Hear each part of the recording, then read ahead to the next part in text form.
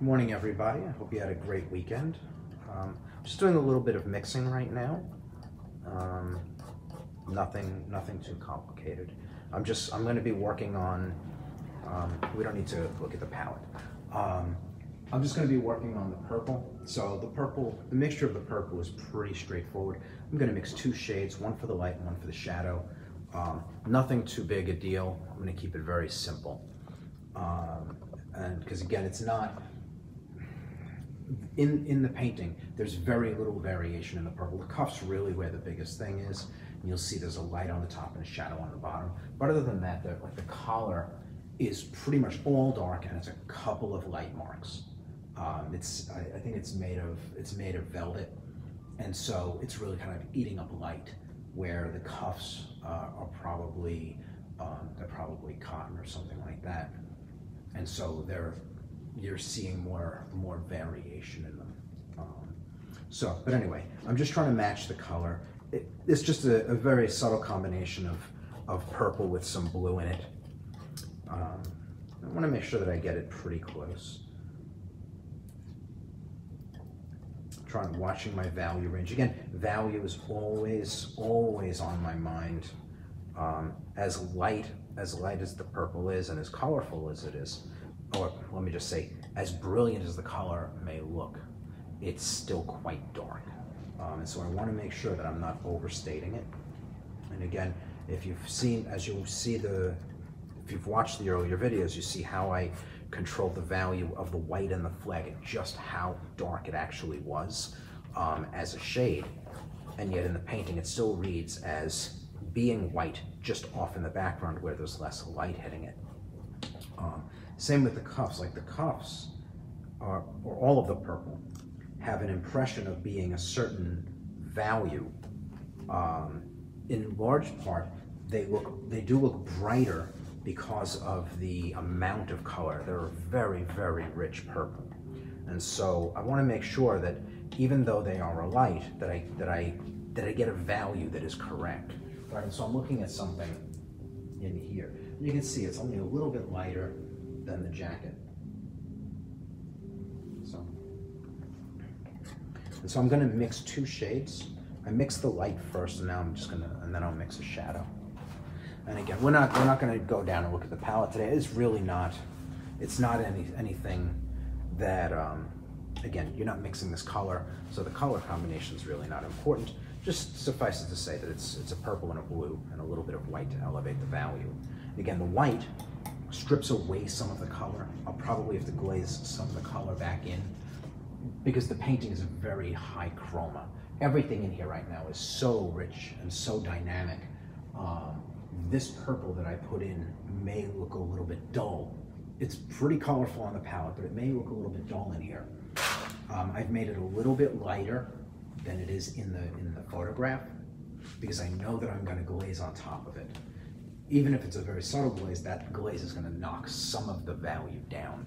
I talked about that in the last video, right? I think it was the last video, either the last one or the one before that. I talked about how the... Can you raise your voice a little bit? Yeah. Having volume issues. Um, I talked about how the glazes break down the light, um, and so a layer of glaze darkens the painting. So I'm gonna make the cuff a little bit lighter, just a little bit, than I think it needs to be because I know that I'm gonna add a little bit of color to it later on. So I'm accounting for that already, and I'm making the decision right here on the spot. As I mix the purple and I look at it against the photograph, I can't get an opaque pass of purple colorful enough to match the photo. So I'm gonna make it a little bit lighter, which is gonna strip away a little color, but then I'm gonna be able to lay a glaze on top, which is gonna be pure color.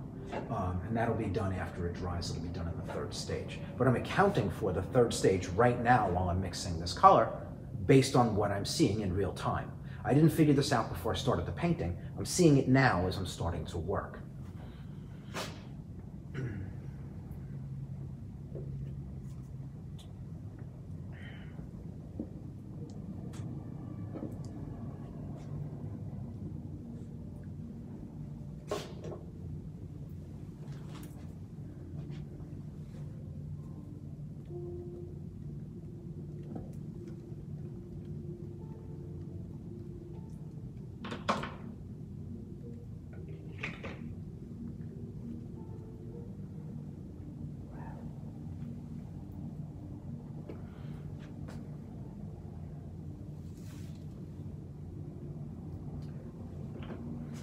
I'm also having to make a decision about something. So I'm just gonna put this up here so you can see it.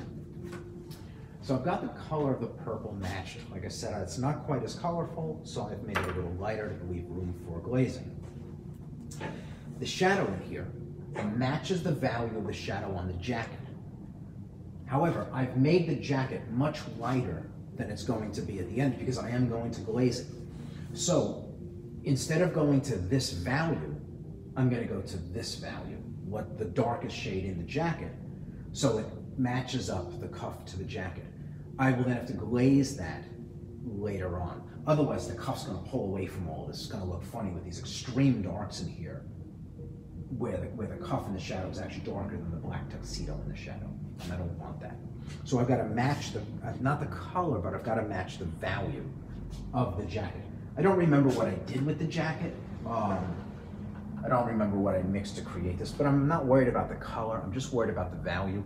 I'll neutralize the shadow. It's not going to be very colorful. It's going to be kind of grayed down, but I'm going to try to try to get it close to this. It might have a little bit more purple in it um, when it's all said and done. Right, and so I've started with a mixture of black, um, some violet, and some blue. Right, and I'm just going to put this up here so you can see it. Obviously, it reads as black against this. So I'm now going to just start to elevate it a little bit with some white. Just open it up. It's going to be a bit of a gray, which is what I want. I don't want it to be too light. And I do want it to feel like it has some color in it. I don't want it to be an absolute gray. I want it to look like, let's say, a purple or a gray that has a little bit of purple in it. But I want to be able to recognize the purple. I don't want it to look just like gray. And I don't want it to look purple either. I want it to be kind of on the fence between them.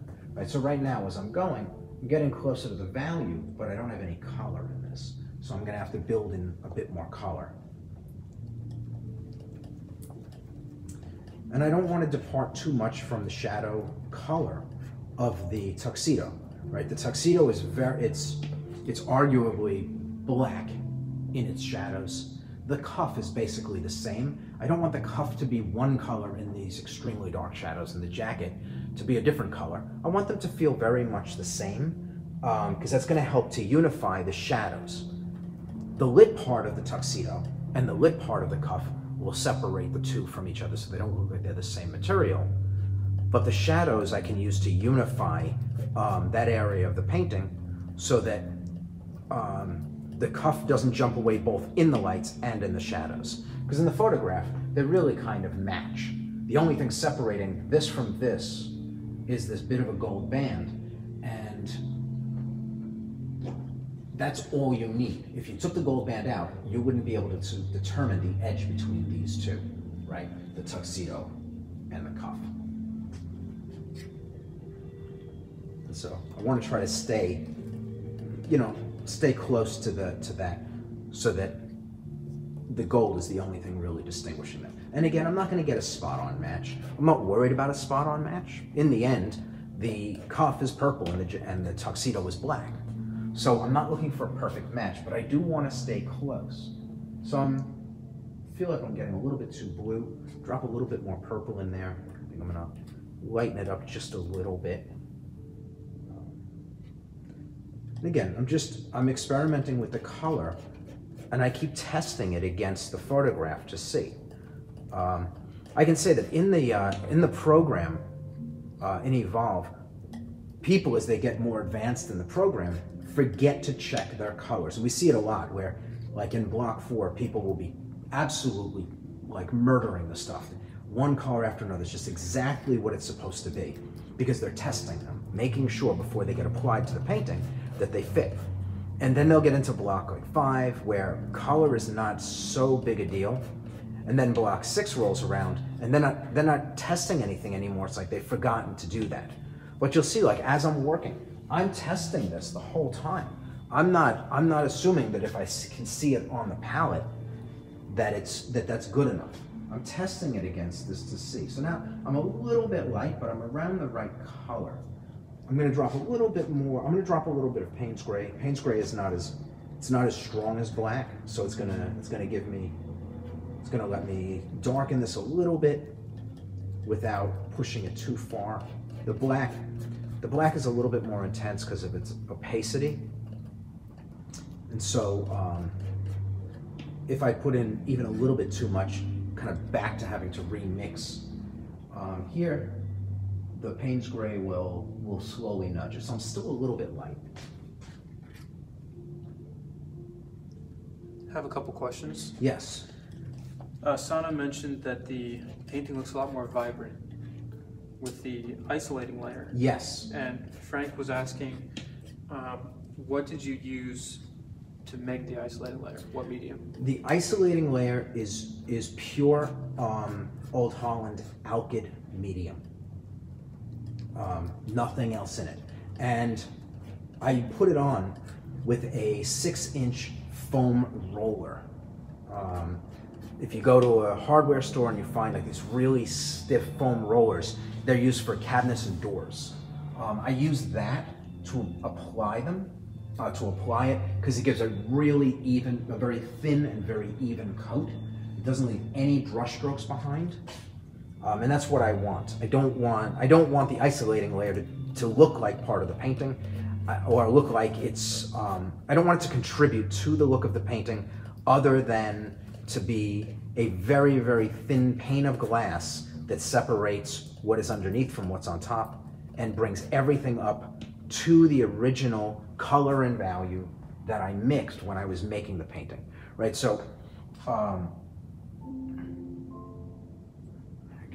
and you can see, for those of you who are in the program, or even not in the program, look at how many times I've gone back to check this, this value. I am making sure that it's exactly what I want it to be, or as close as I can possibly manage. I've got a broad range of latitude to play with this color. I could be a full value off and I'll just glaze it down to where I want it to be. But I don't want to be lazy about it. I want to try to get it a spot on match if I can, because that eliminates me having to use the glaze to both adjust the, the color or the value for where I want the painting to be. And, you know, you can, so you use a glaze and it's like if you're only augmenting the painting a little bit based on what you had planned, the glaze only does one job. But if you're doing that and having to correct kind of lazy color and value decisions early on, the glaze is doing double duty. And you don't want the glaze doing any more work than it needs to.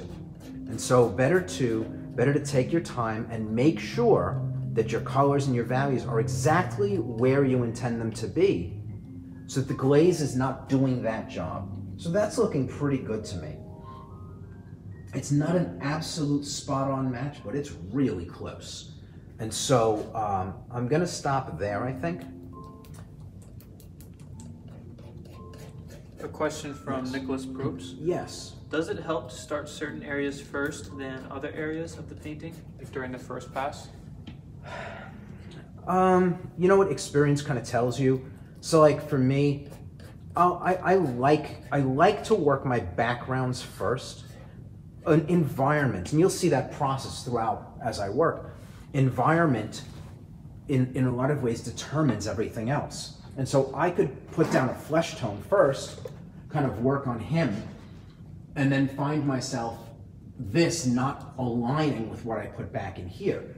The bigger open spaces are easier to figure out and then you get into the smaller things.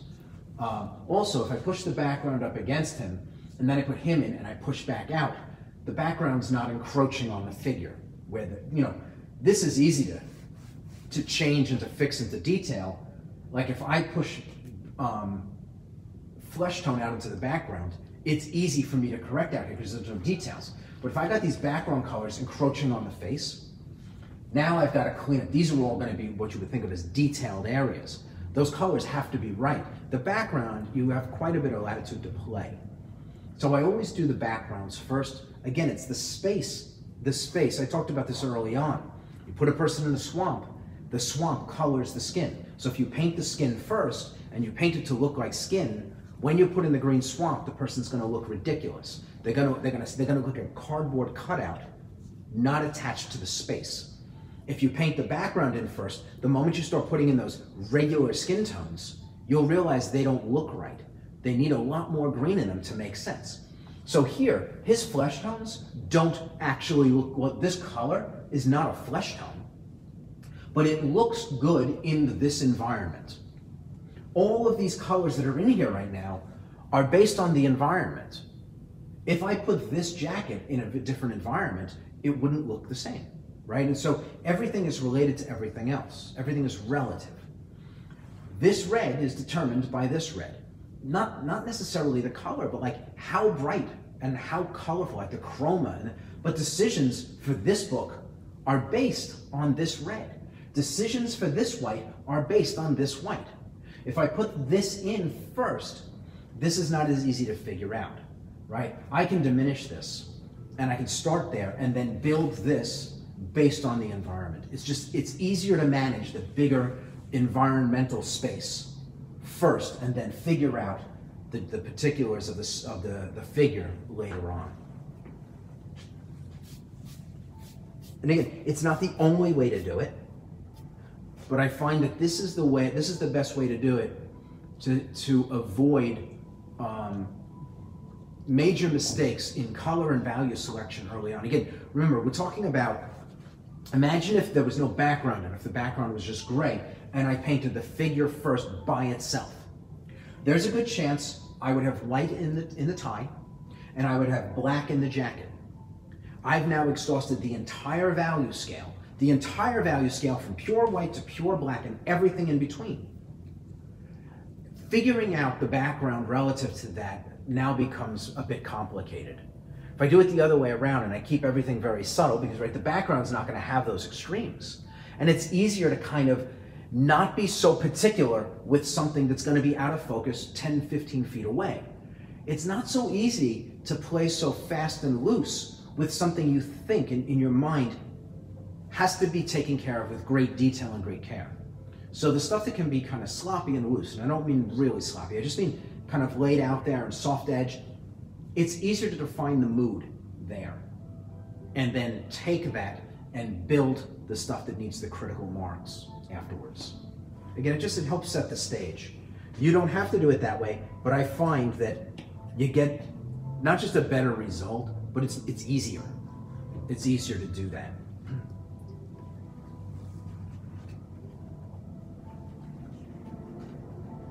Right? And the idea the idea with an education is to get, at least in art, to be able to get one, a consistent result. And a consistent result requires at least some kind of consistency in your process. You don't want to be the same every time, but there has to be there have to be anchor points, right? So consistency of result. And the other thing that you want is you want to be able to increase speed while getting that consistent result, right? And so if you have a process, always the background first, you're able to make sense of what you do with the figure. You, you learn that what this has to offer for this. And so the likelihood of you making really, really drastic mistakes here after this is established, the, the setting goes down as you do more and more of it, right? But the idea is that, you know, the education is to tell you where not to go so that you don't, you're not stepping on landmines right? You create a pathway through the process from blank canvas to finished painting, and you utilize that, that structure um, to help guide you. And the more you do it, the better you get at understanding where the pitfalls are, where the problems emerge. Um, but, but again, I, I, recommend always starting with your environment. Um, and if like, so if you're gonna do a, like, if you're gonna paint a figure from direct observation, let's say you're gonna do a portrait from life, you would start maybe draw the face, block in a shadow, block in a light. So you're talking about two values, one shadow, one light, that's it. At that point, you would then start establishing the background.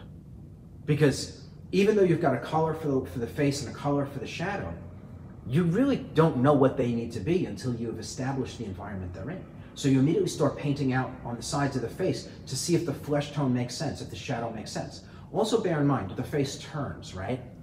So you've got a whole bunch of different shades. Which one did you pick for the shadow? Which one did you pick for the light? Did you pick a dark thing or a light thing?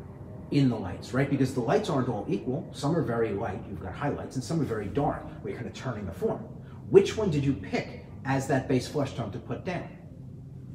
The background is arguably, arguably going to be flat and even. It's one color, one shade, basically.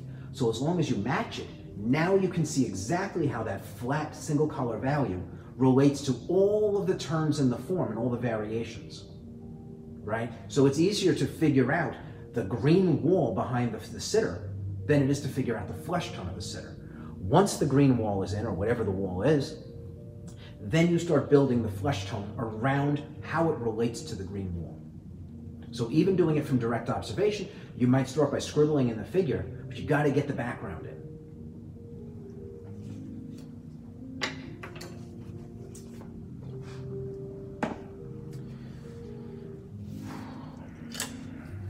Turns out Alan Yost is a former student of Rutgers. Really? Does he still live in Jersey? No, he's. Where's he at? He said St. Louis. Oh, okay. I was going to invite you to come visit. I mean, the invitation's extended regardless. It's just a bit of a commute for you. Okay, so I'm gonna work on. I'm gonna do the collar afterwards. Like I have room, I'm gonna be able to rest my hand as I go. But the idea is I'm gonna I'm gonna try to get the collar, the cuff, and then the purple down in the apron done. And again, I have both today and tomorrow. We will be doing the face on Wednesday. If I knock out all the purple today, which I don't think I'll do based on track record uh, being here working, if I get that done, I may jump in and do a couple of other things back in here, maybe play with the metals a little bit. There's some stuff I could do back in here to start setting the groundwork for what will come. Um, so, but the idea is I'm gonna knock out the purple. I'm gonna make sure I've got some, like I've got a dark down in here that should line up more with the background that I missed. Um, I keep missing this space down in the painting. Um, but I want to make sure that I that I bring this in line with this background before um, before I start moving the rest of the painting. Like there's going to be more to be done here. I'm going to have to push this a lot further with the glaze than I want to. If I have to do like one value shift here, this will require like a three value shift in the glaze. I don't want that. I want to make sure this is right. So again, I'm setting the stage for the third pass. I won't start the third pass until everything is where it needs to be for that purpose.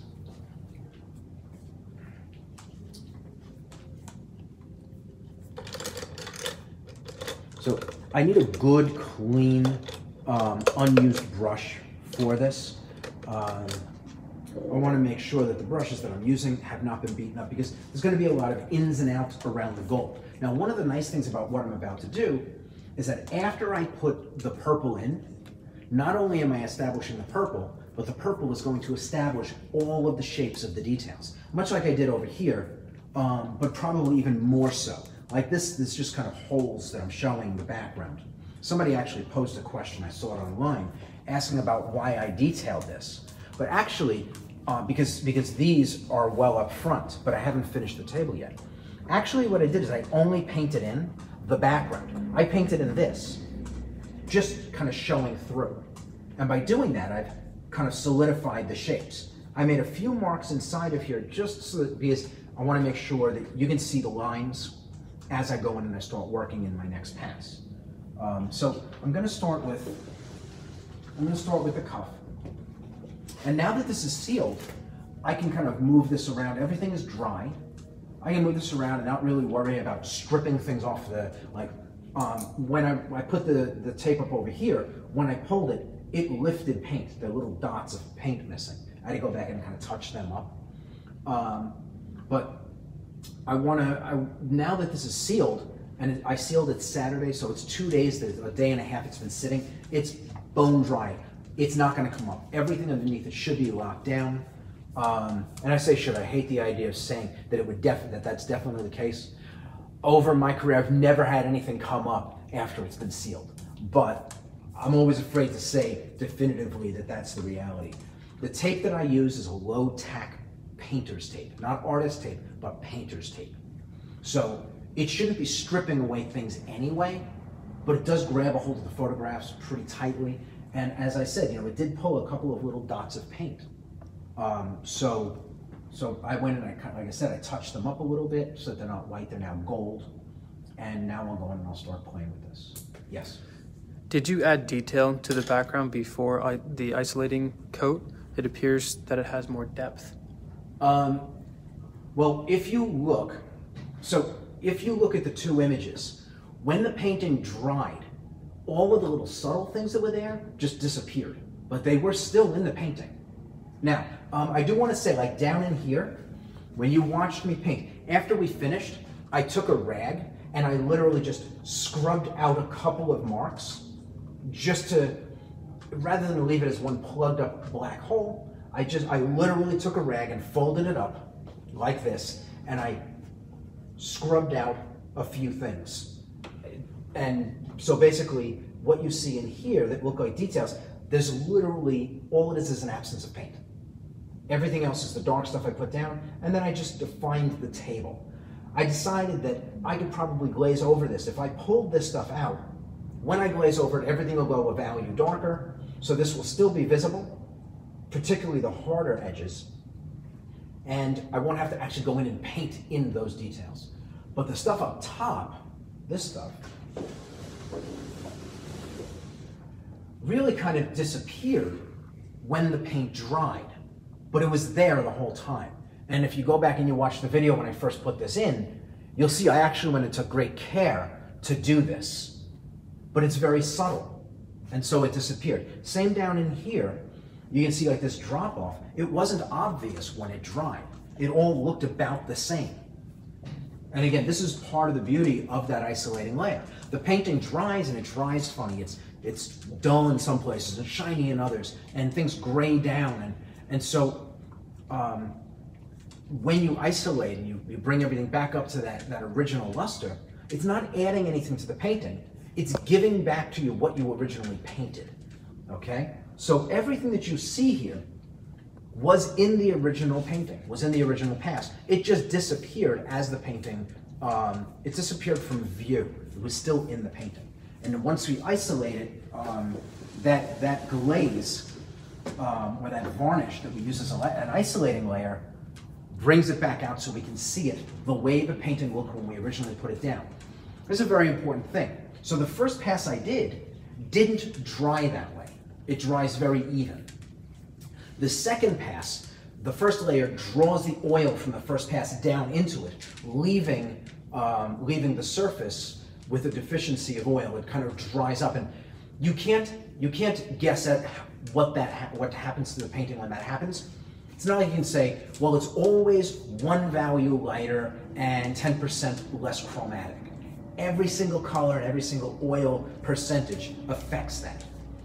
So you never try to match a dried area that's all sunken in with wet paint.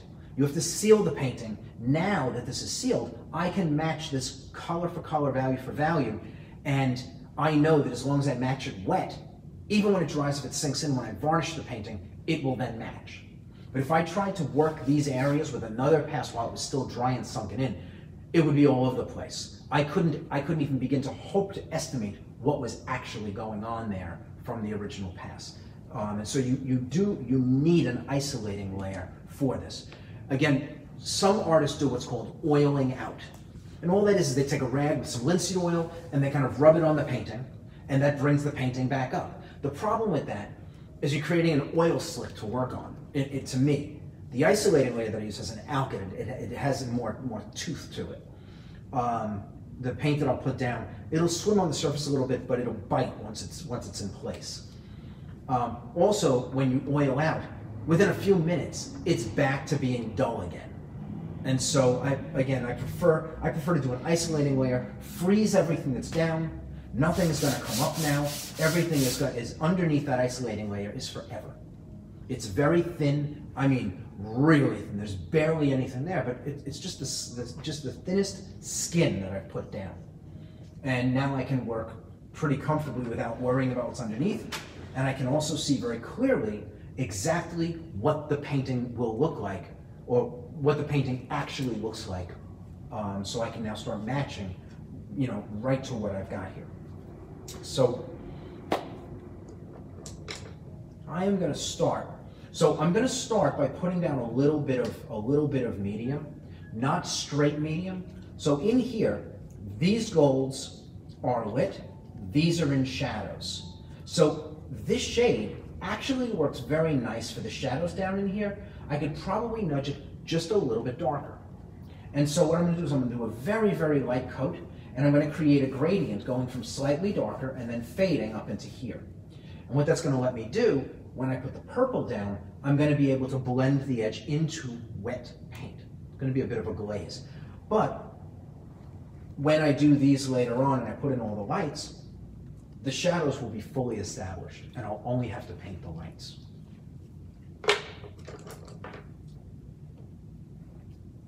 So again, um,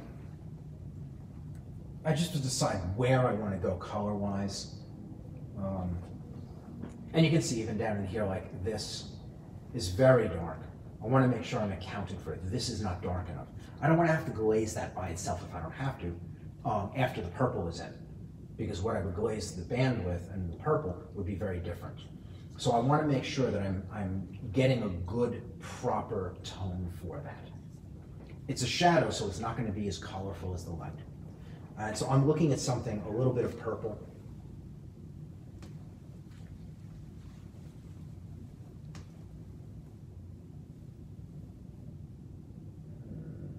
Now remember, when I'm doing this, it's not that I'm putting down purple and purple becomes the color. There's gold underneath it.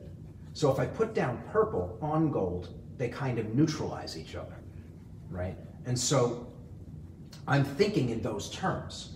Like, I'm not just figuring out a color, I'm figuring out a color that when this shows through it, will that give me what I want, right? And so purple on top of gold is going to be a very, is going to be quite neutral.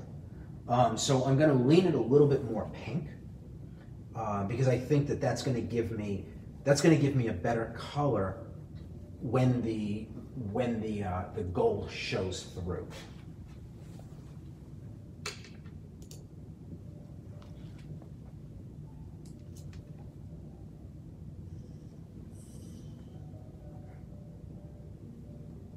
And it's not a very, I'm not mixing a very um, thick mixture. It's going to be thinned down quite a bit.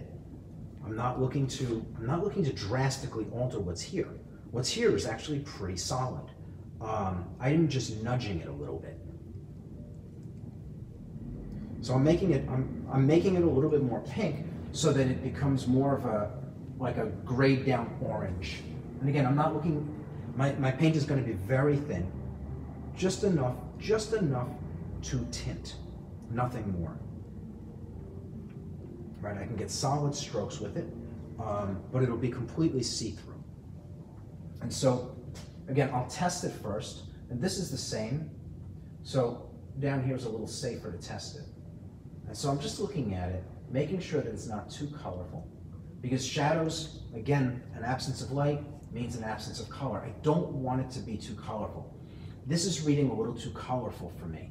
I'm gonna drop a little bit of So I could go with a little bit of brown, or I could go with a little bit of yellow. The brown will neutralize it. Um, the brown, the brown by itself, brown is a very neutral color. So I could neutralize it with that, or I could use yellow, which will take some of the purple out. Um, the yellow I worry about is another high chromatic color. And so I'm thinking the brown is probably a better option to neutralize with. And again, I'm not using a lot. It's a very small amount of burnt umber. Um, but I want the I want the color to now feel a little bit more. Um, I want to be able to look down and see a little bit of brown in the mixture. And again, I know that what's underneath it is still very colorful. Like what I what's on the canvas is very colorful. So even if I put straight brown and it's somewhat see-through, I'm going to be seeing some of the gold through it. All right, and you can see this wipes up very easily because of the isolating layer. So, so just gonna. So it's still a little bit chromatic to me, but I'm not gonna I'm not gonna worry about it. I think it it's actually it's actually relative to what these golds will be. Um, I think it's to be fine. I think I think it's to be fine. It's neutral enough, and the painting has a very high what we call color key. It's extremely colorful. Every aspect of this painting is done in color. There's nothing neutral here. Even the things that look neutral aren't. And so I think that I can get away with this. I think this will be good. If I find that I'm wrong, right? So there's, there's going to be a margin of error here. If it's too colorful, it may not be a problem in the final painting because of what it is and how small the spaces are. Remember, even though I'm going to fill some of these things, it's going to be a couple of little marks in here on the leaves. It'll be a band here and a band here. That's basically the extent of it. So it may be just fine. Um, if I find that it's too chromatic, I'll have to gray it down with a glaze. It's a little bit more work, but I'm thinking this is actually okay. I think this is this is fine. Um, it's close enough. And again, I, I hate to use that kind of terminology when I'm talking to students because my perception of close enough and your perception of close enough might be this far apart. Close enough to me is that I'm the only one who will know that I made this choice and I let this thing go by. Even another pro might look at that color and go, yeah, maybe not the choice I would have made, but it does what it's supposed to do. It's a bit, there's a big difference. And so when I say that, you know, that it's close enough, my, my standards are so high and my margins of error are paper thin in my head. So um, just bear that in mind as you, as you hear language like that come from me.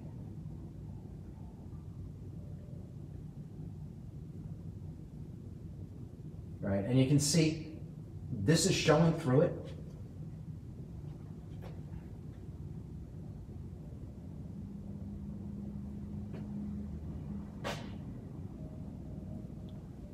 Try not to contaminate anything around it if I can help it. Um, and again, I mean, I'm going to blend out the edges. It's not going to be sharp edged when I'm done. Question. Yes. Can the isolating layer be used with any medium? Um, no, no. Um, like so, if you did this with, if you did the isolating layer with linseed oil, um, it's going to be wet for like a year. It's imagine if you took olive oil and poured it out on a counter in your kitchen. How long would it take to dry? How much dust would wind up in it, right? Um, the isolating layer, you want it to dry quickly. Um, so you need something. You need something that's going to lock it up. Um, it's going to dry it.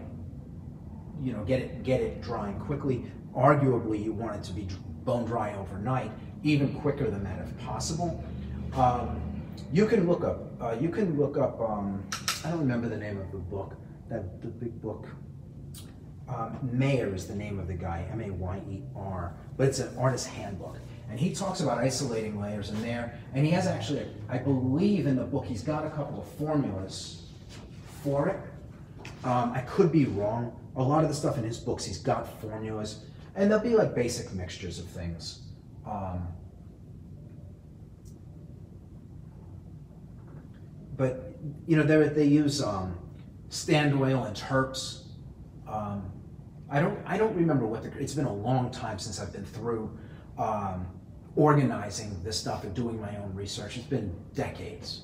And so, um, though I do go back and reassess some of these things as time goes by, as new products come out, a lot of the stuff, I'm not going back and I'm not changing what I do really um, because I, I've already got a process. I like how, yeah, so it's called The Artist Handbook by Ralph Mayer, M A Y E R. Um, there's a lot of good stuff in there. Um, it's a technical manual on, on art and artist materials and things like that. And so not a bad thing to have it in your, in your library. And it's not just oil paint, it's, it's, it's, um, it's all mediums, I believe, pretty sure. Um, but it's, it's a good book to have in your, in your collection. Um, it's going to, it, it'll give you access. You can even see like if you get really serious about what you're doing, different interactions between different colors of paint, right? Because you can't mix all, all paints with each other. Um, some paints interact, like you have heavy metals. Um, and so lead interacts with certain colors or certain, certain other heavy metals. and it'll tarnish your painting. Copper, lead, cadmium, like they, they have interactions. And so that book will actually give you a scientific breakdown of what those, what those um, pigments will do with each other and which ones don't go well together. It's almost like if you got medication, they give you three types of medication, and one of them says don't take it with the other two, like you wouldn't you wouldn't take them together, right? And it's, it's the same kind of um, uh, like analysis, but for for art materials. But the book is widely regarded. Um, Mayer is an expert at this stuff.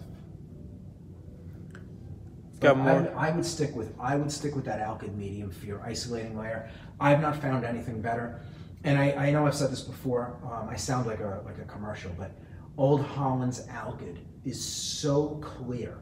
That's the one I use. Um, th- you have other alkyds. Um, then you have Galkyd, which is from Gamblin, and you have Liquin from Winsor Newton. But like if you go in and you look at a bottle of Liquin, it's so it it comes out of the jar. It comes out of the jar yellow. And you can do a test just like I have. Get a bottle of each, get a piece of white canvas, and take a brush and do a stroke with each one. Now, you have to understand that when you mix the stuff into your paint, it's different. Um, what I'm telling you to do is put down medium without any pigment in it. And these mediums are not designed for that, okay? They're not designed with that purpose in mind. Pigments, right, so the, the medium comes out and it's a little bit yellow. And it will be yellow if it is if it stays unpigmented. If you put enough pigment, meaning paint, into it, the yellow is disguised, completely buried, because it's not intense. But as an isolating layer, the the the, um, the alkyd made by Old Holland is just cleaner. It's clear. I mean, I've done side by side tests on these things um, because it matters. If I do a painting and I seal it, and this white starts to look yellowed, I've lost I've lost the beauty of what I've created. Everything winds up under a yellow cast. That's not any good for me. I want these colors to be exactly what they were when I when I mixed them. And so in order for that to be the case, the isolating layer has to stay clear. And these mediums, a lot of them, if they're underpigmented, yellow and yellow dramatically. And so you can do the test yourself or you can just take my word for it, whatever makes you happy. But I would recommend sticking with the Old Holland um, for this purpose. I mean, again, you, you don't want to create more problems in your work, you know, over product. You know, we use good paint because we don't want the paint to be the problem. We use a proper medium when we're making our painting because we don't want the medium to be the problem. When you isolate, you want to use a proper isolating medium for that. And again, over the years, I've experimented with a lot of things. Nothing comes close to alkyd. Now, that being said, I've spoken with people at Winsor Newton years and years ago. I used to use Liquin because it's all that was there. Um, it was all that was on the market at the beginning. And I spoke with people at Winsor Newton, and they said to me definitively, this should not be used as an isolating layer. However, it fits all of the criteria of what an isolating layer is supposed to do. Now, um, the people at Winsor Newton who are making the product are not artists; they're scientists, right? And so it meets the criteria. The problem with Liquin is that it yellows. Again, you can see that even when you pick up a bottle in the store. It's it's it's pretty dark, and so um, and it's not that it's not that the that the alkyd from from Old Holland is white, but again, you're not putting it down as thick as it looks in the bottle. It's borderline. It's just like hazy, but it's there's barely any yellow to it, and that's what you want. You want something that's not going to um, that's not going to affect the look of your painting. Anyway, so I've got my I've got my color down in here, and you can see nothing drastic. And now I'm just going to go in around it, and I'm going to drop in my my shadows.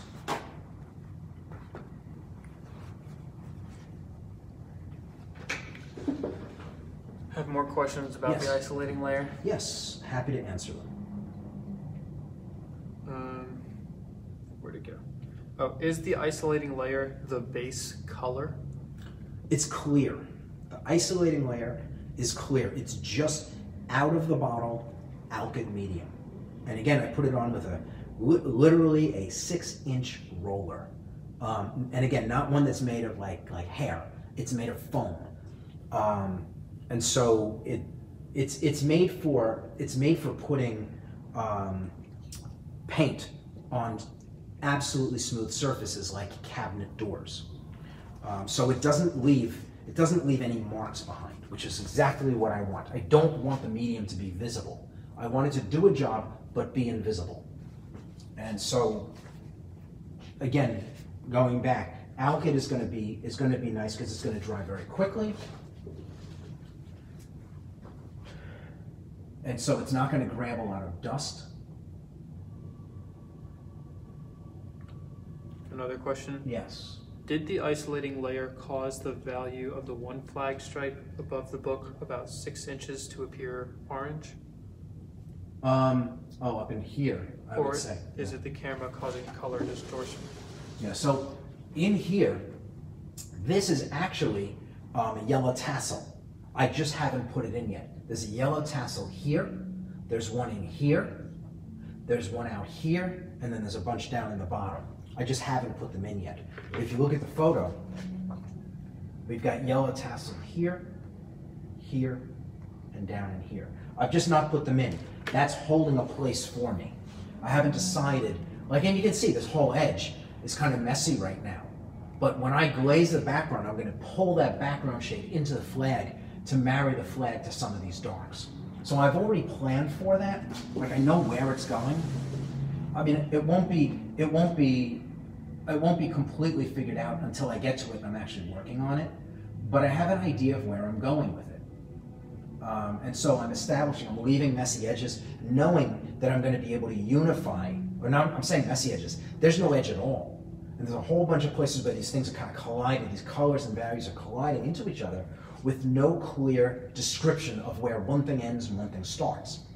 I'll be able to define that stuff in, in, in absolute terms in the next pass. And you'll see it, it'll make sense when you see it. I can leave the edges of those, um, the edges of the flag, an absolute undefined mess right now because I'm going to be able to define those edges to the degree that I want, either soft or tack sharp in the next pass. But again, it, it won't make sense until I get there and you see it being done. One of the things about this process is that the, is that the painting can look like it's in pieces one minute and then the next minute fully put together and established. Um, but you have to get to the point where you pull everything together, and that's really like you're setting the stage right now. All of that stuff will then be pulled together in the very last, the very last minutes of the process. And again, if you stick around and you and you watch, it'll make all the sense in the world when you see it. Another question. Yes. What are your thoughts on retouch varnish? Uh, when I did illustration, I use retouch varnish a lot. Um, it's sticky. I've, ne- I've never I've never had a strip varnish off of a painting. And retouch varnish is a varnish that is designed as an interme- intermediary varnish between finishing your painting and a year later doing a proper varnish. Um, I, I used it when I did illustration because we needed to have the paintings varnished so they weren't dry and sunken in some places and glossy in others um, for reproduction purposes. But once I got away from doing illustration, I got away from that varnish as well. I'm actually a fan of, um, there's a company called Krylon, um, K-R-Y-L-O-N, and they make spray varnishes, and they have a varnish called Kamar, not Dammar with a D, it's Kamar, K-A-M-A-R. It's a satin finish, dries in minutes. We're talking about two minutes, dry. Um, won't grab dust because it dries fast. And so, like, I'm a big fan of that um, because I like the satin finish. Um, and I've played around with everything, beeswax, and, and I, I, I like something that's a little bit more on the side of, I'd be, rather do matte than, than gloss. And the satin's a nice middle ground in between. Um, it brings everything up to an even luster beautifully, doesn't have a lot of reflection, you know, specular highlights and that kind of stuff which I think distract from the painting. if you go into the museums and you look at a lot of the old masters, their paintings are not shiny. They're actually quite dull on the surface. They don't have a gloss to them. They're matte finished. Um, and it's just the varnishes that, that are used. They, they show off the painting. Um, and I have a lot of friends that use um, high gloss varnishes. I, it's just, again, it's a preference. I just feel like a high gloss varnish makes your painting look like a placemat. Um, you know, it's, it's highly glossed so that it's easy to clean. And to me, the high gloss varnish doesn't offer any better protection.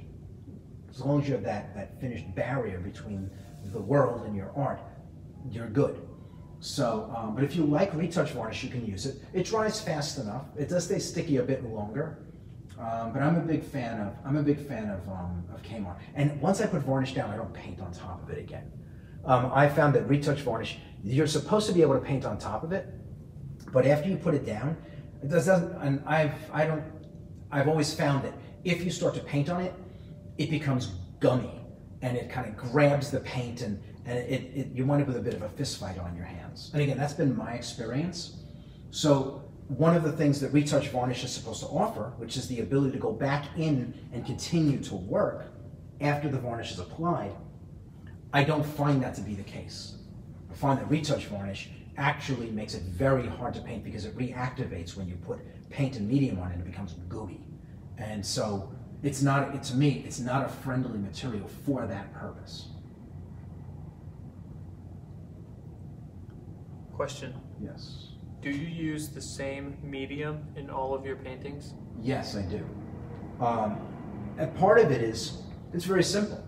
I know exactly what to expect.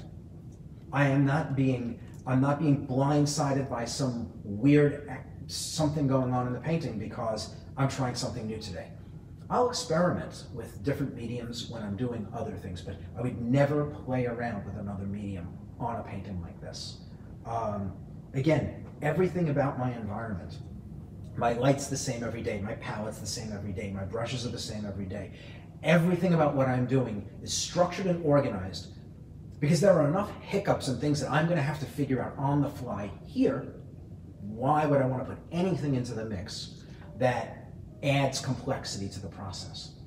Now again, I am I'm always open to experimenting with materials. I just wouldn't do them. I just wouldn't do it in a place where I'm working on something um, that that's important. Just too much risk involved in it, and the risk doesn't have a benefit.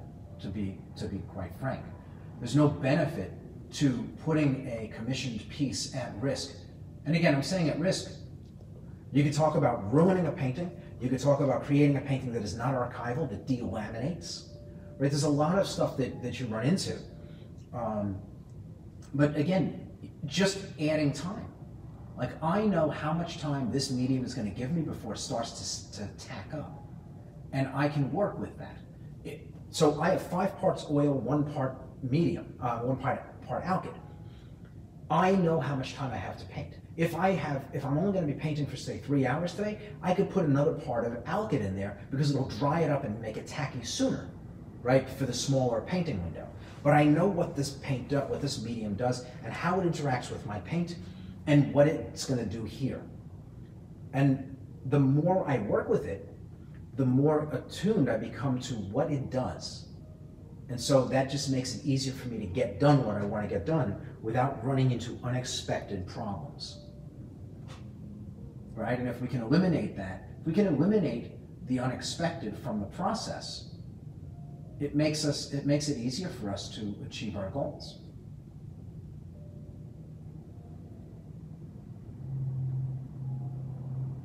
I mean, think about it, imagine if you came in and every day the lighting was different. One day the light's over here, one day the light's over here. It's, it's a, you know, it's a 4,000 Kelvin one day, the next day it's over here. So like there's reflection on your palette while you're working. And you know, this, this is 5,000 Kelvin, the temperature's different, the colors look different, right? Imagine if you threw a random element into the process like that. Now, of course you wouldn't move the light around, but playing with the medium is just as bad um, once you figure out something that works, spend your time getting getting better and better acquainted with it, with its little with its little variations and idiosyncrasies and what it offers and doesn't offer. And over time, what will happen is you'll tweak the medium to best fit your, how much time you stand in front of an easel, how fast you work, how detailed you are, like all of those things. The medium would be like, well, you know, when I came back the second day, it was still wet. I know I can put more alkyd in it now because I want the painting dry the next day, and the alkyd's the thing that dries it. So you you go from five five to one ratio to four to one ratio, or five to two ratio, right? You can play with both of those and see in a small painting what that does, or even in a big painting, it's such a small change. But I wouldn't add another oil in there. I wouldn't switch from linseed to walnut. I wouldn't because too much of a shift. You're not going to be able to tell what's doing what right? And the idea is we don't want those surprises.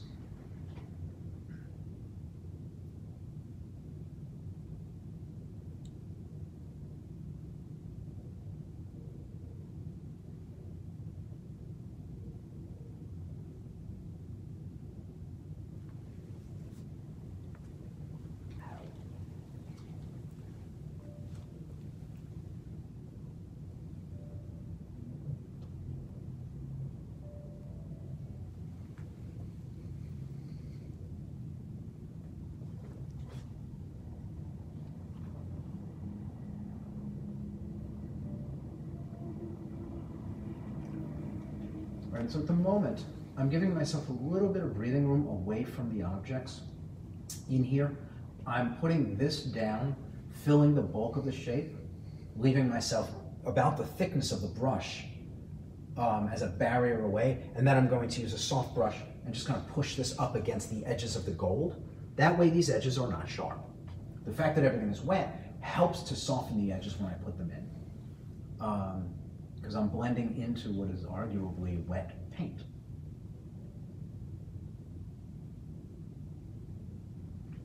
But I'll be able to blur the edges a little bit. I don't have to go too crazy. Again, these are these are actual details.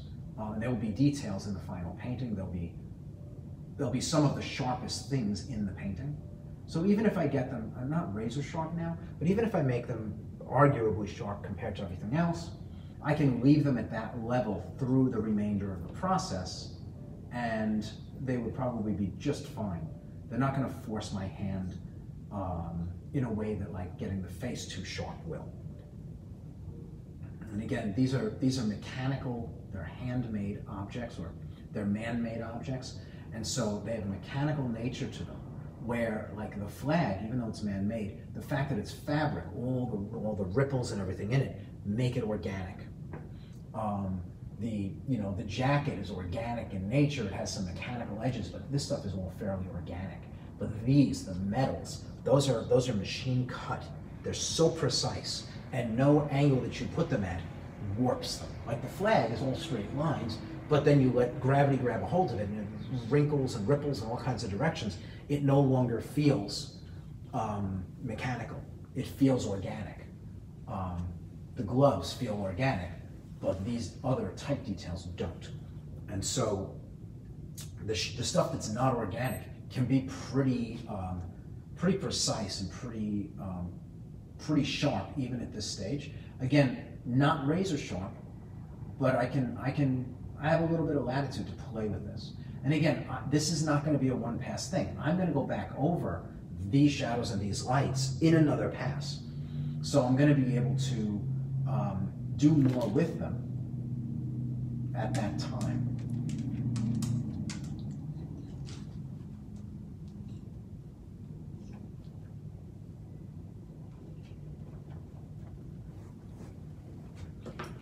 Grab a smaller brush.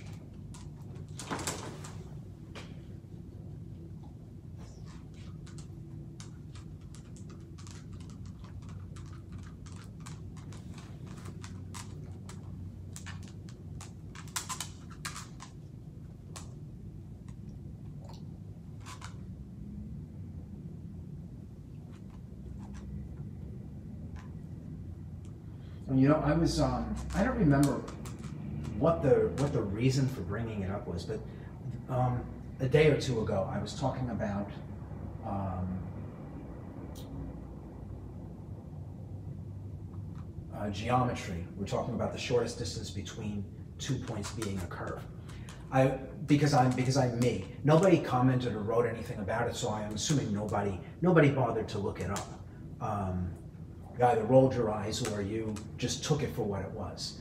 I was mistaken. Actually, the geometry I was talking about was Euclidean, but that's not the proper one. Differential geometry is the case, um, where the shortest distance between two points is a curve. And so it's differential geometry, and that idea, it's not gravitational pull that warps space, it's mass that does it, and that's actually part of the theory of relativity. This existed before Einstein, and actually somebody introduced Einstein to it, which helped him to create the theory of relativity. Um, so it's been around a while, and I, but anyway, I wanted to correct the record on that. Differential geometry. For any of you who rolled your eyes and were like, shortest distance between two points can never be a curve. It's a straight line. I learned that in school, right? Oh, I remember why I was talking about that. The difference between what you get in a classroom that is theory and what the real world is. In the real world, mass, like a planet, bends space. And so geometry that's on paper that says the shortest distance between two points is a straight line doesn't account for the reality of the world. And education, um, an education that's simply on paper doesn't show you real world things necessarily. And so that's really where the experience comes in. Also, that's why you need to study with a pro. Because an amateur can tell you on paper what something should be, but if they've never made a living at this, they don't really know what, they don't understand the, how mass bends space. They only understand that on paper, they can see that the shortest distance is a straight line. So, differential geometry. Now, just in case you wondered about my personality, that's me. I went home and thought about it afterwards and was like, I need to make sure I've got this right. I looked it up, I went through, and took a while to find everything. Um, it was buried, but I was able to find it. I wanted to make sure that I was disseminating proper information. I can't stand to have to have stuff out there that I said that's not correct. So, differential geometry.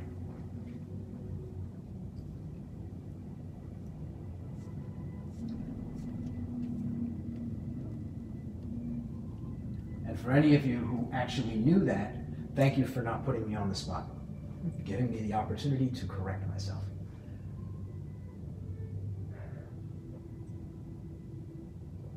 It's, that's no small kindness.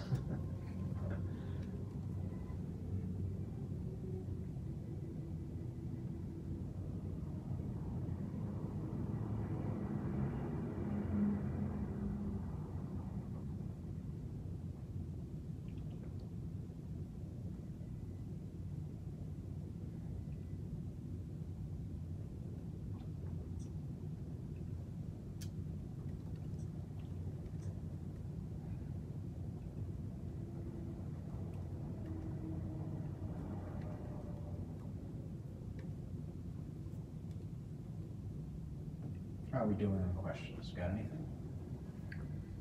We're all good. Okay.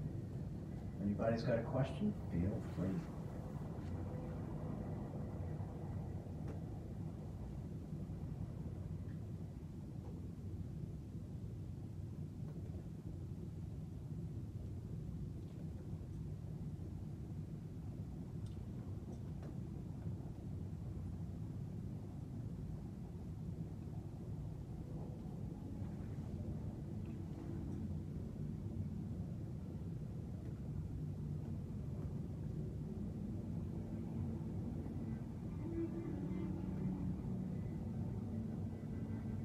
So again, the paint that I'm putting down has some medium in it. Everything that goes down now, everything will have medium in it.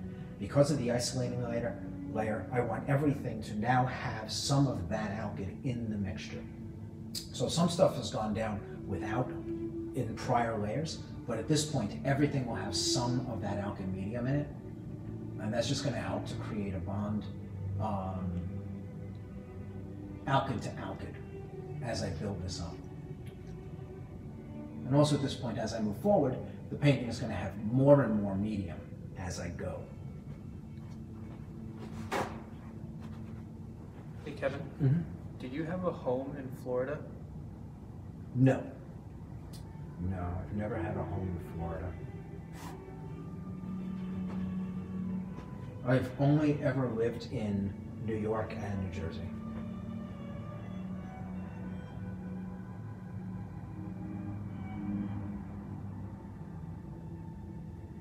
Again, I'm just bumping this up against the gold.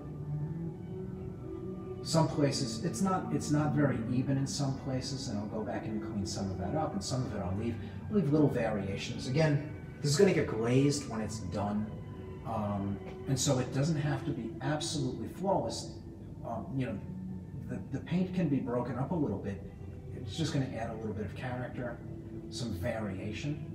I'm careful about what I allow to be broken up, how much, and that it's not creating a pattern that I don't want, right? Because if I if I let it, if I allow it to be broken up exactly the same everywhere, then it creates a pattern that looks like it was applied by brush, and that's not what I want. I want it to look very natural.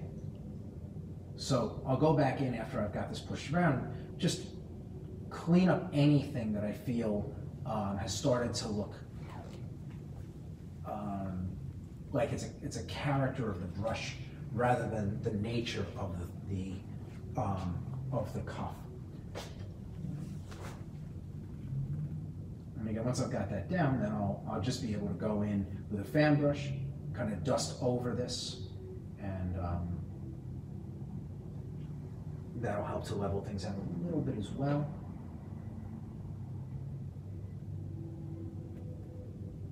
And again, like for me, I'm not, I'm actually going in and I'm doing it. So I did a little bit of an area. I've got these little variations and I'm going in and cleaning them up.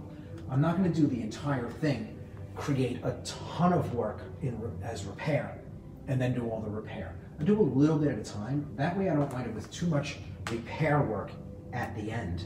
I'm kind of doing it all as I go. I've found that if you build up too much stuff that needs to be repaired at the end, the repair work tends to get sloppy. And so, and, and again, that, that's for me. Um, you may be different, you may have no problem cordoning something off and like, you know, doing all this and then creating, you know, 40 minutes of repair work and then kind of hunkering down and doing that.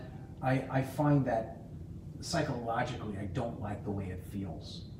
I prefer to, I prefer to um, kind of clean up as I go. I'll only allow so much of a mess to creep in here before I have to go in and clean it up and make better sense of it. I just, I just don't like, I don't like facing a mess at the end of the painting process. Um, so, kind of clean up as I go. And it's not, it's not every single stroke, but I'll get like maybe an inch and maybe two inches done and then go back and clean up. Then I'll do the next two inches and then go back and clean up. So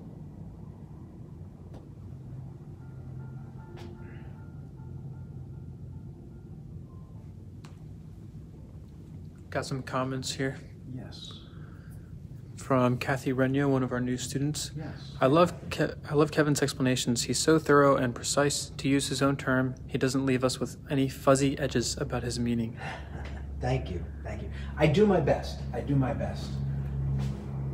And um, Mark Moody about the um, was it differential geography? Uh, geometry. Geometry? Geometry. Right. yes. Mark Moody says you're welcome. Was a navigator in the Coast Guard. We used differential geometry all the time. There you go. Year, a couple of years ago, I, I, I told Daniel, I think I said to him that I'm in the school, I'm never wrong. And I used this as a thing to show him how what he thought and what was so was not necessarily the case. And of course, you can imagine the look on his face. He, he thought I was full of it.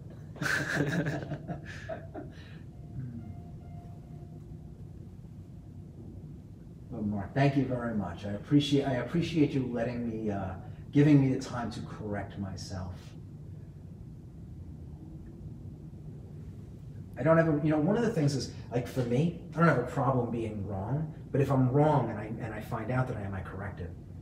And it's uh, like even in this, I'm doing this, I make mistakes. I have no problem admitting them in real time, so you can see it. I think um, you know, when I was working on the, the shirt and the tie, I was, I was struggling a little bit.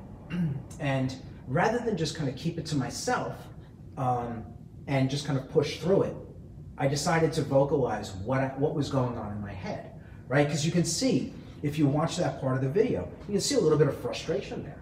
like I'm working, and not not like like I'm pulling out my hair, but I was struggling to see. I couldn't figure things out, um, and so I know that I'll get around it. I just need to like keep a level head and kind of work my way through.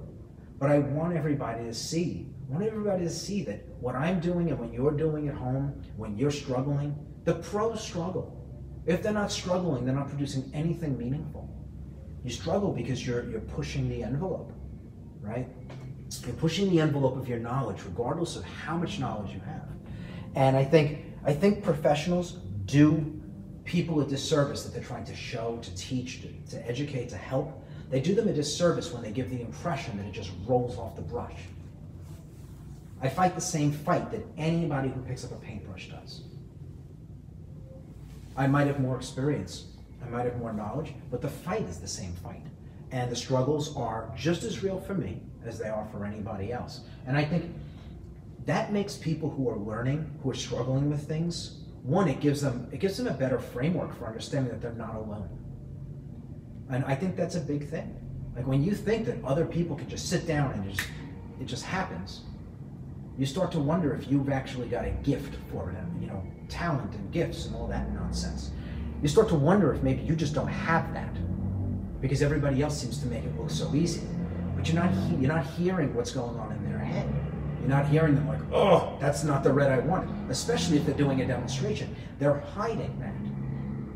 I prefer I prefer to be a little bit more a little bit more honest and a little bit more straightforward because from the standpoint of teaching it, it helps you to know that that struggle that you're that you're fighting, it's not you and you alone. It belongs to everybody, and I don't care how good you are, how long you've been doing it. Everybody has that struggle. And so that struggle makes you part, it makes you part of this tradition. You know, everybody from Michelangelo all the way up, or all the way down. Um, it's all the same fight. And so knowing that that you're just dealing with the same struggle that Da Vinci and Michelangelo and, and all these David, all these great painters, even the person teaching you, go through. I think it makes it easier for people to to get through the hard times, the things they're struggling with, knowing they're not alone. Right? It, you know, you can work. It's funny, we find in the Evolve program, students like to jump into the homework rooms and hang out with each other so they're in a community. But there is more than that as a community. There's the community where you're in a room talking to people, even if it's virtual. And there's community where you know that you are dealing with a common scenario, right? I know that when I sit down and I work and I struggle, Michelangelo struggled too. Da Vinci struggled too. David struggled too. Like all of them struggled too. That that I'm in a community of people who struggled their entire life doing what they're doing, and it in those hard times it it, it bolsters my resolve, reminds me to not get like so frustrated that I lose focus. There's a community in that. You know, we get to we get to struggle together, not just in in space but through time, knowing that that nobody nobody has ever been so good that they didn't struggle. And I can tell you um, one of my favorite quotes from Michelangelo, and uh, I'll paraphrase it. Um, I really need to learn this. I need to get the quote down perfectly because I love it. But basically, Michelangelo, he was producing master grade drawings at about 12 years old, right? Just to frame his life. Master grade drawings at about 12 years old, and he died at 89. He lived a long life. And I mean, everybody knows what he produced in his life. He is widely regarded as the greatest artist who's ever lived. The, the quality of his work and the breadth of it, I mean, just, he did everything. He was an architect and he was a sculptor and he was a painter and he's just, just incredible on all fronts. And he said, um, just before his death, that one of his regrets, one of his great regrets in life, was that he had just learned the alphabet of his trade.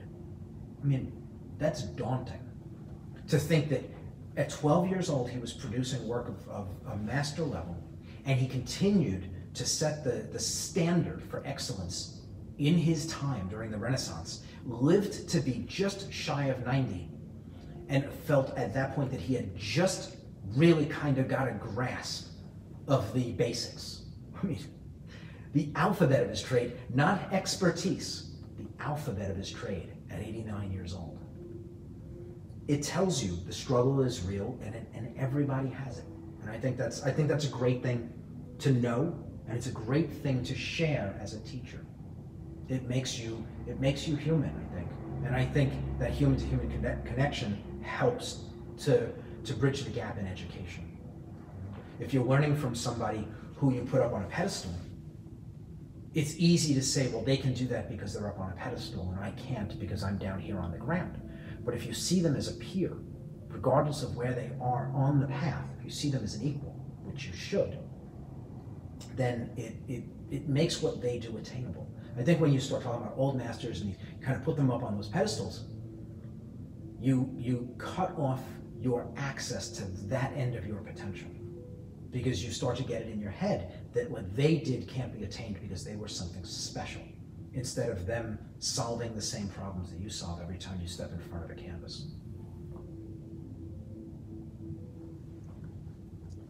Question. Yes. Why are you not using a full picture of the cuff? It's just, you know, okay, well, first of all, I keep not printing full-size prints.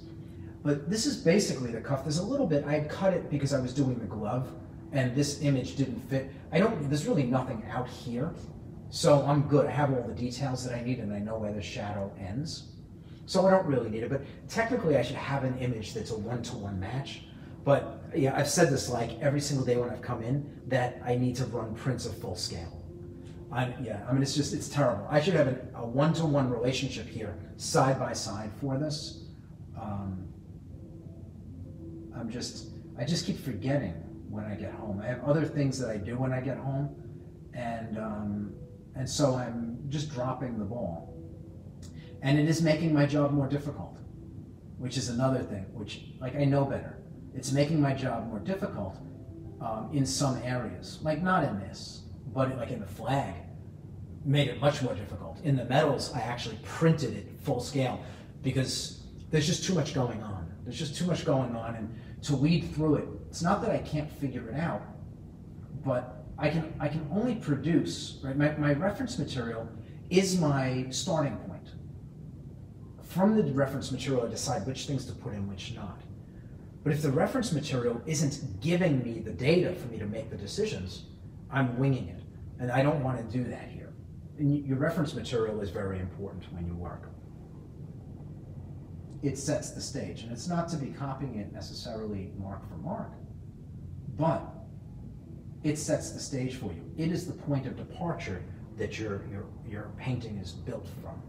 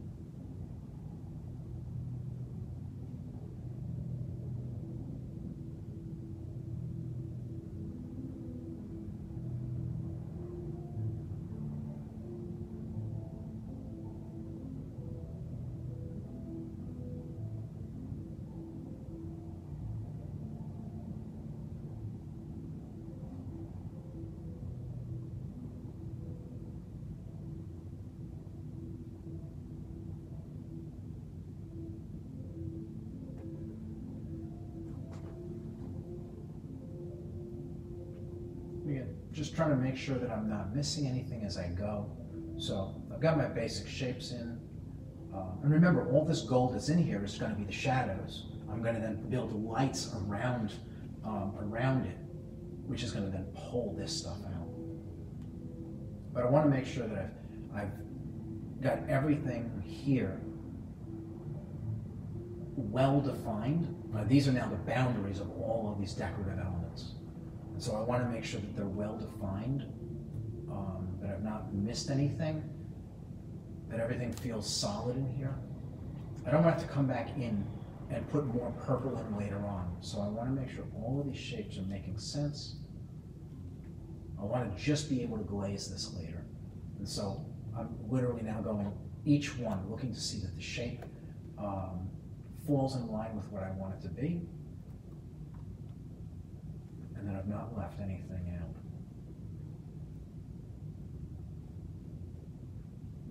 Right, I'm literally just edge to edge, I'm just following the photograph, looking to make sure that I've not missed anything.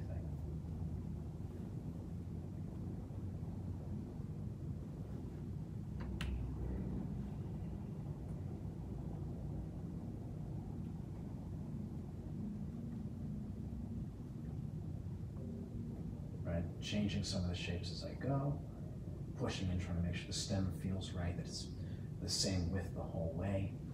In my transfer, there were some inconsistencies, and so I'm cleaning them up at this stage.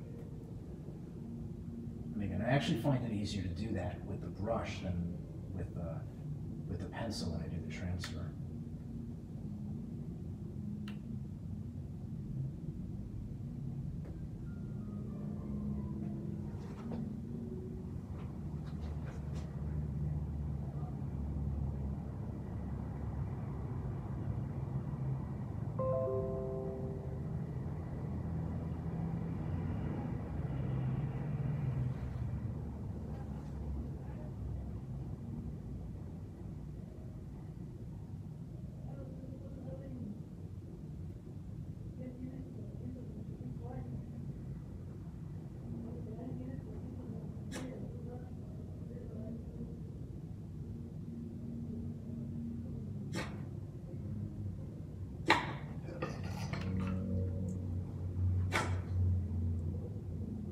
Bailey. That's Bailey making in the background there.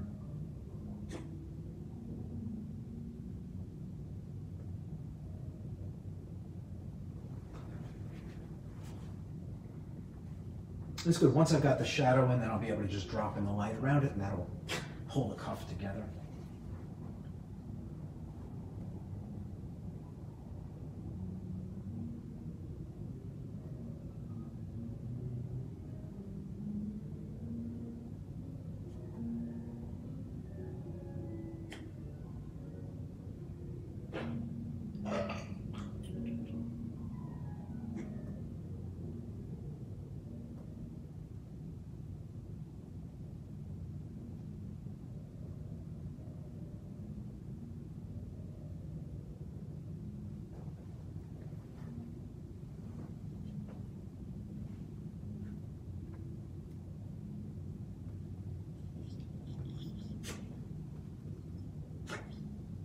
Now, I could take this shadow and I can outline, so there's cast shadows on the bottoms of all these, I could put those in now.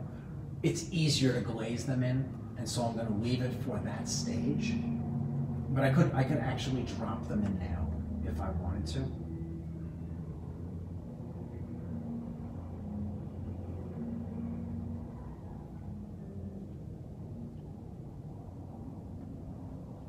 It would give a little bit more dimension to the painting, like right now, but it's not necessary. It'll be easier actually to put in later on. Some of these openings, even though they're sitting on the lit side, are completely shadowed by the gold relief. So I'll- drop those in.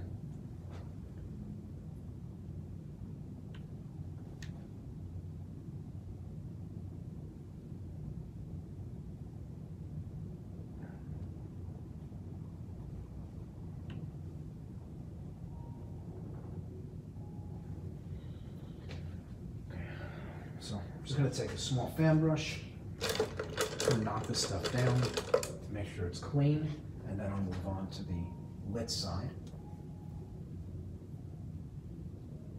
Again, I'm not so much worried about like, like some of this is gonna get brushed over and it's gonna spread out into the gold, but a lot of this is gonna be shadow, a little bit of air, a little bit of that's not gonna make a big deal, and a lot of it's gonna be lit, uh, which I'm gonna be painting in those lights right on top and it'll bury it. So I don't, I want to be careful not to make a mess, but at the same time, I'm just looking to just take the edges down, make sure everything is smooth and even. Um,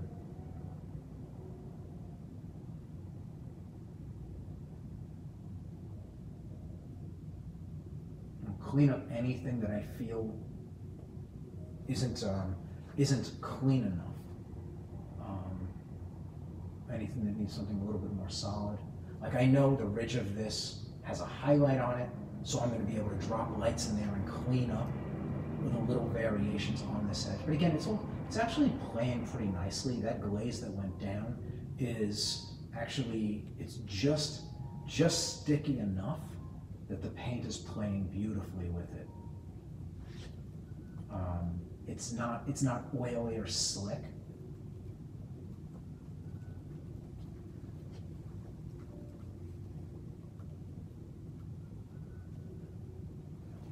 Good. I can now switch over, grab a different brush and I'll do my lights.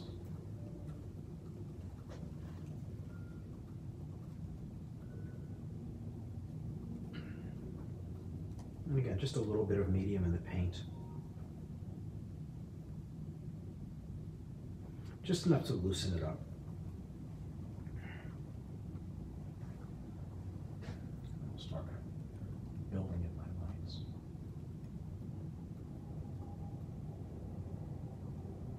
And this at the moment, because it's surrounded by so much orange, gold, is going to look very, very purple. Um, once most of the gold is buried, it won't be, it won't look so, it won't look quite so day glow.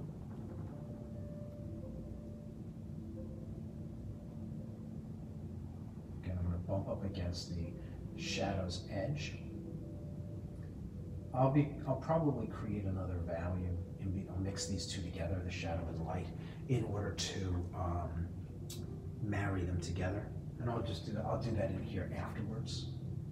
Um, rather than just smudge them together here, I'll, um, I'll create a new shade in between. Um, basically, I mean, those of you who are in the program, I would create a buffer and then break down the edge that way.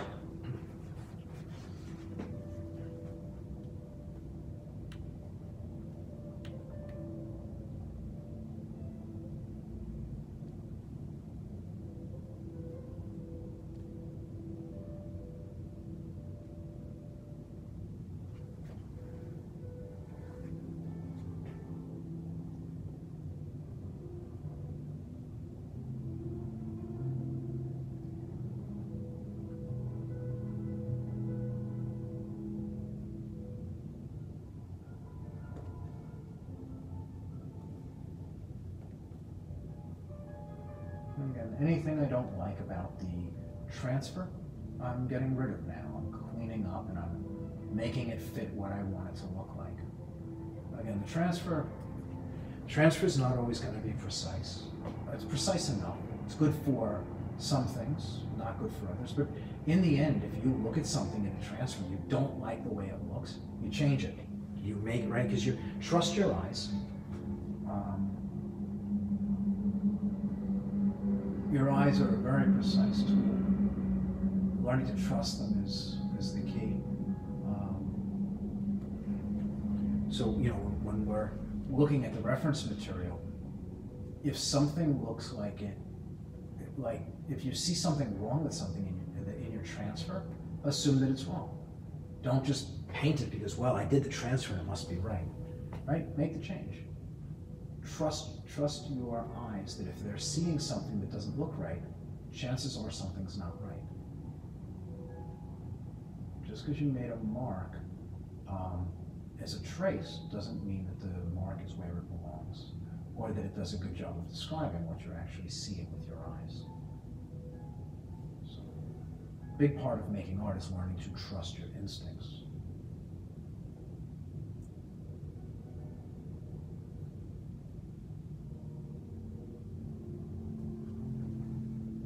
Right? We don't trust them when we have no skills.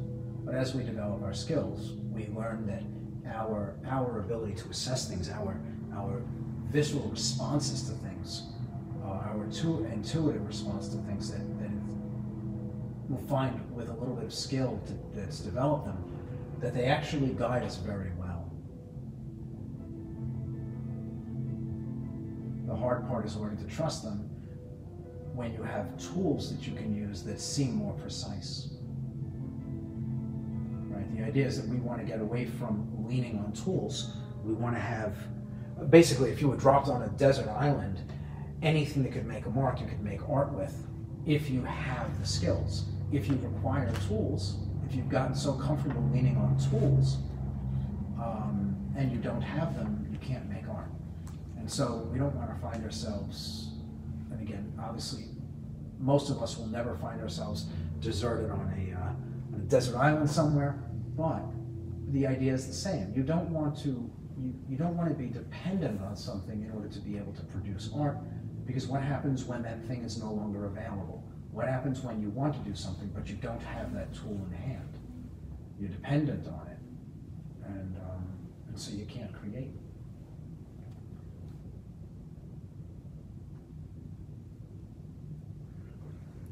Just so you know, we're getting some low volume comments, Okay. so just friendly reminder to speak up where you Okay. can.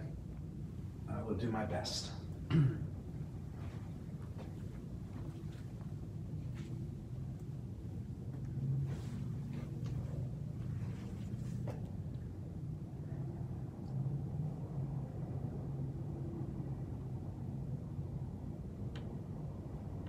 Um, Daniel, do you have the, um, the link for the block one videos that were just released? I do not. I think that um, Mitch sent them in uh, WhatsApp. Just check.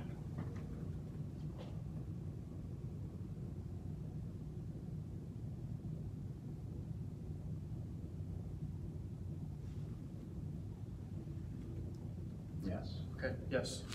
Um, Dan is going to post in here. So, um, for those of you who are not um, enrolled in Evolve, we are actually releasing a couple of the Block One videos so that you can get a sense of how the program works.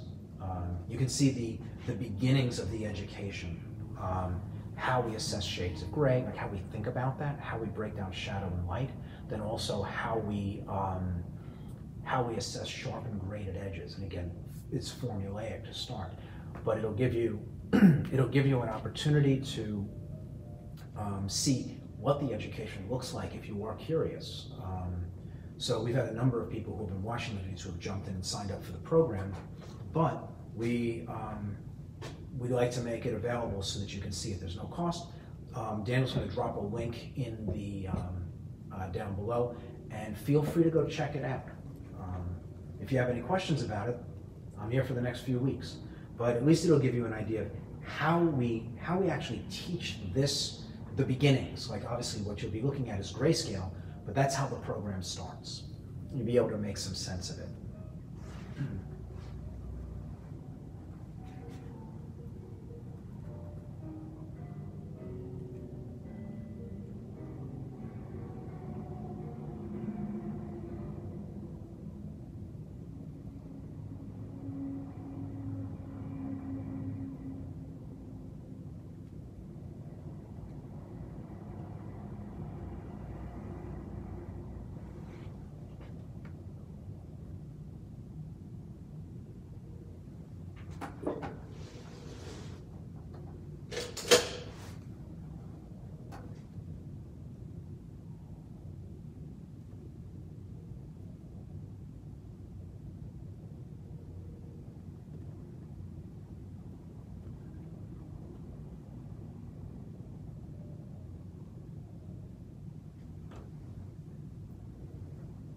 I'm being coerced into telling you that the reason why the volume is low is because of your jersey and that it's causing all the interference.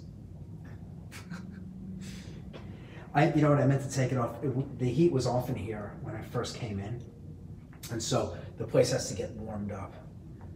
Um, I'm sure the jersey will be off at some point. It's starting to get warm in here. I was cold the other day um, when I was working, so.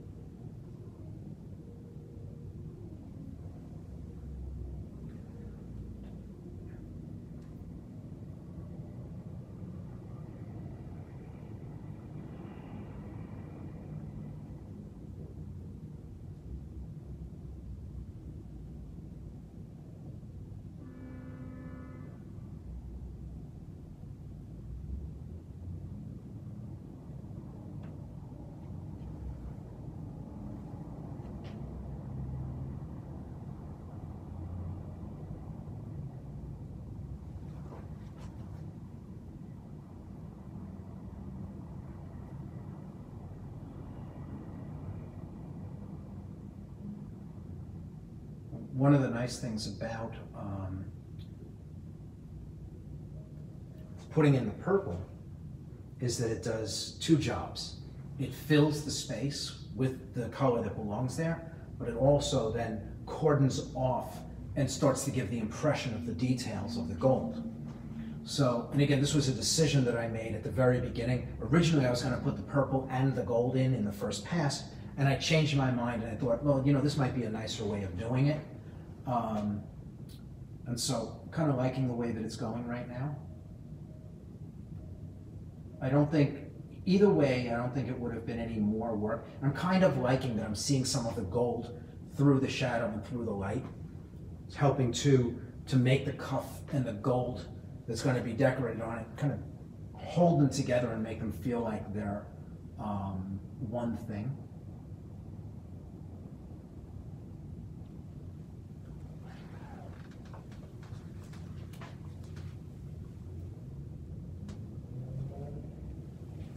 trying to make sure I'm not getting any blobs of paint down here. I'm trying to control the amount of paint on my brush.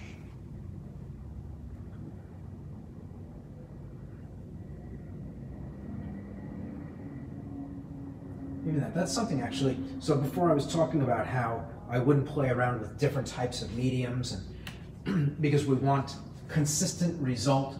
We don't want to have any um, anything jump into the process that messes us up, right? And so one of the things, um, and you won't you won't see it in the videos that are posted because we we skip over like how the block one videos that we're putting out. They skip over how to hold a brush and how to pick up paint because we actually start there. Um, but in those earlier videos, one of the things I talk about is that every time you grab paint from your palette, it should be the same amount of paint. That way you can anticipate exactly what the stroke is going to look like. And so in here, I don't have any blobs of paint because every time I grab paint, it's about the same amount. And I'm able to control, um, I'm able to control what's going down because I know how much paint is on the brush because it's the same every time. And again, I'm, I'm eliminating um, variables. I'm eliminating the potential chaos that comes from every stroke, me having to figure out how much paint is on the brush and hitting the canvas with each stroke. If I know that it's the same every time, I get used to it as I go, not just in this painting, but across every painting I do.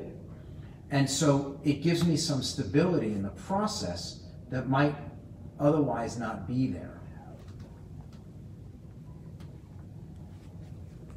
And it doesn't mean that I don't accidentally sometimes grab more than I intend. The thing is, if I do 10,000 strokes for this painting today, and 9,500 of them are the same amount of paint, there's no problems with any of those strokes. The other 500, eh, maybe there's some issues, but that's a very small, that's a very small um, grouping of potential problems. Where if every stroke is potentially different, there's potentially 10,000 problems, um, 10,000 variants that'll have to be dealt with. So I want to avoid that if I can, and metering the amount of paint is the start of that. Every stroke goes down and it's basically the same. And that doesn't mean that I can't vary them, like from, from thing to thing. But if I do the jacket, the strokes are all the same. If I do the cuff, those strokes are all the same. The glove, those strokes are all the same. They're not varied amounts of paint. You don't see me scooping paint and kind of having to then push it around once it's down. I get just enough paint to do what I intend. It goes a very small area. Like you see me back and forth and back and forth to the palette. Um, I'm taking only the paint off the palette that I need for the mark that I'm making and nothing more.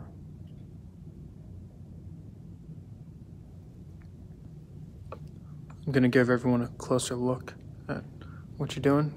Coming on your right side.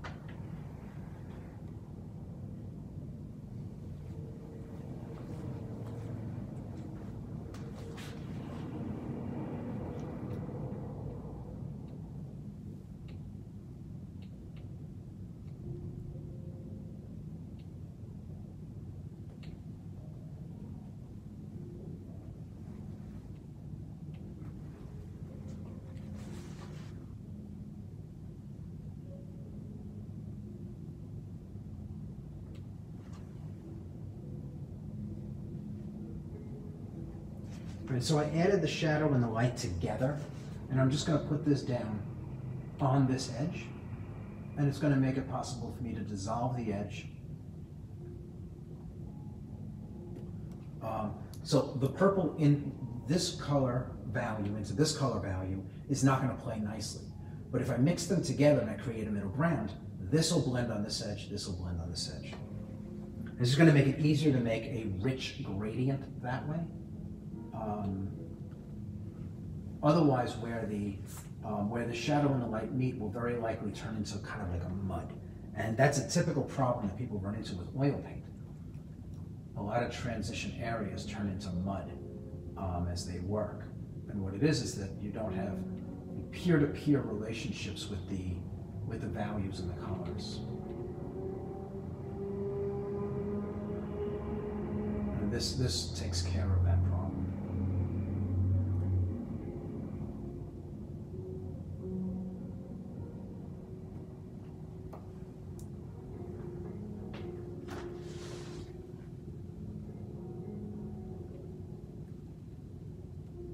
and so the shadow and the light, the light here and the shadow here, will actually never touch. I'll marry this edge here and this edge here, but I'll leave this barrier sitting in between, and there'll be a natural transition because it is a mixture from the two shades, the shadow and the light.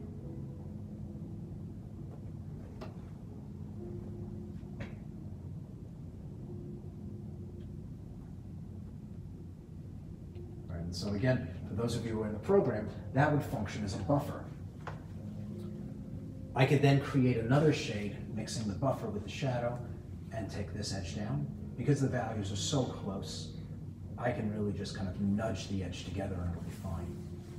So I'm gonna do all my shadow sides first. Again, just dissolve the edge by pushing the paint together.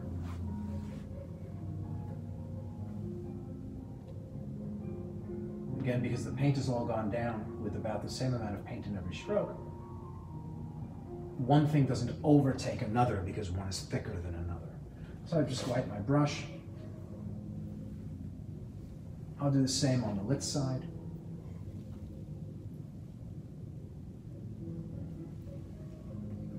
Just, just taking the edge down, just nudging it. And I get my Now, they're not, they're not really smooth, but I'll take care of that when I go on the fan brush later on. I'll be able to smooth them out.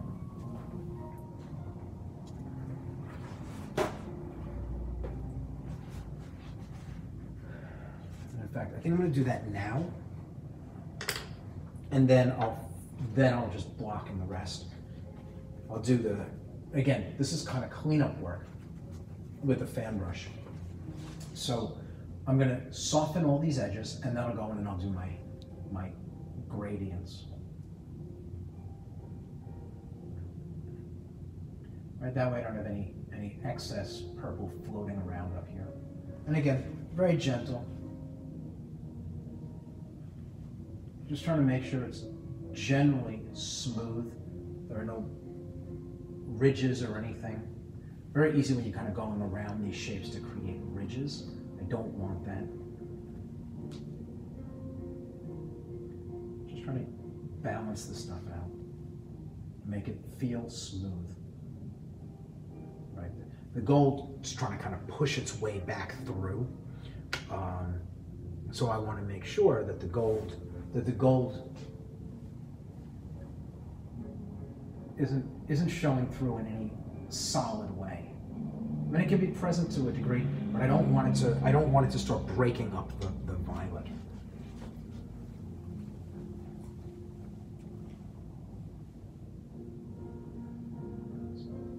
There are little places where it peeks through. So here now, I'm just going to play on the edge where the where the buffer and the light meet. And that's going to dissolve that edge for me beautifully doesn't do very much. Again, because these, these shades, they're very close together and they're made from a combination of two colors that I'm trying to blend. So they play nicely together. I'll now um,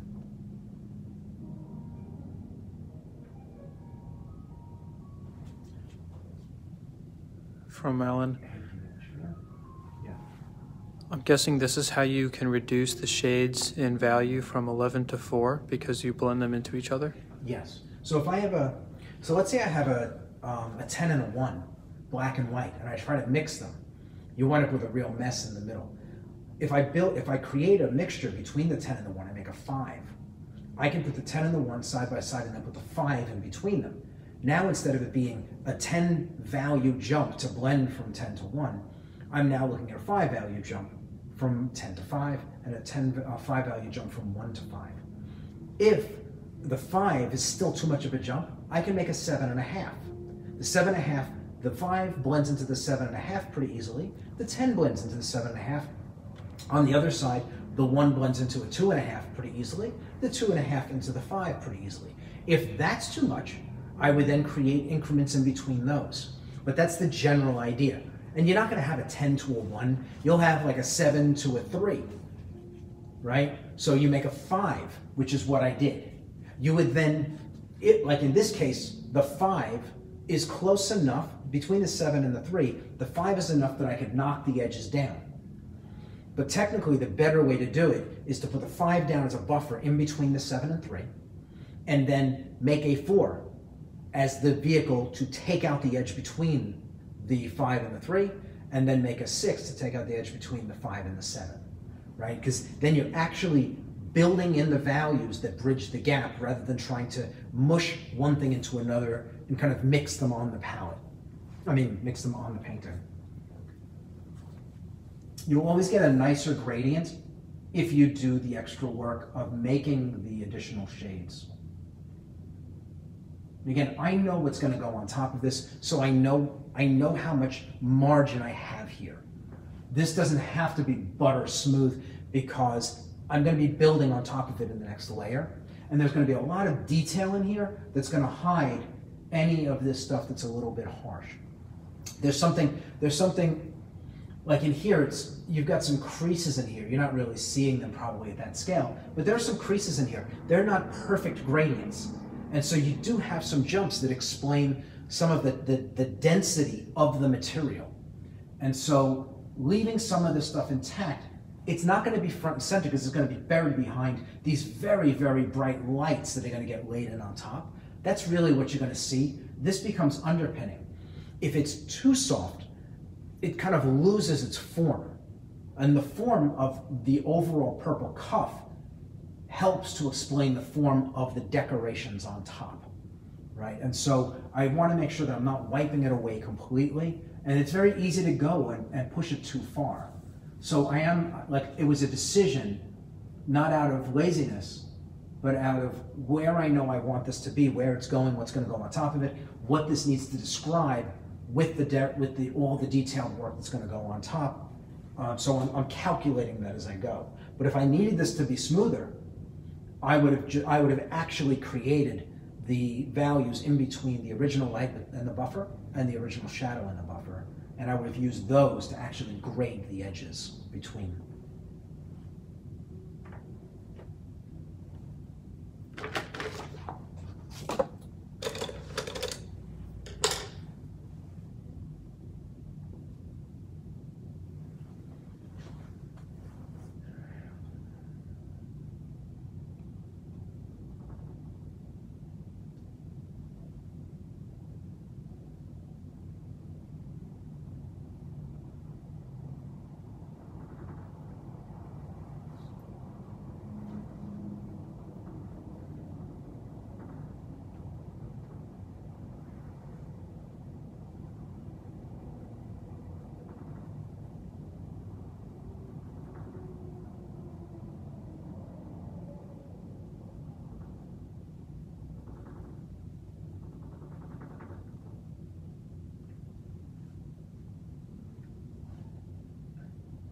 you know, like I said, I'm seeing some of the gold kind of pushing through. It's gold. It's it's it's a very dark um, tan, and so um, I don't mind it peeking through. Again, it helps to unify the purple cuff with the gold, um, and some of it, some of it that's showing through right now will be buried when I glaze the final purple or violet on top of this.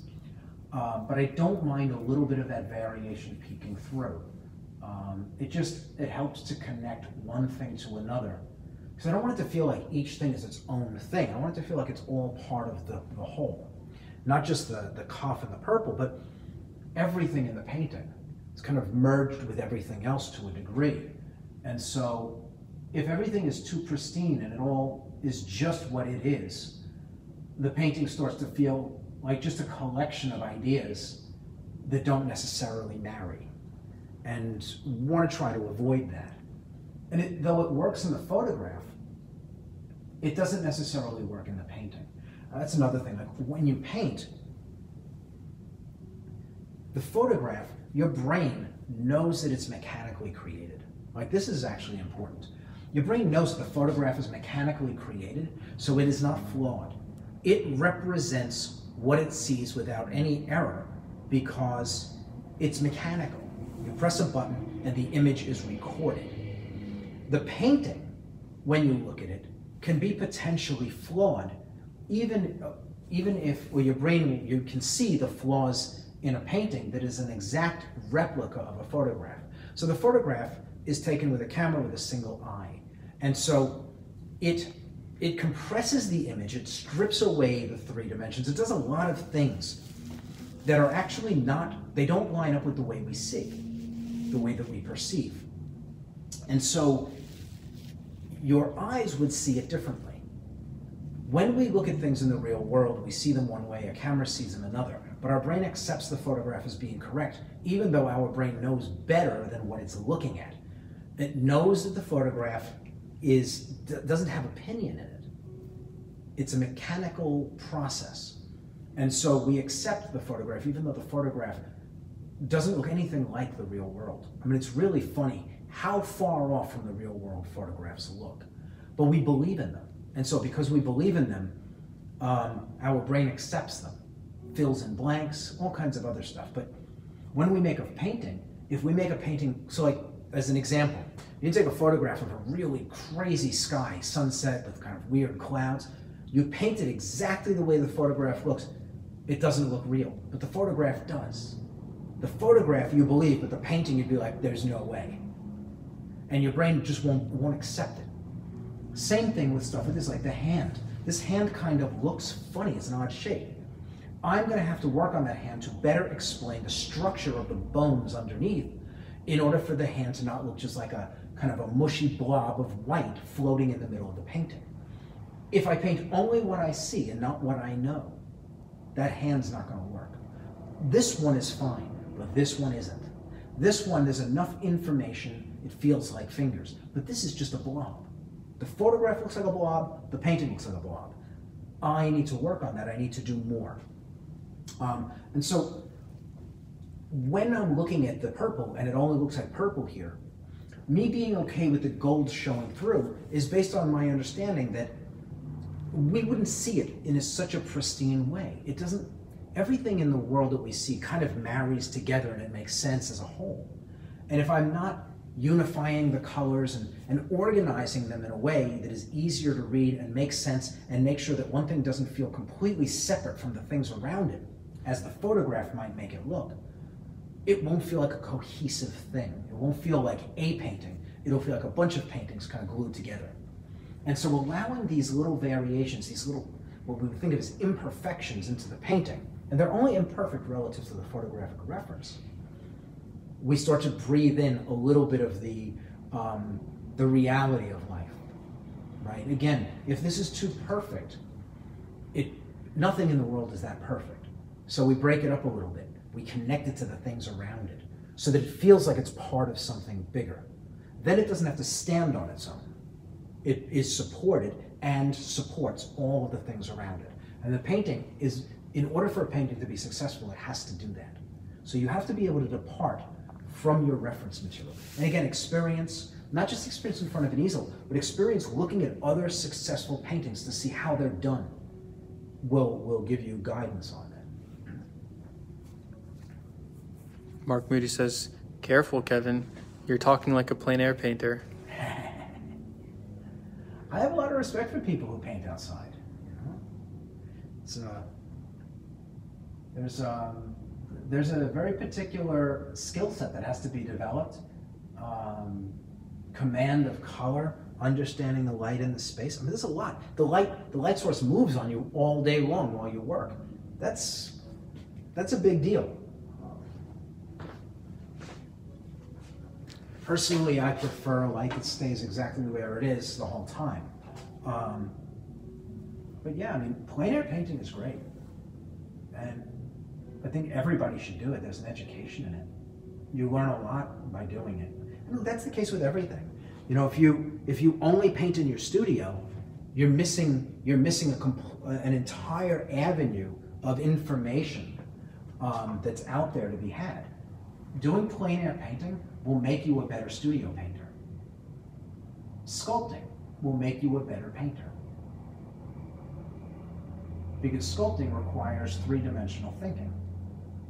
When we paint on a canvas, unless we have been taught to think in three dimensions, we only have a two-dimensional space to work in. So we tend to think two-dimensionally. We translate the three-dimensional object into a two-dimensional thing. But when you sculpt, you have to think in terms of three dimensions. You can't think of just what's in front, but the depth. And so if you already think that way because you sculpt, when you paint, you think that way, the translation from three dimensions down to two dimensions holds more three-dimensional thinking in it. But you wouldn't be able to do that, you wouldn't understand that unless you had sculpted in three dimensions. And so the experience is, is important to your growth as an artist. You know, there aren't, there aren't a lot of things out there from an art standpoint that I haven't done, experimented with, and even if it's just just to get an idea of what it has to offer. Because you know, if you paint in a studio in a studio alone, when you go outside and you do plein air painting, you'll realize that you have some serious deficiencies in your ability to um, adjust what you think and what you see on the fly. And so, like to give you an example. If I go outside and I paint, I automatically, whatever I think the right color and value is, I bump it up two to three values. And there's two reasons for it. One, in studio, um, shadows tend to plug up and they become very gray. Where outside, and they become gray because the light is going in one direction and hitting the subject, and you have very little ambient light bouncing off of walls filling the other side. So the absence of light equals the absence of um, color. The shadows tend to be much darker also because of the lack of light bouncing back into them. When you go outside, everything is so much more colorful because you have sunlight hitting a subject. The shadowed side has ambient sunlight bouncing into it as well. So the discrepancy between the light and the shadow is much shorter. You don't have a five value jump from shadow to light, you have a three value or two value jump. It's not much. You still have the drop off in color, but even the drop off in color, there's so much ambient light that the amount of color in the shadows is still pretty colorful. And the amount of color in the lights is really kind of ramped up. Also the difference in temperature shifts outdoors. Your shadows are all going to be cooled down with blue and your lights are going to be nice and warm, assuming you have a relatively sunny day. You have these really warm um, kind of golden greens in the light, and you're going to have these kind of bluish greens in, in the shadows, right? And so you have to think about your colors and be very thoughtful about your temperatures, more so than you would need to be in studio. Um, the, the, the, the, the difference between them is so drastic outside. Also, you bear in mind that if you are painting under sunlight, when you take that painting indoors and put it under a regular light source, that's nothing like the amount of light generated by the sun, that painting is going to look awfully dark. So I generally start with the idea that three values brighter and a higher color, a higher chroma, right? And generally when I'm working outside, a painting will feel way over the top. And then I bring it inside and it's actually nowhere near what I thought it was. And so, um, but again, you wouldn't understand that if you don't go out and work outside. And once you work outside, that then fills in additional gaps. So when you come back into the studio and you paint a figure from life, and you see those dark, gray, plugged up shadows, your experience from outside tells you how you could elevate them. Gives you an idea of what you can do with them that you wouldn't have if you only stayed in the studio in your, in your safe space. Want to get out into the world and, and experiment with these things because each one of them broadens our horizons um, where art making is concerned. And the broader our horizons, the more language we have with which to describe what we want to describe. Right? And that's really that's really what we're trying to do as artists. We're trying to describe to the world what we see. And the better you are at, at your command of the language, and again, it's the fundamentals, the better your command is, the better you'll be at explaining visually to anyone looking at your work what you what it is you're trying to express. There's a um, there's a, a, great short story. Uh, I'm not going to go into the short story, but the name of it. It was it was written by um, Harlan Ellison. He's a, a incredible author um, with an amazing career, but um, but Harlan Ellison he wrote a story, a short story called "I Have No Mouth But I Must Scream." I think that's the title of it. And I always think of that when I when I see artists who don't have a command of fundamentals, that they're trying to express themselves and they don't have the mouth with which to do it. And I imagine imagine the frustration of trying to scream without a mouth. Like like trying to get that out. You know, when you're a creative person, the need to create is there. And it never goes away. You may be able to put it aside for a time, but it comes back. It always comes back. And you know, just the idea of being limited by your own ability to make a sound, to be able to express yourself, to have those things locked inside of you, unable to get them out. It just, it just it strikes me that it would be torture. And to have a lifetime of that experience, sometimes you kind of get a hint of being able to express what you mean, and then other times not so much so. You can't consistently describe visually to the world what you want. I think just um, you can see it with little children when they're trying to explain something and they don't have the vocabulary to express what they're trying to say. They know what they want to say, but they don't have the words, and you can see them get so frustrated. And I imagine, like as an artist, not having the language with which to describe what is in here, what's in here, not being able to get it out is is just is just awful.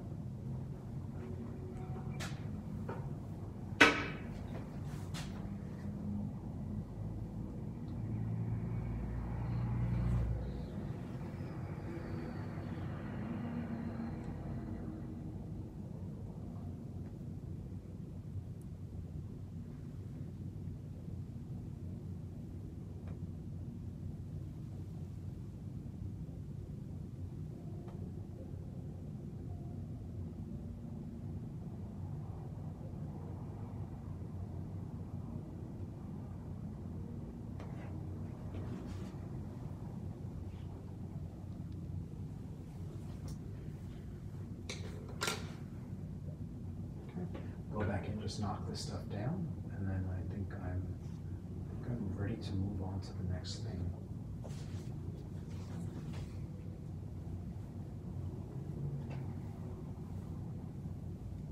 I'm gonna soften that edge a little bit.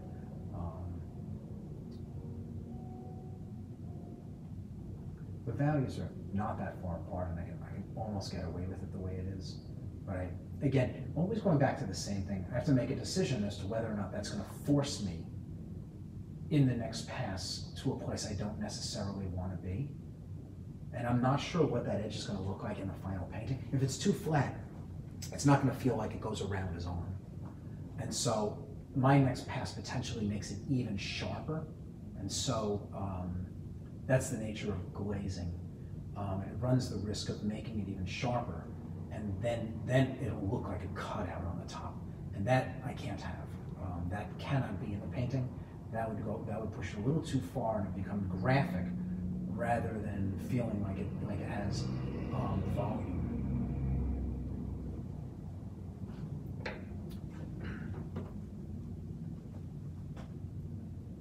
Just soft brush, take this down.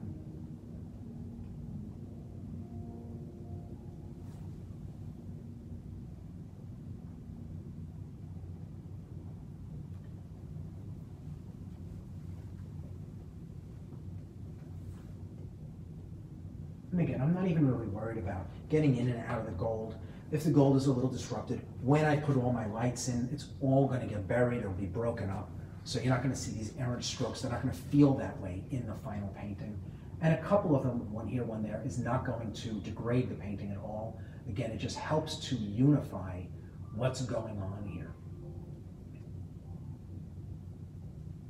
So again, this is making sure that I don't have any blobs of paint, and it's also helping to knock down some of the edges where the purple is bumping up against the gold.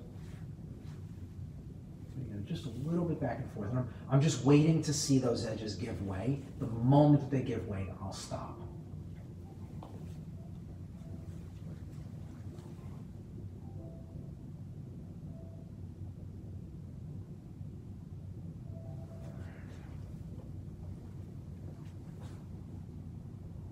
What are we doing on time?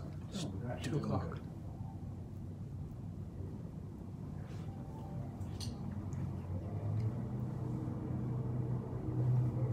Right, and this edge, like this I can leave sharp, same with this, because those, the gold that's gonna go in there is gonna overwrite that edge. Um, so I don't have to go crazy about knocking it down. This, there's a lot of stuff that's gonna stay just the way it is. Um, but down here and up here, I can get away with the edge being left pretty sharp. I don't wanna make sure I don't have a ridge where the paint is like built up. Um, but I don't have to go too crazy about knocking it down because it is gonna get overwritten when I put the gold in.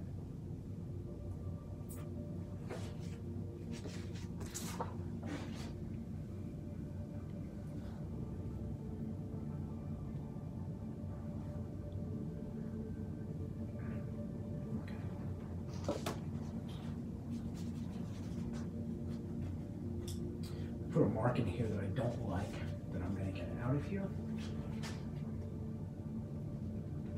And again, it's nice, it comes right up because of the, because the, the painting is sealed.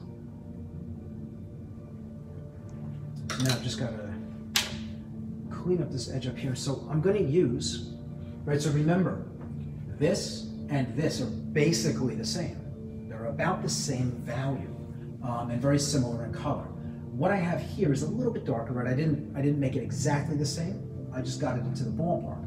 So if I use that intermediate value, that buffer value on this edge, I should be able to round the edge, right? It's gonna be a, it's gonna be a clean, precise stroke, but I should be able to round that edge.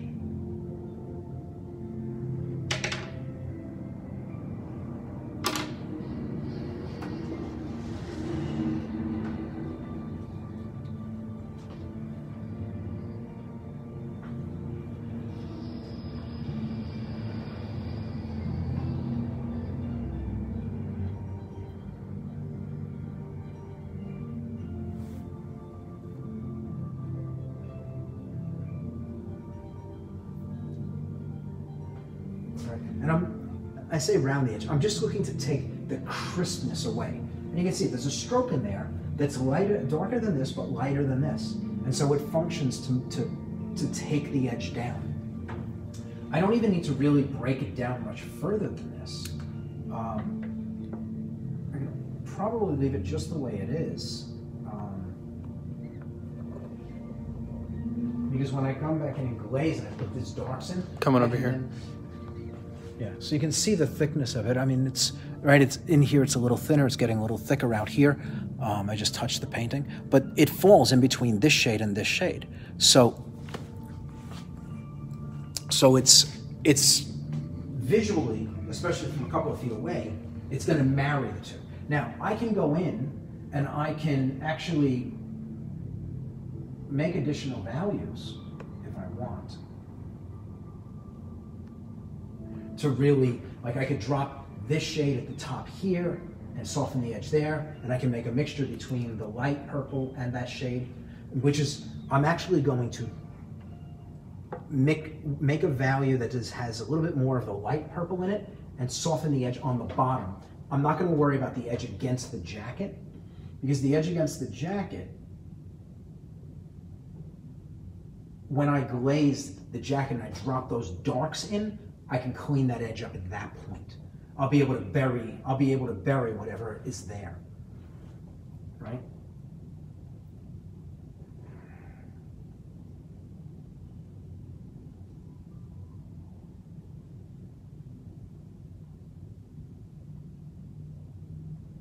And again, I'm using the maul stick. It gives me a little bit of precision. that my hand might not otherwise have. All right, and all I did is basically dissolve the edge. That, there's a little bit of lighter value in there, but again, I'm not gonna worry about the top edge. You can see it's now, it feels softer. When I go in and I glaze in the jacket, I'll be able to clean that edge up. Um, it'll be very simple. I'll just overlap the shadow into this edge a little bit more and then just feather it out. Like I said, it'll make sense when I do it, but that's, that's good. Um, that should work very nicely for me. The shadow shade that I have from the cuff is darker than this.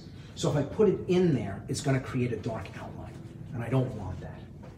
So I wanna stay away from that. I'm just gonna, yeah, I mean, I'm feeling good about that. So I'm gonna leave it just like that. I'm not gonna do anything else with it. Um, and I can now move on to, I'll do the collar now.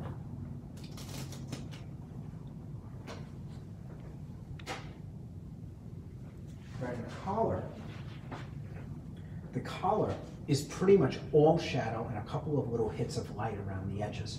So I can actually just paint everything in in the darker shade and then drop a couple of little lights in on it, which is what I'm gonna do. Um, and that's gonna, again, simplify the process for me. It's gonna make it so that I'm, I'm not trying to figure out every little in and out. I'm generalizing and then I'll pull a few details out.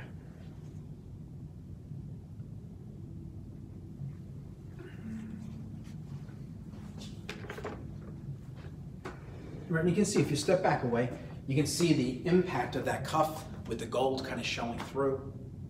It's starting, you know, it's, again, it's yet another thing that's solidifying the painting.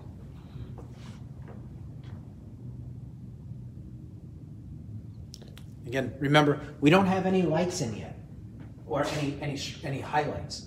Everything here is all very neutral right now. These things are gonna become much more dynamic. The top of this is lit, the bottom is shadowed, so the shadow's gonna stay dark and in the gold, and then the lights will be dropped in, and here these are gonna become very, very bright, right? Not quite as light as this, but it's gonna be much lighter. And I'm literally gonna be able to just drop in literally strokes just on top of it. It should, even though it's a lot of individual strokes, it might be 20 or 30 strokes per leaf. They're not going to take very long. They go down very thin. They're not going to be blended. They're just literally going to be just mark, mark, almost like with a pencil, one after another. Um, so the decorative elements in this, um, though they will be tedious, shouldn't take that long. Like I've laid it, I built this up pretty well, so that the amount of work to finish it off should be limited. It shouldn't be multiple layers, or it'll be one layer which puts all the details in, maybe a glaze to make sure all the colors unify, and then a few highlights on top of it. It, it could take three more passes to finish this, thereabout. Again, I won't know until I'm actually doing it, really what it, what it demands. Um, but get, it'll get, it'll get figured out as I'm doing it. Ken Conley was saying that the sound is much better when the camera's closer. Do we want to You can move reposition? it. Yep, absolutely.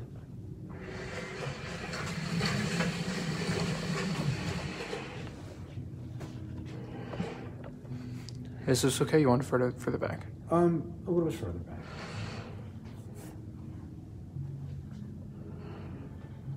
Good. Yeah, that's fine.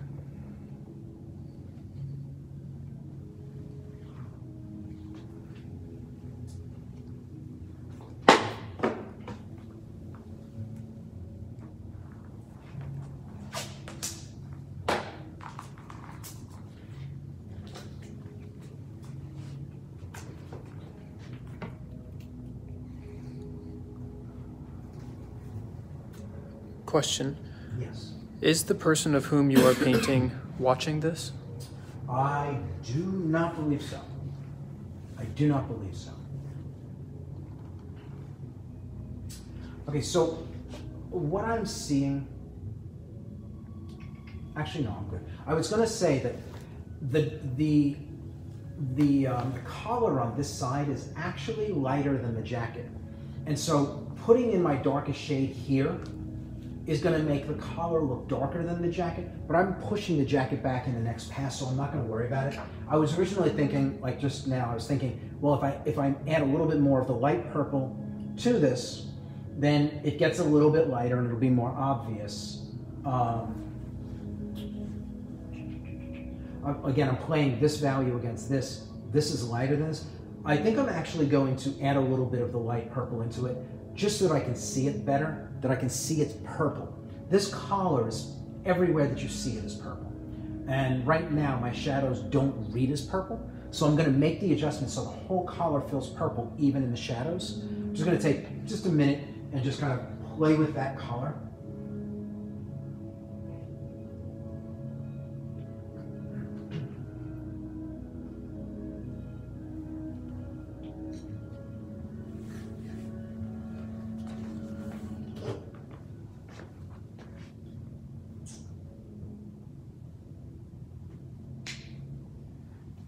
And again, you see, I mean, I'm making decisions on the fly, like as I'm working.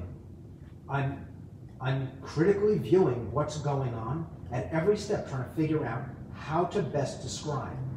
I, I don't just accept because I did something and I, and I started down one path that it's necessarily the way to go. I want to constantly be reassessing. And so,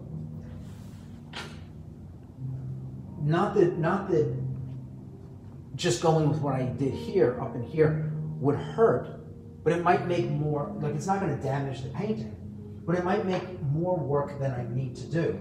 And I don't want to do more work than is necessary, right? The idea is to get the best result possible with the least amount of work. I never want to sacrifice quality to make up some time. Quality is always the starting, is the standard right? So,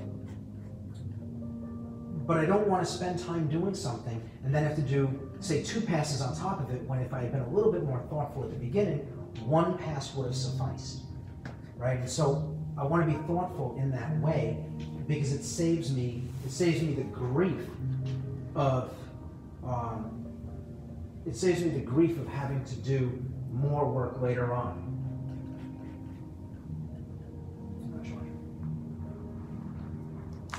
Sure.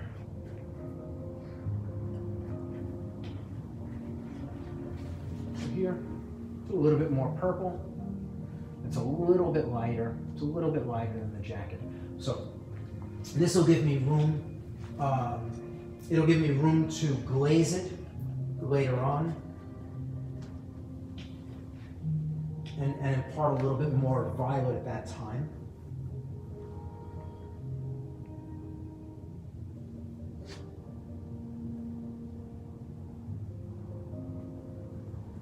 Again, I'm still kind of playing with the color a little bit.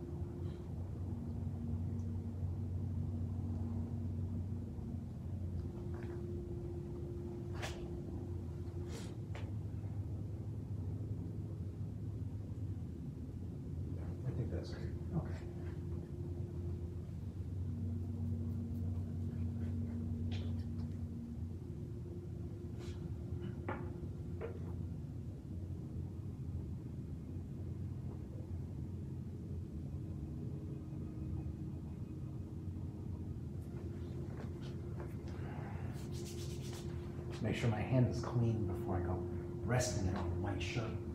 Again, I can wipe it off, but I don't want to make a mess if I don't have to. I'm gonna go to this brush. So I'm going down to the, the more detailed, smaller brush to start.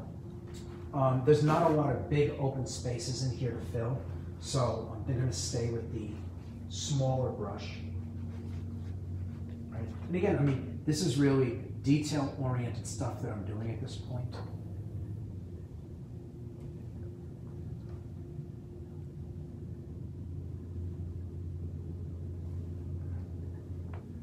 Right, the pace at which I'm working is dialed down quite a bit. I've got to make sure that I'm making sense of all of these shapes. I don't want to cover something that needs to be gold. I want to make sure all the things that need to be gold in the final painting are left uncovered.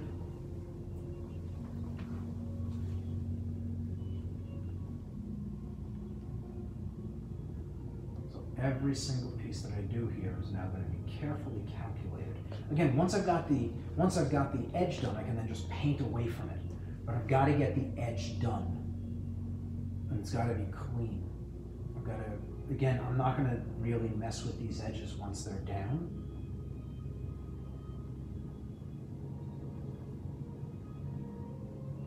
Being careful not to lay down any blobs of paint.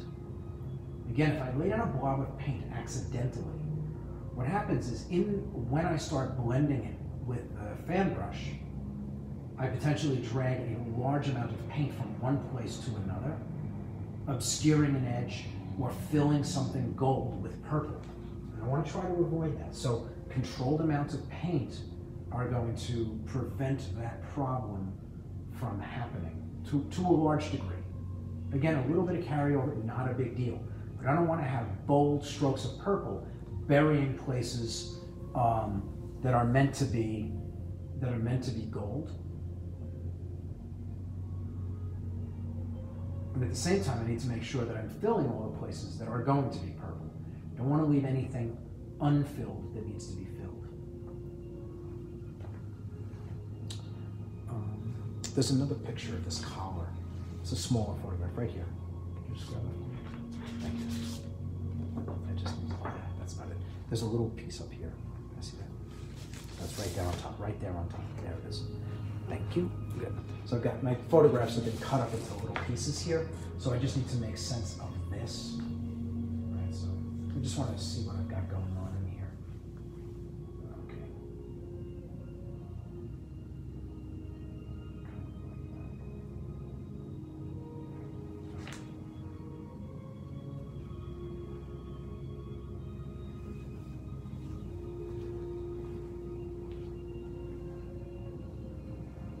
here on the tie, I'm giving myself a little bit of breathing room.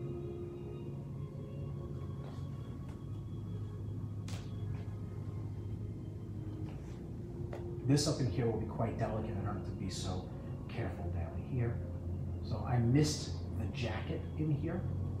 So I'm gonna put this in and then I'll drop in the original shade that I made as a shadow for the, for the cuff. In here is the jacket.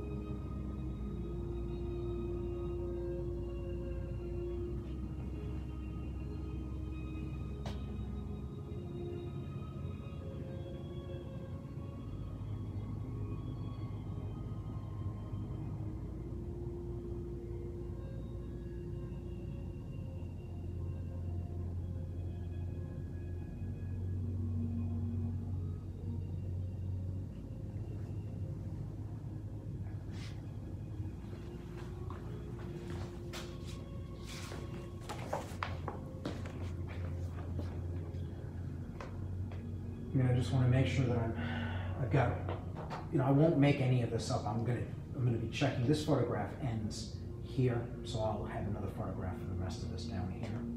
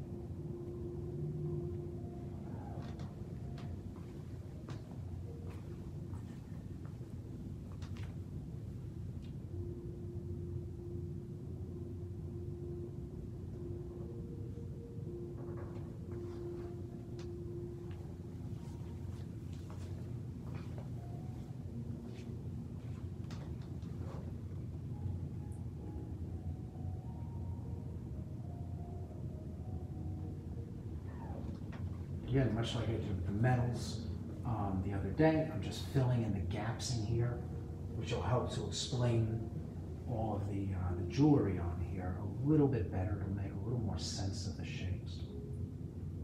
Again, not every mark, not everything. I'm, I'm just the ones that are clear and obvious will go in, and nothing else. Don't need to put it all in. Um, a lot of this information will be able to be glazed in later on.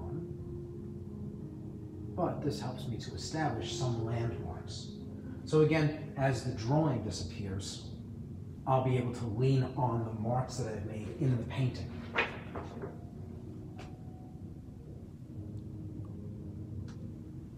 Question, Yes. is the face tomorrow? The face will be done on Wednesday.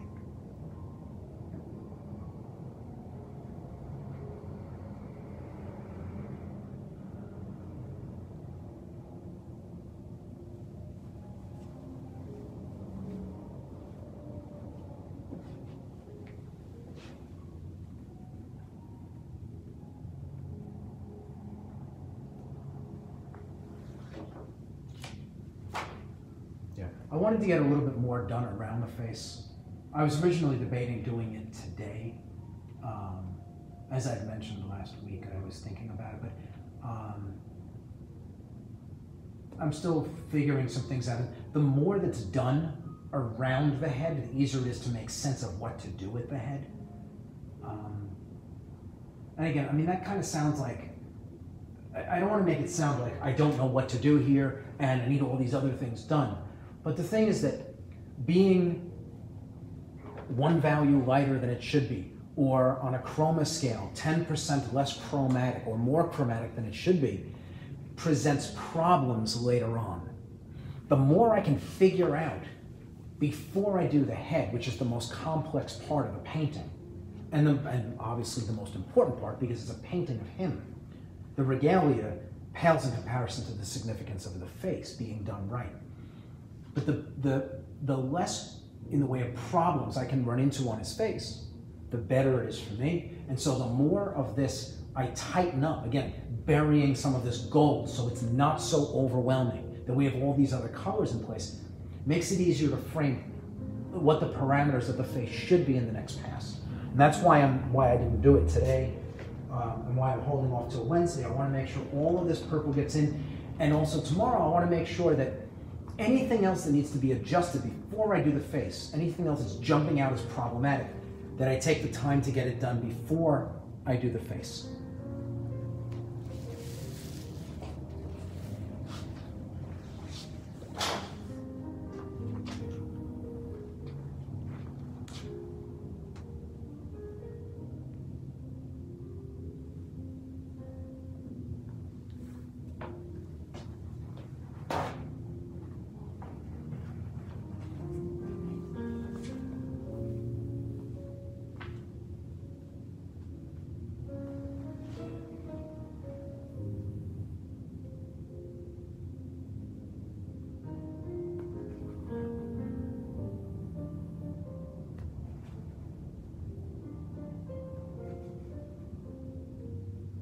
Right, so I've even allowed some of the gold to still creep through from behind, in between the, the white of the tie and the um, and the, the purple collar.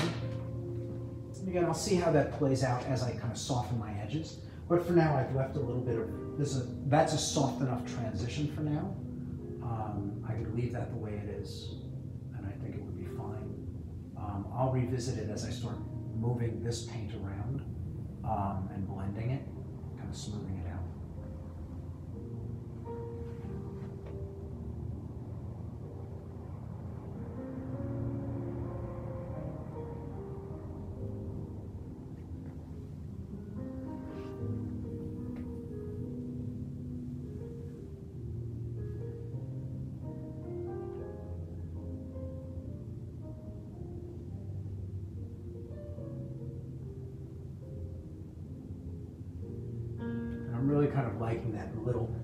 Gold creeping in there.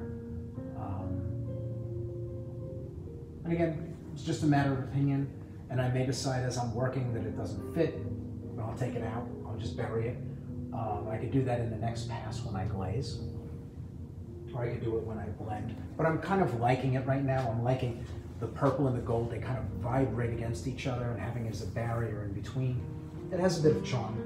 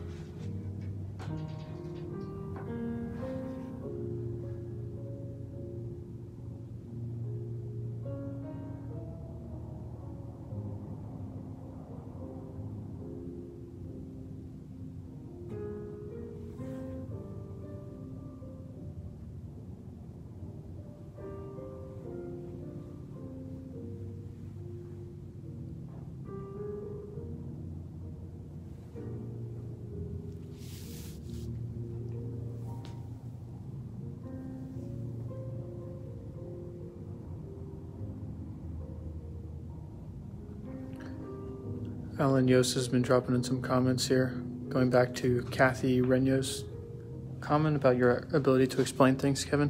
Yes. Um, he said, That's what I like about his educational videos. I have some experience painting, but I don't mind going back to basics with him because I really benefit from a methodical approach, which I don't believe I ever got from previous teachers. Knowing the fine details about why and how to do things is extremely helpful and gives me much more confidence. Of course, to be fair from my to be fair to my previous teachers, none of them ever had the chance to spend so much time demonstrating the process as Kevin and the quarantine are giving us. Yeah, there's something to be said. That I actually I discussed that on um, on on uh, Wednesday last week. How you know when you're looking at, or actually, did I describe? Uh, I think I talked about that. You know, when you're looking at an education, um, you know, I I do podcasts and I do I'm talking to people all the time, and so like sometimes like I'm I, I can't remember if I spoke if I spoke here or if I spoke someplace else, but um, like so if I already went through this and you've heard it, then just you know, you know, please bear with me. But you think about it, when you go and you get an education, like if you go to a college, you have every semester you have a different painting teacher, right? So you're there for painting, and every single teacher has a different approach, and some of them are realists, and some of them are abstractionists, and some of them are impressionists, and it's like, how do you get a concise foundation from people with wildly different expectations of what a finished painting is, right? And so that's a starting point. The schools can only get as teachers what they can get. And every semester, every year, that's different. Depends which artists live in the area and are willing to teach, right? And so, you know, the schools, in a lot of ways, even, even in the best of days, the education that they offer is a hodgepodge of ideas it's not one person taking you from the start of the process to the finish of the process to develop a linear way of thinking about making art. Once you have that linear process and you understand how it works, you can then go and study with a hundred different artists and take just little pieces of what they do because you can see how what they're doing applies from your, you know, um, to, to painting from your already solid fundamentals, right? It puts, it gives you a vantage point. Those fundamentals, if they're taught in a linear way and you understand how they all interact, it gives you a vantage point to make sense of everybody else's approaches based on what you already understand. What happens is, you know, when you get into these in, into colleges and, and these other kinds of programs where the where the process is kind of broken up and it's taught by a bunch of different people with a bunch of different ideas, and they their language, even if they're using the same words, isn't always the same. Words don't translate um, the same from one person to another. And even though the language sounds the same, they're describing different things. Or this, and The differences could be subtle and nuanced to the degree that you don't even know that they're not describing exactly the same thing. Even another pro might listen to them and think they know exactly what they mean because the words all make sense. But there's a margin of error in there. And like as a pro, when when you misinterpret something, again, you you still you still have your foundations in place, right? You're you're you're making a you're something is not communicated to you, but you you already have those those foundations in place, and so it doesn't it doesn't rattle your ability to produce. You just don't understand how they get their result based on their language, or you, you misinterpret it. But it doesn't change you as an artist. Um, and so, like semester to semester, different teacher to different teacher, you, the what you wind up getting is not always cohesive. And it's not, again, it's not the fault of the teachers necessarily. Um, some teachers, I'd argue, have no business teaching. Um, but, but even the ones who know what they're doing, they only have so much time. And in most cases, they're doing lowest common denominator teaching. They're struggling with the people who are, or spending their time with the people who can't get it, who, who are fighting to, to, to make some ground where the people who have a good, a decent grasp of it to start are basically set to just do their own thing. Again, classroom setting, colleges like that, very, very hard to get an education in this. And again, like, I mean, I, I go off on the schools, uh, but the entire system is a mess. The entire system has problems and that are not being addressed. And so, generation after generation, people are paying for what they believe is an education, putting their trust and their money and their time, years of their life, into a structure that actually rarely delivers on the promise. And it's, it's unfortunate. It's unfortunate.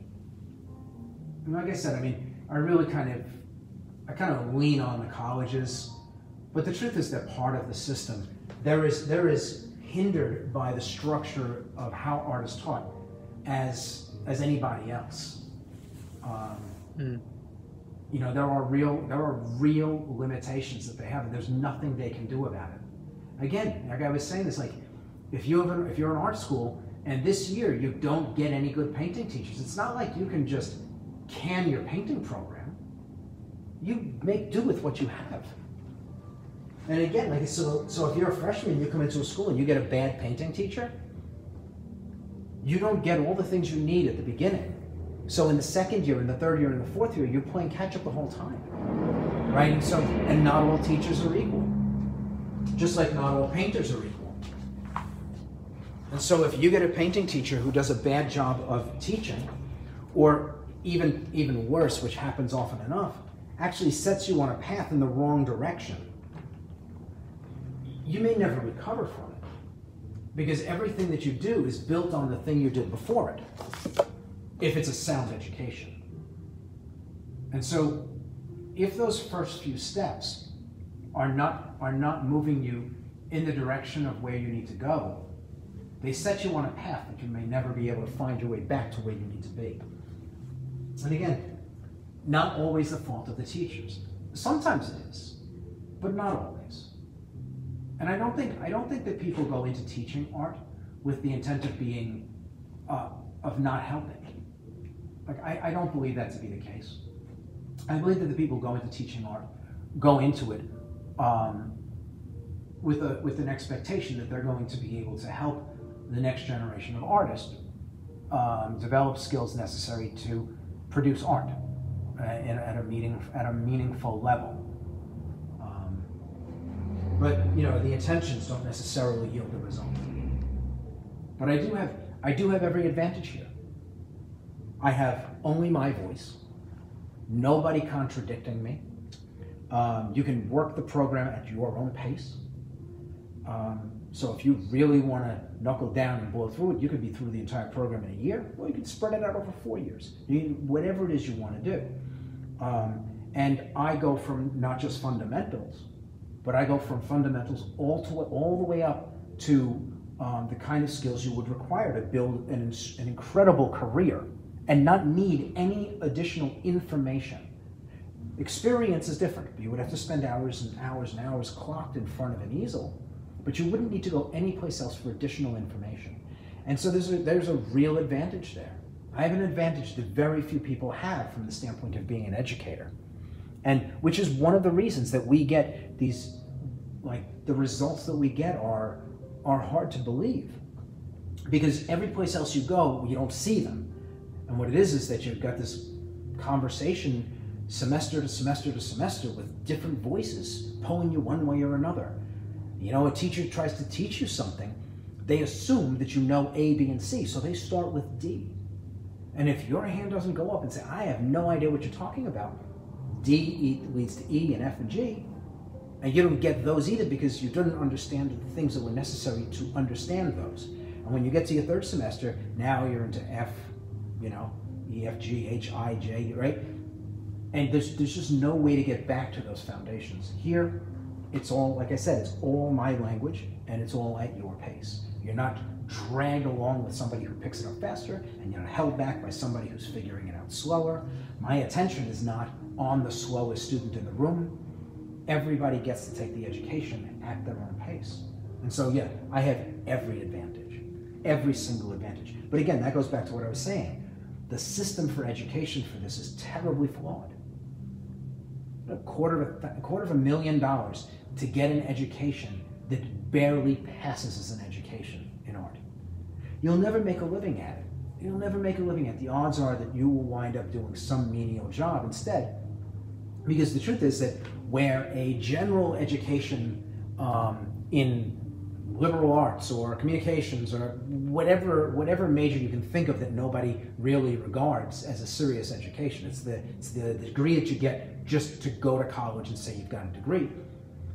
Any person looking at hiring based on a degree will take that person over somebody with an art degree. An art degree is kind of laughable, right? And the art degree, if you took it seriously, it's not like you did any less work than the guy doing liberal arts. You might have done a lot more work, but it's it's it's disregarded. Um, and so, you know, you, they're not thinking about about bringing you in for a management position based on your degree there, but they would think about it for liberal arts. So, you know, but the, the whole point is that the education system, the way it is, has real problems. And so when you go through it, you basically, you, you, you wind up owning those problems. You pay big, big dollars for it. You know, Evolve, Evolve was designed, and the school here was designed so that people don't have to go down that road. I'm not, this is not the only way of doing it. Like I'm not, I wouldn't, I wouldn't peddle that because that's nonsense. There are other ways of doing it. Um, but this, you found us, and this is a program that would offer you that single path, that, that one voice that allows you to get to where you're going at your own pace and covers all the bases. Nothing is left out. So.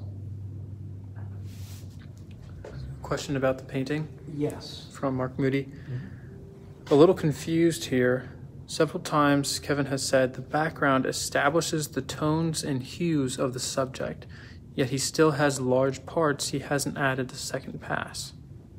In the background, almost the, in fact, the entire background has had a second pass. Everything in the background has a second pass. The jacket, the shirt, now the cuffs, the book. The only things that haven't had a second pass yet are his face these two columns, which I, they're basically going to stay that color, right? So the face, the two columns, these medals over here, and the apron, and the collar I'm doing now. Those are the only things that haven't had a second pass. So I've already established many of these things well down the road from where they originally started.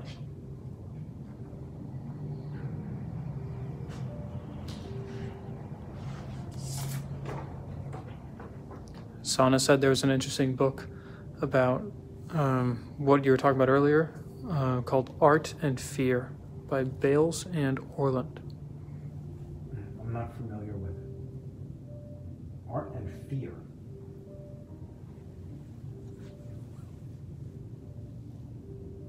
All right, so here, like I'm finding I left out lines um, in my transfer. Get, just trying to make sense of some of these things as I go. And again, the big I'm in no rush. I don't want to put something down that that goes where it doesn't belong. it potentially causes confusion later on. And I don't want to put something down in a place where it becomes a problem later on. I want to make sure that I'm not leaving any gold showing through on this edge.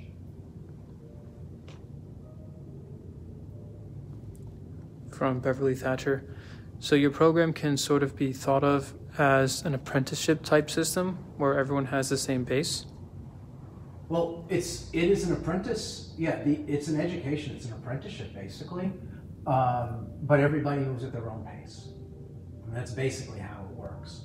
Um, and we have people who, you know, who do uh, an assignment a week, and we have other people that are dropping off two assignments a day. Um, everybody's different. Depends on on the demands of the life that you have, how serious you are about developing the skills and getting to your goals. Right? I think the people who are looking at career changes that they were they were told earlier in life, and I get a lot of this. People who were told at one point in life that they couldn't make a living at this, and so they walked away from it, and they they've never really escaped the need to create. They've not escaped that desire inside of them. And when they come across our program, whether it's the brick and mortar school or the online program, and they see all of the success stories, people who sound just like them. I always wanted to be able to do this, but I didn't believe it was possible. Or I went to art school and I didn't learn. I just didn't have the talent, like again that word talent. I, and and like we had somebody we had somebody in last week that was saying like her art teacher told her to give up. Like who would do that? But it happens all the time. And what it is is, to me at least, is the teacher looks at the students and says, I don't know how to teach you. You're not getting what I'm showing you. You're not showing any of the things that, that you need to show to be, a, to be able to move this forward in, in a meaningful way, to possibly have a career, so you're wasting your time. I'm doing you a favor and I'm kind of shutting that door for you right now, telling you go do something else. But I can tell you, like I said this very early on in this, day, I got that same story. Like you, you're wasting your time and you're going to do you a favor and tell you you can't make it. Go do something else. And had I listened to those voices, I wouldn't be doing what I'm doing. I've spent my life, I've spent my entire adult life playing and being paid for it. I love what I do. I, it, I can't say that it's never felt like work, but like everybody I know for the most part, they get up every Monday and they, they dread Monday. They get up every Monday, they go to work, they're out of the house from like 8 o'clock in the morning till 6 in the evening, and they do that five days a week, and they buy their weekends. And basically, Sunday, they enjoy the morning a little bit, but the impending Monday starts creeping into their mind around the afternoon. For me, I look forward to every day when I come into the studio, whether I'm teaching or painting. I, I have the, the, the, the enviable position of loving what I do. I don't need vacations. I don't take vacations because vacations are no more fun to me than what I'm doing. And the idea that somebody would, would diminish like your belief in yourself to be able to attain that, that's crazy to me. And this program is about allowing people to reach that dream. And, and not necessarily for career, but just for yourself. Like not everybody who comes into this program is interested in career. In the school, maybe only five, maybe 5% of my students are looking at careers but they want to create. They want to be able to sit in front of an easel and produce something that matches their intent. To be able to speak and create. So, again, it's not even what other people think of it, but for them to be happy with what they make and to not struggle. This program gives you the flexibility to go anywhere from, from being a high end hobbyist, doing it purely for yourself and getting consistent results, painting after painting after painting or to go all the way to a full-blown career. There's no, there are no boundaries in this. You can do with it what you want. If career is what you want, everything that you need to be able to build a career is inside of the program. It's all there. I had a conversation with a couple of people um, online yesterday from the program um, about how you build a career. I talked about it last week. I put my brushes down for about 45 minutes and laid out how you go from making nothing to actually being able to pay your bills. I actually did it yesterday. Um, uh, Alicia Salt, if she's still around, she was in. And I showed how working on the weekends, you could pull in 80 grand a year. 80 grand a year working weekends, nothing else. Now, it's not going to start there. But the thing is, if you go to college and you accrue all these debts and then you roll out into the world, first of all, you're paying off those bills, but you're not making a hundred grand either. Even if the job that you're in is going to grow into a hundred thousand, it doesn't start there. You're starting at 50 or 60 and you expect to grow. As an artist, you don't wake up one day and decide you're going to put your work out into the world and start making $40,000 a painting. You work your way there. Again, the, the way that people think about making a living at art is so skewed. Most art, like 70 plus percent of the art sold in the United States sells for under $5,000. And that means everything from like $100 up. So you don't have to think thousands of dollars for a piece of art. Right? If you enjoy the process and you don't mind standing in front of an easel and working a 40 hour week because it doesn't feel like work because you love what you're doing, you could easily, easily make a living making art as long as you have fundamental skills in place. It's not, it's not as hard as people think. And it's not as hard to find clients as people think. It's how you do it. And again, within the program, we talk about this stuff all the time. All the time. How do you build a career? It starts with the skills. You don't have the skills, you get nothing. There's no way to build a career without skills.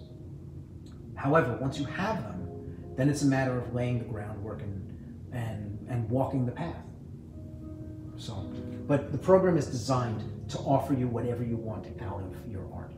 Whether you're doing it simply for yourself or if you're going to build something that's going to pay your bills um, or build an empire for that matter.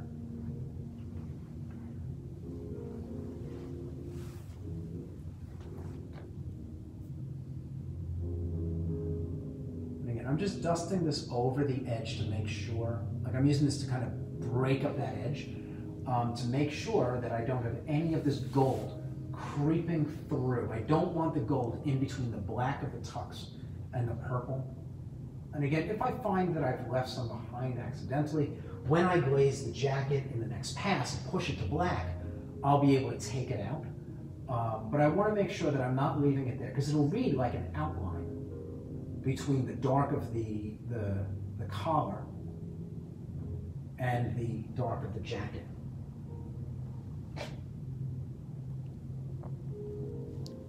Mark Moody said, The Art Academy way is old school. What did the French call it? Begins with an A? Academy. I, think he means atelier, maybe. Atelier, yeah, yeah. atelier. But with but with new methods. Uh, the French called it academy, and the Italians called it atelier. But yeah, I mean, basically, basically ateliers, you studied in the studio of an existing master. I'm not a master, not even close, but I understand how it works. I'm skilled enough to make a living at it. I've made a living at it for 30 years. Um, and my experience, uh, because of how I learned it, because I had to figure it out from the ground up, my experience has made it easier for me to figure out how to explain. Um, and and like I said, like the term master is thrown around, and that's great marketing. But the truth is, I'm just like everybody else. I stand in front of a painting. The only advantage I have over anybody watching or anybody that comes to my school is I've been doing it longer. That's it. There, there are no other advantages. Um, and the truth is, and I've said this before, my students, the ones that are serious, whether in Evolve or in the school, a lot of them, particularly the younger ones, will surpass me in my lifetime. Not in their lifetime, but in my lifetime. And the reason is I spent I spent almost two decades fumbling around figuring it out. All kinds of dumb ideas based on based on just guesswork instead of having an education. Where the students that I train have a distilled education with no fractures or fissures. Their, their foundations are absolutely rock solid. There's no guesswork. All they need to do is follow the program and then clock the hours in front of the easel. And I've got students, again, even 17, 18 years old, that if you looked at their work, you'd be like, damn, like blown away. And we kind of walked the studio the other day. Not that their work is identical to mine in quality, but the thing is, you would hang their work on your wall without even, without even thinking twice about where the art came from, that it was an 18 or 19 year old student, right? And you would only really see, like in my best students, the difference between their work and my work when you put their painting right next to mine. Because the stuff that separates mine from theirs is very, very subtle nuance. And only with a one to one comparison would you see it. And, and, you know, that's how it should be. Like if you're being taught and you know you're you're you're a linear movement from knowing nothing to producing great art. And you're not zigzagging around and checking out things that have no value and incorporating them into your process until you realize that they're toxic and then dumping them and trying to remember that's toxic don't do it. Because that's what i do. I've got a million things in my head and you know 23 of them are what i use to actually make good paintings and i've got to sift through and find the 23 for every mark i make. People who have been trained properly don't have to do that. They've only got the 23 things, and they go from one to the next, to the next, to the next, and when they hit the 23rd, they go out the end and sign their painting. So, for me, it's very reasonable for my most serious students to surpass me in my lifetime. I'm going to get, I'm going to have the pleasure of sitting back and seeing the work of my students that is better than what I can produce and I look forward to it. I've already got a few students who I would argue are producing, not consistently, but are producing paintings that I would argue really come close, really come close to what I do, meaning that within a couple of years, if they keep doing it, they will surpass me. We're talking about in their 20s. So by the time they hit their 30s, like early 30s, they will be equal to me at 50 plus with all of my experience. But that's what a distilled education offers. And I couldn't be more excited about it. Like some, some people might be bothered about the idea that their students would surpass them. I, I relish the idea. Um, I had a, a, friend of mine, uh, another, another professional painter. He said to me one time, like, I need to like kind of dial back a little bit. I'm, I'm creating, I'm creating an army of art monsters. And they're just going to spill out into the world. You know, when you're talking hundreds or thousands of artists coming out of a program like this every year or two, what does that do to the art market? Um, and he said, like a lot of the pros, like I'm going to be putting them out of work, including myself. Um, because, like, you think about it, a 23 or 25 or 28 or 32 year old, you start as you start getting older, it's different. But like you think in your 20s, somebody can produce a painting of the same size as mine that's not quite as good, but close enough, and undercut my price, sell the painting for 20% of what I do, and they're ecstatic with that paycheck where I couldn't pay my bills with it. Because I have different responsibilities, I have a different lifestyle based on what I'm accustomed to earning. So they can actually undercut my price. And so by, by building this army of people who can produce work at that quality, yes, I do run the risk of making myself as an artist obsolete. But my response to that was, if that's the case, if I can produce that many successful artists that could actually put me and you and all these other guys that I know out of work, then I think I have a career as a teacher. And so I'm okay with that. I don't have a problem with that. It's a good trade-off. But again, you know, one of the things is the more artists there are and the better their work is, the more I am forced as an artist myself to improve every day. If I don't have competition, it's easy to get lazy. It's easy to accept what I did yesterday as being good enough for today. And so having the competition forces me to stay on my game. It forces me to do the best I can do every single day, every painting I deliver. Easy to get lazy when there's no competition. And so it's in that it's another good thing. Students being being educated and producing incredible work forces me, forces my, my peers to be on their game every day or be, or risk becoming obsolete. That's a good thing. It keeps art it keeps art growing. Question. Yes. But you work all the time. Aren't you also continuing to improve? Yes, but the growth is is growth is clear and obvious at the beginning. When you go from nothing to something, that's a massive jump. The next something is going to be a big jump too. The jumps get smaller and smaller as you progress. At a point where you clear the bar of producing arguably prof- consistent professional level work, the growth on the other side of that, though still significant, is going to be in tiny little increments. And at some point, you get far enough above that bar where your growth is only going to be recognizable by somebody who already knows more than you.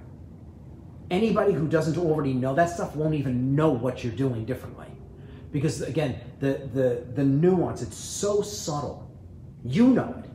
And somebody who really knows what they're looking at will recognize it. But you might have to make 10 or 15 or 20 of those little advances for somebody to recognize it in your work. And it's, it's so nuanced. But really, what makes what makes the greatest art so beautiful is the nuance. Um, and you spend a lifetime, oh, actually, the rest of your life, once you clear that bar as a pro, and again, not being a professional, but producing at that level, you then spend the rest of your life, not a few years, but the rest of your life, developing that nuance. It's a journey you spend every time you step in front of a canvas, you develop it a little further. And um, the the journey is the is the thing. Like you love spending and spending your time and, and growing here. You get excited. Something that nobody else sees that I real I just realized something. I get excited about it. No different than when we have this person in the program and they finish a block and they're going from grayscale into color. They get so excited. I figure out something that nobody can see but me. I get just as excited because the breakthroughs are they're they're so subtle now and there's more and more time between them. And so when I find something that I didn't see before, yeah, I get excited. Question from Jeff Harrington. Yes. Never been able to paint a person. Do you teach how to do that in the program? So this is actually something we I've not talked about um, yet, and it's actually a fundamental principle of Evolve uh, and how I think as a teacher. There's no such thing as painting a person. I know there are classes on painting portraits, but there's no such thing as painting a person. You don't paint landscapes. You don't paint still lifes. You paint. If you know how to paint a ball, a landscape, a still life, or even a portrait, are the same thing. Right? So the problem with the idea that paint, that you're painting a portrait is that a portrait is extraordinarily complex. Um, and we make it more complex by how we think about it, right? if I gave you a ball to paint, you'd sit down and you'd paint the ball. No fear, no pressure. I give you a portrait to paint.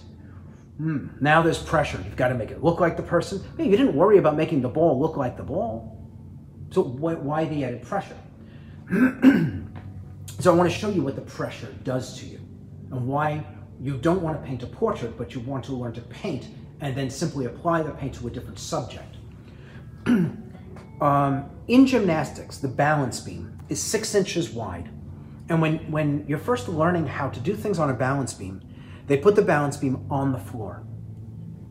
And the reason they do that is there's no fear of failure, right? If you fall, you're only, you're only eight inches away from the ground. And pretty much 100% of the population of the world could get on that balance beam and walk from one end to the other. And not even doing this, just kind of walk it. You take that same exact balance beam, six inches wide, and put it four feet off the ground where they do it, where they use it for actual gymnastics. You wipe out like 95% of the people of the population of the world even being able to walk across it without this kind of stuff going on. But what's changed? Nothing. Beam is still six inches wide. The difference is what you think about it. You've elevated what the risk of failure is, what the potential for failure, right? Not just the falling the four feet, but it feels different to you. You're no longer just walking across a six inch beam. You're walking across a six inch beam that is four feet off the ground. That added four feet changes how you think and paralyzes you makes you question what you're doing. So now you take that same balance beam. An Olympic gymnast can be blindfolded and flip and jump and land across that thing over and over and over and over again, right? They do it in practice over and over and over, and they're perfect. When they go to the Olympics, you see them fall off the beam all the time. How does that happen? They've practiced this thing, they've done it a thousand times, and they never have a problem. Well, the added pressure of, comp- of competition rattles them. It's still the same six inch beam. Now, take that same balance beam, you put it 100 feet in the air, even tethered to it, you'd be hard pressed to find an Olympic gymnast that could even crawl across it. I'm not talking walk, I'm talking crawl. Hugging it for their dear life, you'd probably not be able to find one Olympic gymnast that could even get across it if it were 100 feet in the air. It's still the same six inch beam that they can dance across with a blindfold in practice. What's changed? It's how they think about what they're doing. So, if they can do all this crazy stuff on the ground with it, if they didn't know it was 100 feet in the air, if they didn't complicate it with all of their ideas and just remember that it was a balance beam and it was the same, they should be able to dance across it at 100 feet too. When we paint a portrait, we're taking the balance beam off the ground and putting it 100 feet in the air, and then wondering why we can't make sense of what we're doing. When I say there is only painting, what I mean is a ball, a still life of anything, a painting outdoors, a portrait, are made up of the same components. You have shadows and you have lights. You have color, right? So you have shadows and lights which have value you have color, and you have edges. There's nothing else. Doesn't matter if it's a ball or a landscape or a portrait. The components that come together to make the painting, regardless of the subject or its complexity, are always the same. Values, colors, edges. They never change, and there's never, there's never more. If you get command of values and colors and edges, the subject that you're painting becomes irrelevant. Because the ball is filtered through value color edge. The landscape is filtered through value color edge. You're not looking at a landscape, you're looking at values and colors and edges. When you do the portrait, it's not a portrait. It's a value color edge decision over and over and over, and the portrait emerges from those decisions. It keeps the balance by. If you if you paint based on an understanding of those three fundamentals, the balance beam always stays on the ground it never gets put up in the air. And so we never paint portraits. We never paint still lifes. We, ne- we only paint. We utilize the components and we apply them equally regardless of the subject or its complexity. And that's, that, is a, that is a major defining thing in being able to elevate your skill set very quickly. If you think of a portrait, another thing is this. If you paint a portrait of Bob Smith, You've never painted Bob Smith before. You are a novice when you paint Bob Smith because you've never done it before. You have zero experience with Bob Smith. After you finish painting Bob Smith, you then, pan, you then paint Mary Johnson. Mary Johnson, you've never painted her before. You are a novice going into her painting because you've never painted her before. But if everything you paint is based on value, color, and edge, and you don't think of the painting any other way. When you paint Bob Smith, if you've done a hundred other paintings of, it doesn't matter what the subject matter is, it could be portraits and landscapes and, and still lifes, and every single painting was built up based on those three moving parts. Bob Smith is just the next one in a string of the same technique that you are developing mastery in. You're not a novice because the 100 paintings you've done have shown you how best to utilize those three components. And then when you paint um, Mary Johnson after that, she's just more of the same. Doesn't matter that her face is a different shape and that her skin tones are a different color and the lighting is different because shadows are shadows, lights are lights, colors are colors. Doesn't matter what they're attached to. And so separating yourself from the subject and having a process that equalizes all subjects in their complexity is key to being successful, at least from where I stand. I hope that answers your question. that's a very important thing in learning how to make art.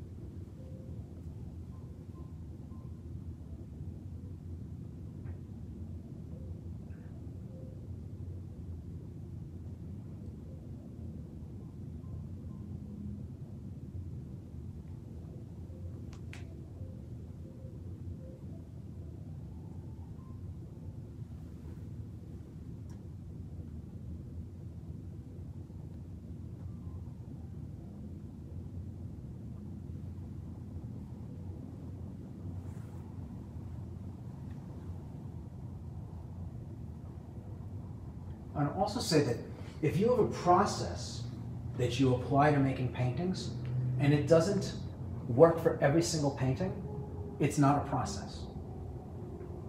Right? It might feel like one. But if you don't have a way of filtering the information, breaking it down, and and that it that it, the technique, the process works equally for every subject, no matter how simple or complex, it's really not a process.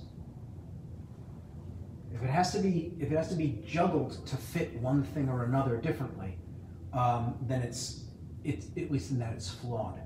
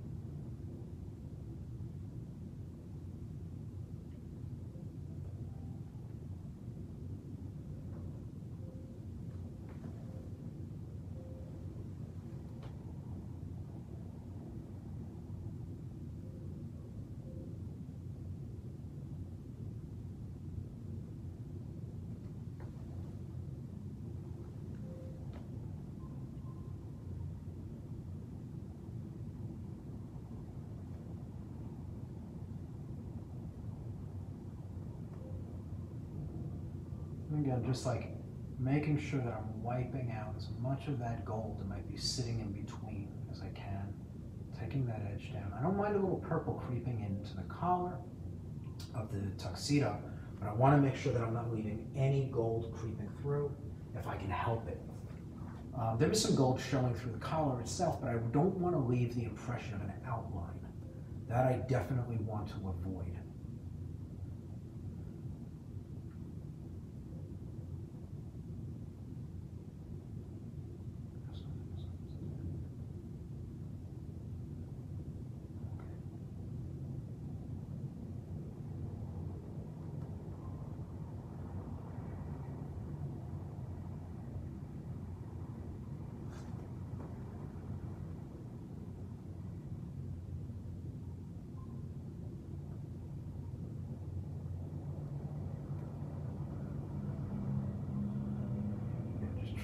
make sense of some of these things that are going on in here. Um,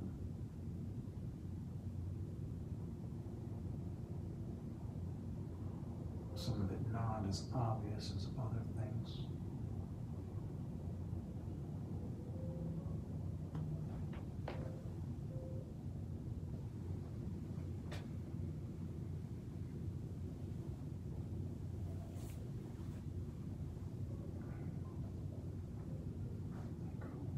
Let's see, I got a bunch of little metal jewelry in here, like the, the chain. So it goes over here.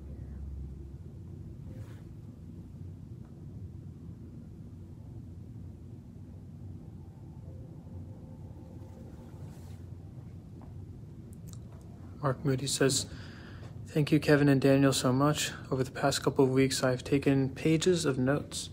I've been using many of your concepts, your process in my impressionist landscapes.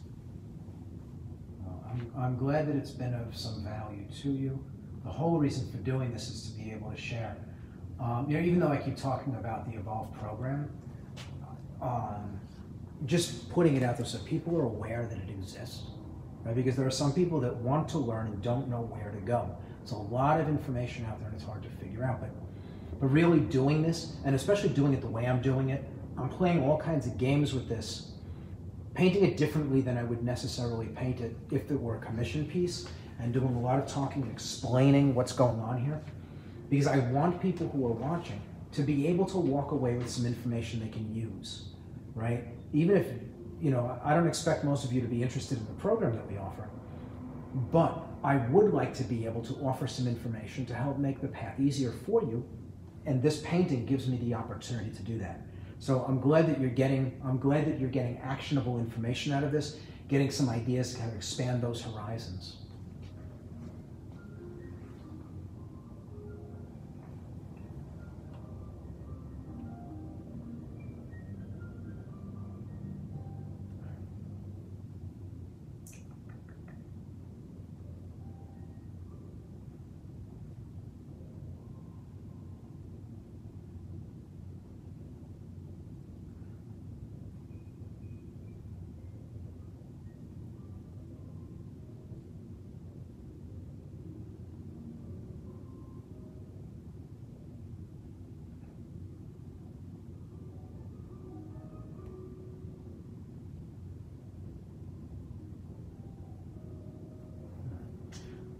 Trying to make sense of what's going on in here. and It's a little bit, it's a little bit all over the place.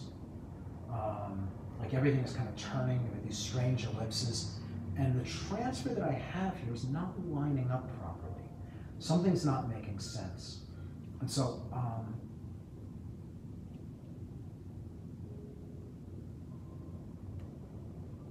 and again, I'm just taking my time. And again, I, like I'm pointing this out to you because a lot of the time, somebody somebody who is not worried about the end result so much would just push through it and be done with it. I can't do that. And if you want to produce high level, consistent quality work, this is it. Like you, you've got to figure this out before you move on. There's no moving on to the next thing until this is resolved. It has to be resolved in a meaningful way, so that the uh, that I don't I don't make a mess here, and then kind of going to make it even more difficult to figure out where stuff goes later on. I said this one appears to be about right.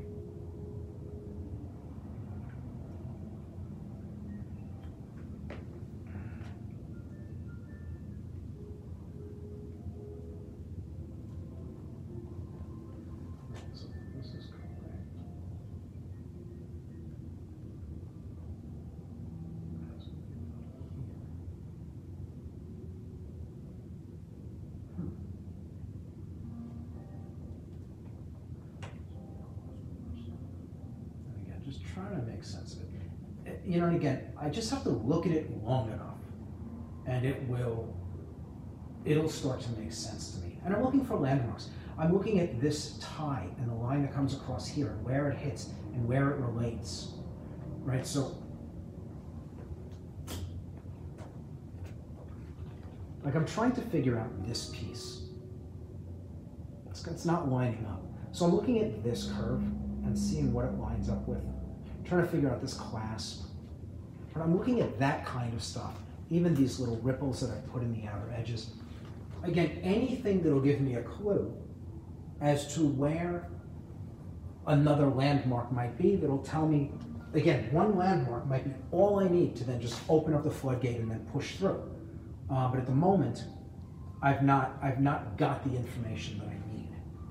And so, which is fine. I mean, I'll figure it out as I go, um, taking time. And if I find that this is not working for me, and it starts to frustrate me, I'll just come down here and I'll do this and I'll work my way up. And eventually, there'll just be this little area and it'll be all that's left and it won't, it really won't be a big deal. Right now, while all of this is waiting for me to finish this, it feels a little, it's a little annoying.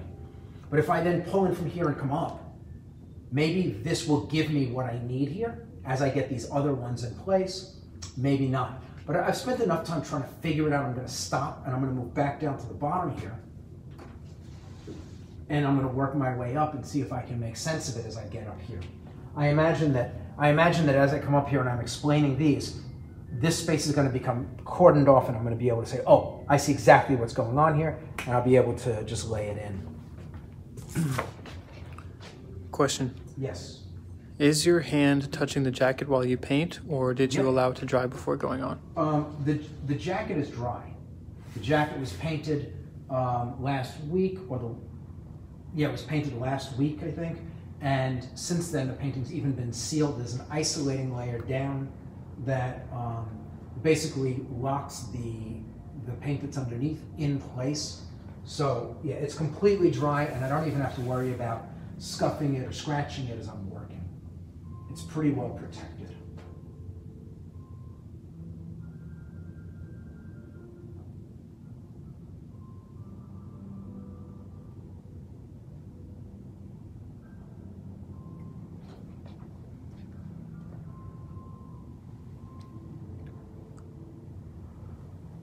Beverly Thatcher says, I've been actively searching for several years. I'm glad I found you and your program. Thank you. Well, nice to have you here. And we're glad that you found us too. Yeah.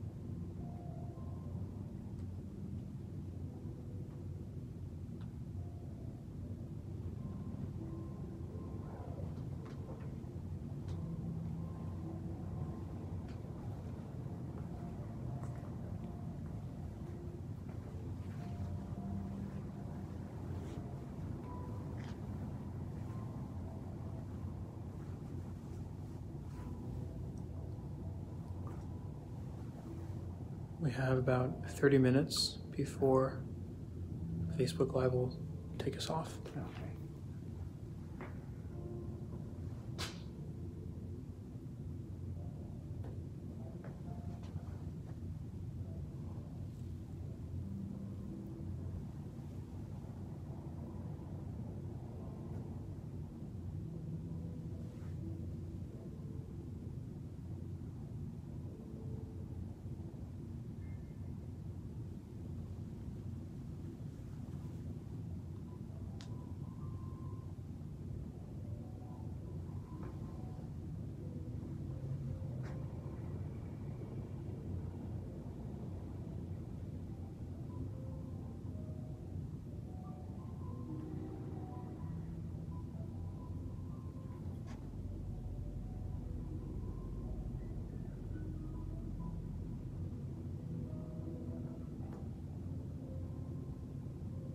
I mean, like this stuff, once I start moving in this direction, like these are very clear.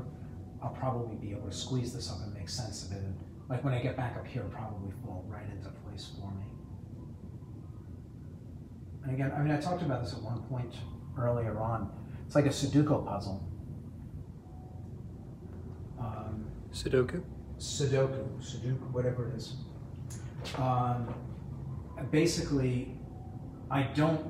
I try to get the ones that are easy first. I try to make sense. Like I was working from here down, but when I ran out of things to do over here, because they're difficult, I can't figure them out. I can tackle it from this direction. Maybe when I get back here, this will be obvious. Um, and so, like, no reason to struggle and be stuck. I just move on. Now, obviously, eventually I have to go back and resolve that stuff. But with everything else around it in place, it might be easy to figure out exactly what I couldn't see before.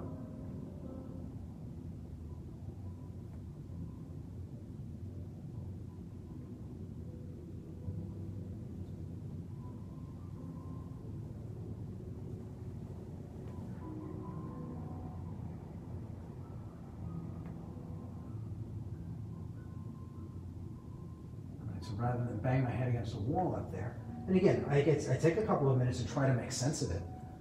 But rather than beat myself up over it, it's easier to just move on and come at it from another direction.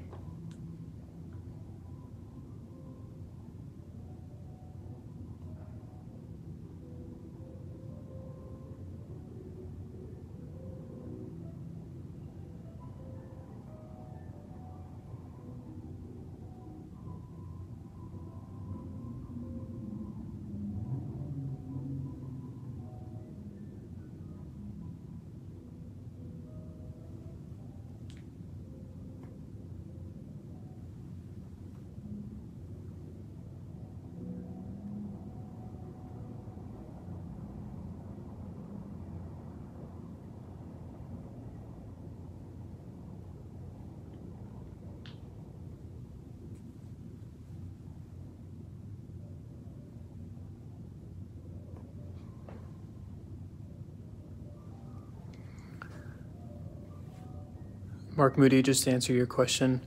Um, in the video here, everything is sharp and in focus, and the blurriness that you do see is through networking issues. Good.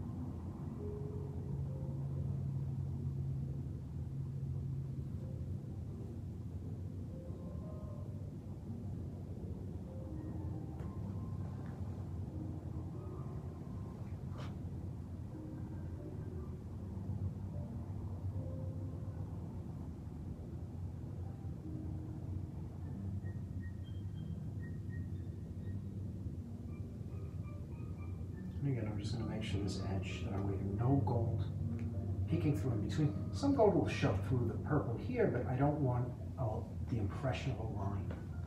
I don't want to feel outlined.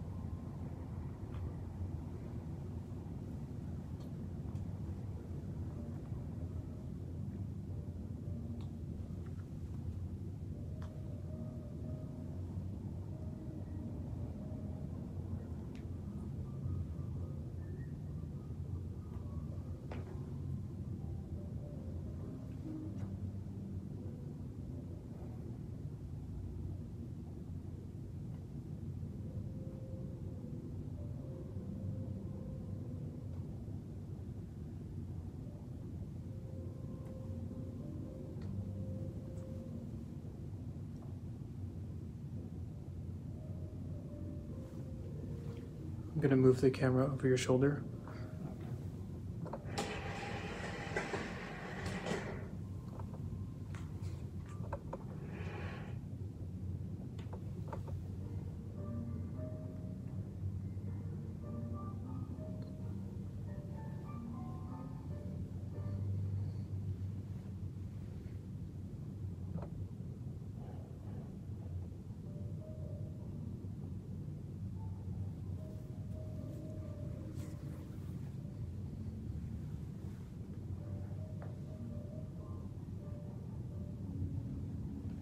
And so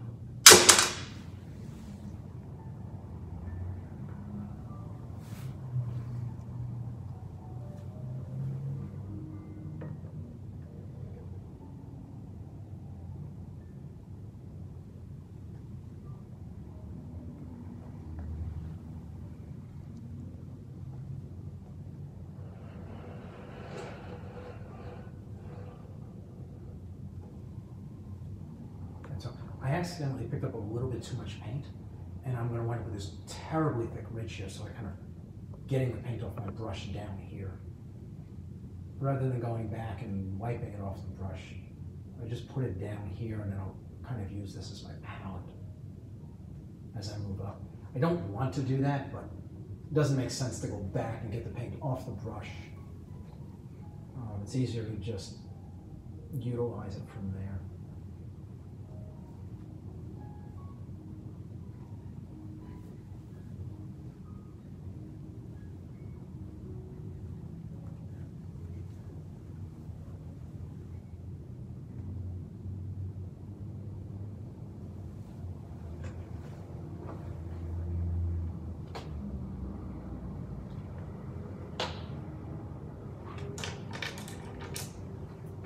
Just gonna go around and take out some of these edges now before I work my way up. I'm already seeing problems in here as well. So I'm gonna take down this edge. And again, I'm just looking to make it feel less sharp. Not worried about it being perfectly smooth, just less sharp. Me feel a little bit blurred.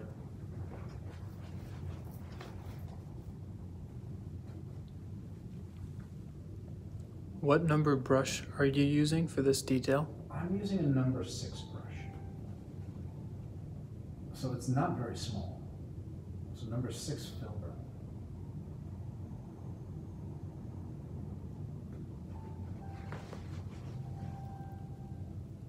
I I don't think anybody would call this a detail brush. Well, I would, but most people would not call this a detail brush. It's, um, But it, I don't need a very small brush for what I'm doing. I'm, you know, I'm not, I'm not putting in like a dot of a highlight in an eye. I'm just taking an edge down. So.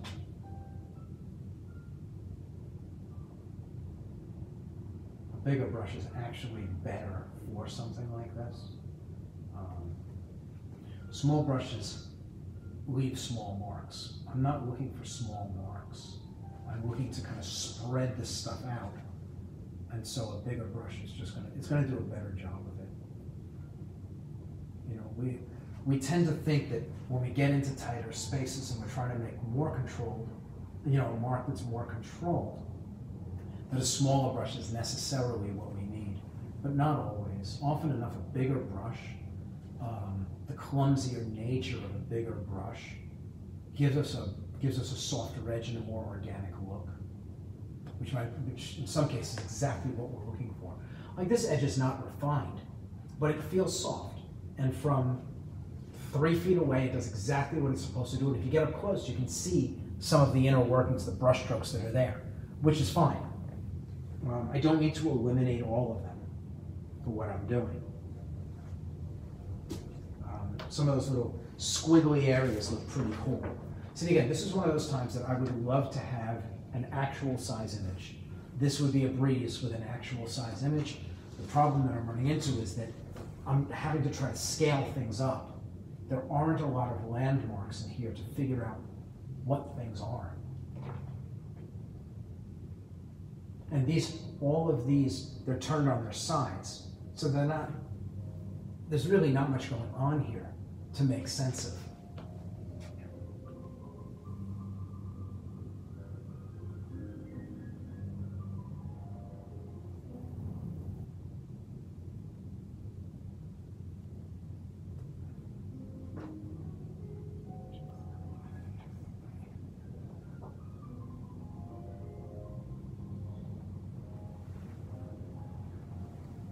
Of the one of the good things though is that because I can't make heads or tails of most of it, when I paint it, it doesn't have to be much more than abstract um, shades and color choices, right? I don't have to render details. So like in some of these, these I need to render specific things. The, the symbols that are on here are particular. But in here, as long as they feel like flattened coins, that's all that they need to be. So I'm not going to invent anything and try to make it look like more than it is. These are like from here to here, they're all just abstract marks. And they can be laid in in a very impressionistic way once I've cordoned them off and made the shapes right. So once I've got the purple in place, it'll be easy to knock them out when I come back around to them later on. Right now, the thing is just getting the purple in place. So this is a little bigger, um, a little closer to the scale, so maybe this will be a little easier to work with. Again, one to one, I could literally just slip it in here and I can see exactly what the heights are.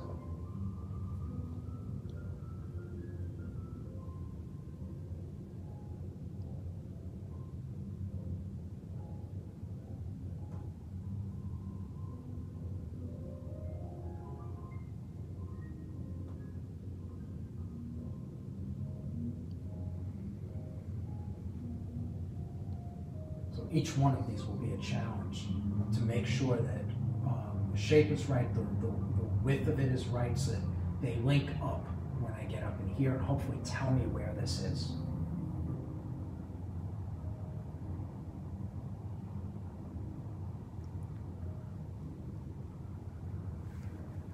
Mark Moody is asking if it's permitted, could Daniel post the picture on the website?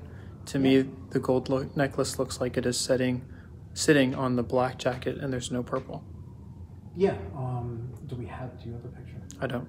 Um, what we'll do is, I, we're not going to do it now, but um, I've got the photograph and we'll post it tomorrow before we start, so you can check it out then. But um, it's there. It's there. It's barely discernible, but it's there.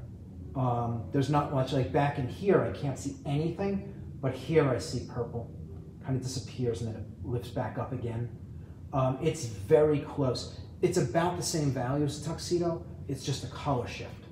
And so any place where it rolls into a shadow, it just disappears into the tux. But rest assured, it is there. I'm not inventing it. Um, the photograph is probably giving me more information than what you're seeing. Um, so, hmm but yeah, you know, I'm not inventing any of this. I don't want. I definitely don't want to do that. Nicholas said that his number six brush has ponytails now. Ponytails. And Laurel is asking, were the necklace details put in on the transfer? Some, some. There were little scribbles and not much. They're not. It's not highly detailed. I mean, it would take forever to to do a transfer in detail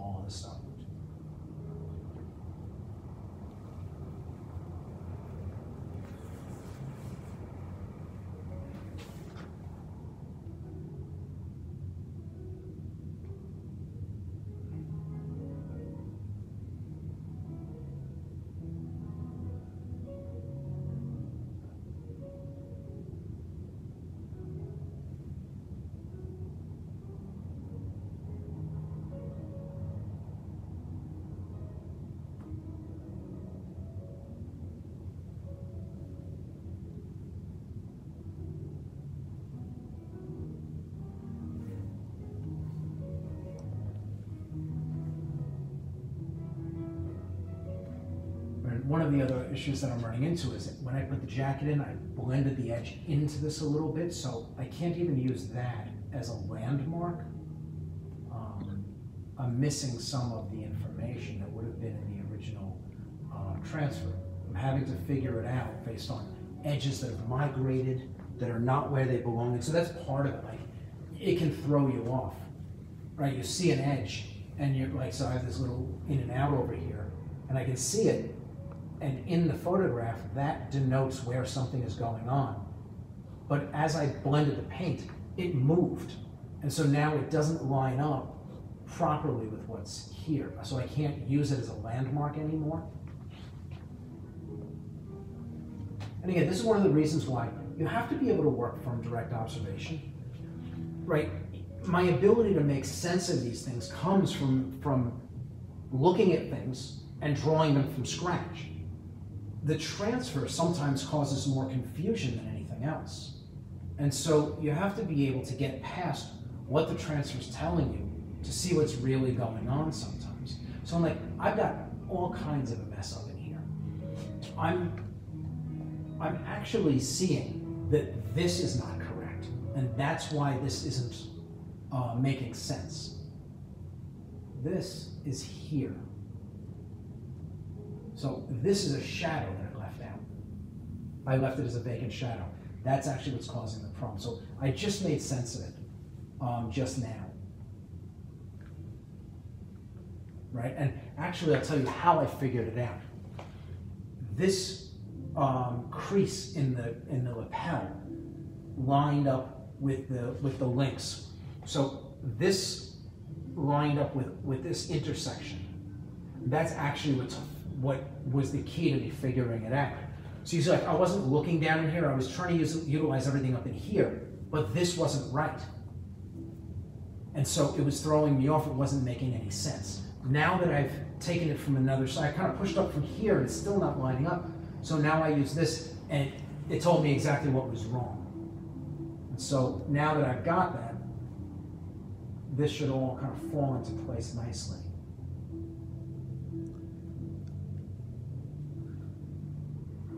Question about uh, brushes Yes. from Nicholas. Is there anything you can do when your brush has pigtails to reshape it? Or should I just trim those hairs off, or should I just get another brush? Well, if you can trim them away and the brush is still good, then do that. You gotta be gentle with your brushes when you're using them and when you're cleaning them. Also, when you clean them after you're done, flatten them back into the position that you want them to be in when you work the next day. Um, don't just leave them. Don't just leave them splayed out. Um, you can also put. Um, you can use conditioner on them like you would use for your hair. Um, that's not going to hurt either. I mean, these are synthetic, but I imagine that probably helps anyway. Um, any, I mean, like treat them like their hair. But the, the trick is that when you're painting, don't beat them up. Don't bear into the brush. Drag the brush as much as you can, side to side gently. Don't don't don't mangle the brush when you work. Like if you see when I'm working, I'm not pressing hard. I'm using just the tip of the brush. The brush barely bends under my hand. And so these brushes, they'll stay in this condition, this pristine condition. I mean, for many, many paintings. Because I'm being gentle with them. So I'm going to go in, I'm to wipe out the mistake that I built in. And again, I may wind up having to overpaint some of this to fix it. And then I, if I have to do that, then it'll get done tomorrow. Again, it'll get done before I do the face. Um, and definitely, even if I don't do it tomorrow, definitely before I go in and start my glazing. Um, so again, I just need to figure out exactly where this thing went off track. I know in here, this shadow is what's missing. I left that out. I left it vacant. And so that's actually the edge. And I don't know why I ran the collar down. It doesn't belong there. So what I put in when I first did the collar, not the purple, but the tuxedo collar, I drew this line down and it doesn't belong there. That was, that was a mistake. So I'm gonna have to over, I'm gonna have to overpaint that um, to fix it. Now I'm looking to just make sure that everything else is in place so that I can just kind of cover that uh, before I move on. Right, so this is here.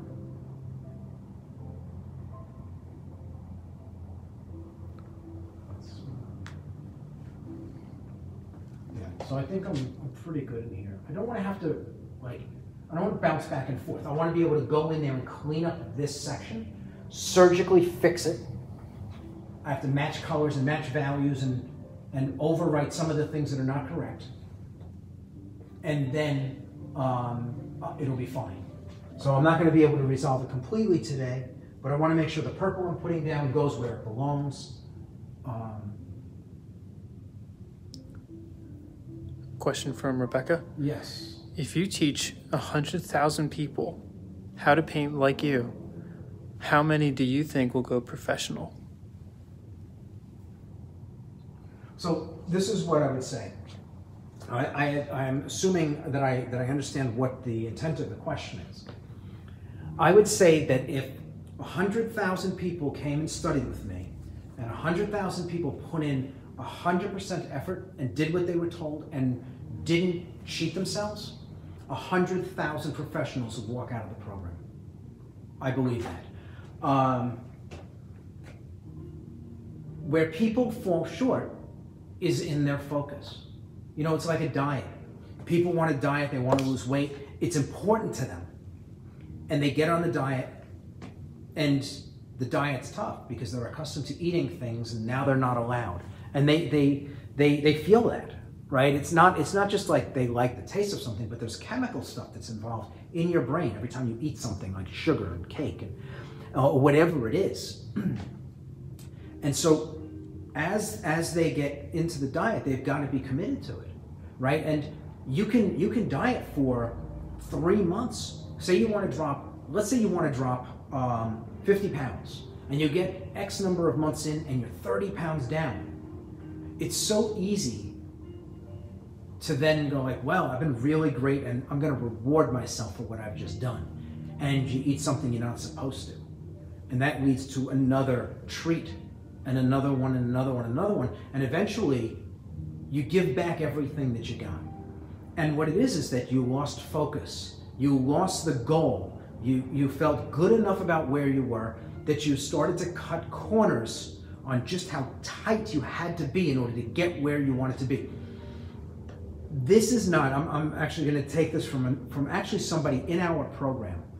Um, this is not a destination. So like the problem that people have when they diet is they think it's a destination.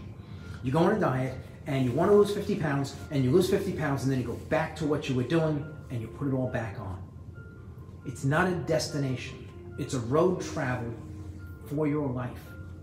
If you want to make art, it's a commitment. Every day you get up and you work. Now again, it's not like going to work and like and and um, crunching numbers if you're an accountant. The work doesn't feel like work if you love it. So you dwell in the process. It's the process, it's the everyday in front of the canvas. And if you love that, it's easy to commit the time every day. It's not like I want to become a pro and then I'm going to stop growing and stop making paintings. Once I get that one perfect painting, I'm done.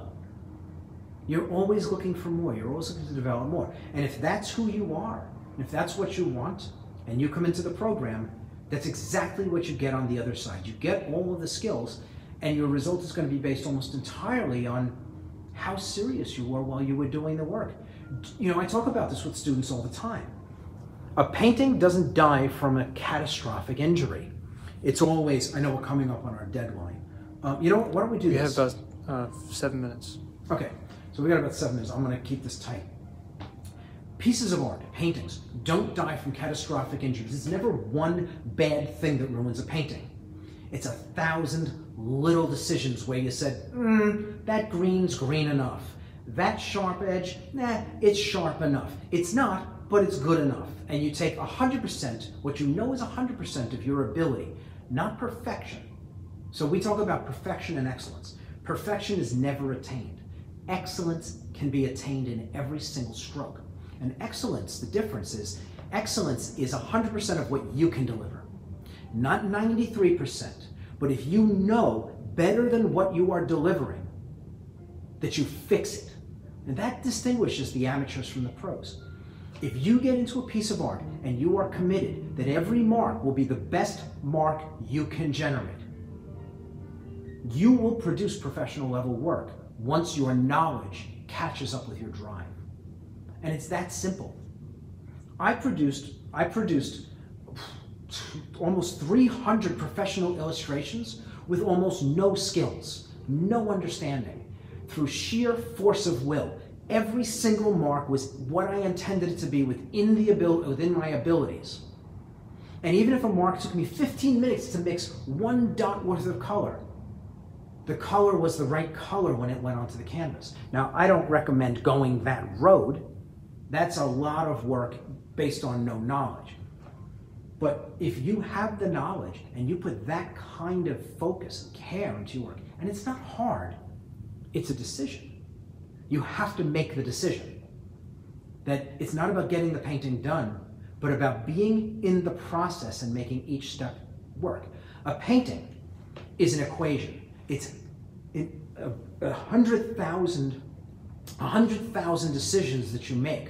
What color, what value, and when you mix it, do you take the time to test it against your photograph to make sure it's right? Do you then put it in the painting and make sure it goes into the right space? And then when you mix the next color, do you do the same thing? Do you take the extra moments of care to make sure the decisions you're making, that they're not just decisions based on what you see, but that you've checked them every possible way you could before putting them into the painting. And then even when they're in the painting, do you check them again? Do you everything that you have you bring to bear to make sure you've put nothing into the painting that was not intentional. And that your intention is to be as good as you can with each mark, right? So all of these decisions, these hundreds of thousands of decisions, equal the painting. The painting is the result of the choices you make the colors, the values, the cut corners or the not cutting corners. So a painting is never just a painting.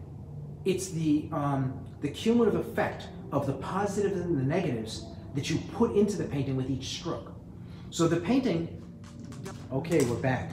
Um, we got dropped, uh, Facebook dropped us. So um, we're back.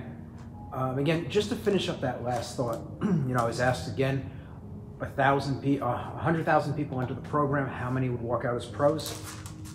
If everybody gives hundred percent maximum effort, every single one of them could. There's absolutely nothing holding them back, you know. And so, um, and I firmly believe that. I firmly believe that.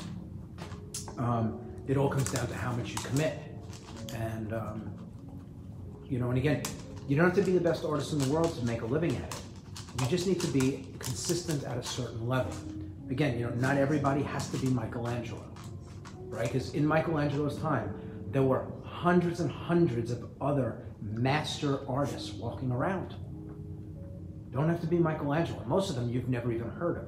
You have to go. You have to go to Italy to find them. Italy and France. You go into the Louvre, you get an understanding of it.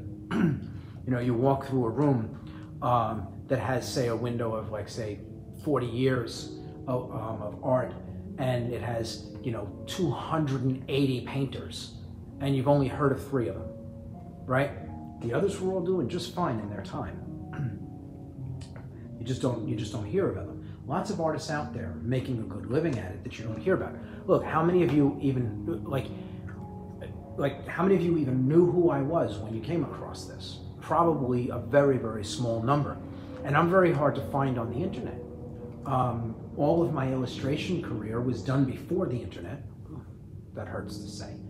Um, so you're not going to see my work out on the internet like that. and my portrait work is private.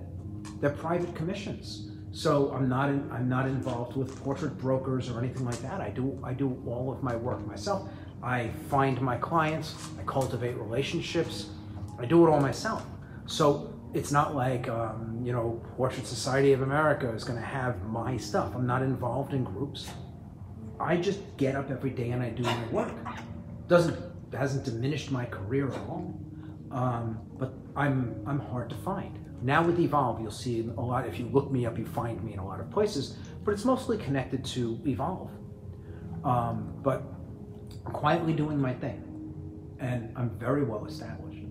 So, so like redefining what you think of as a pro, I think, is part of it, right? A pro is somebody who makes a living at it.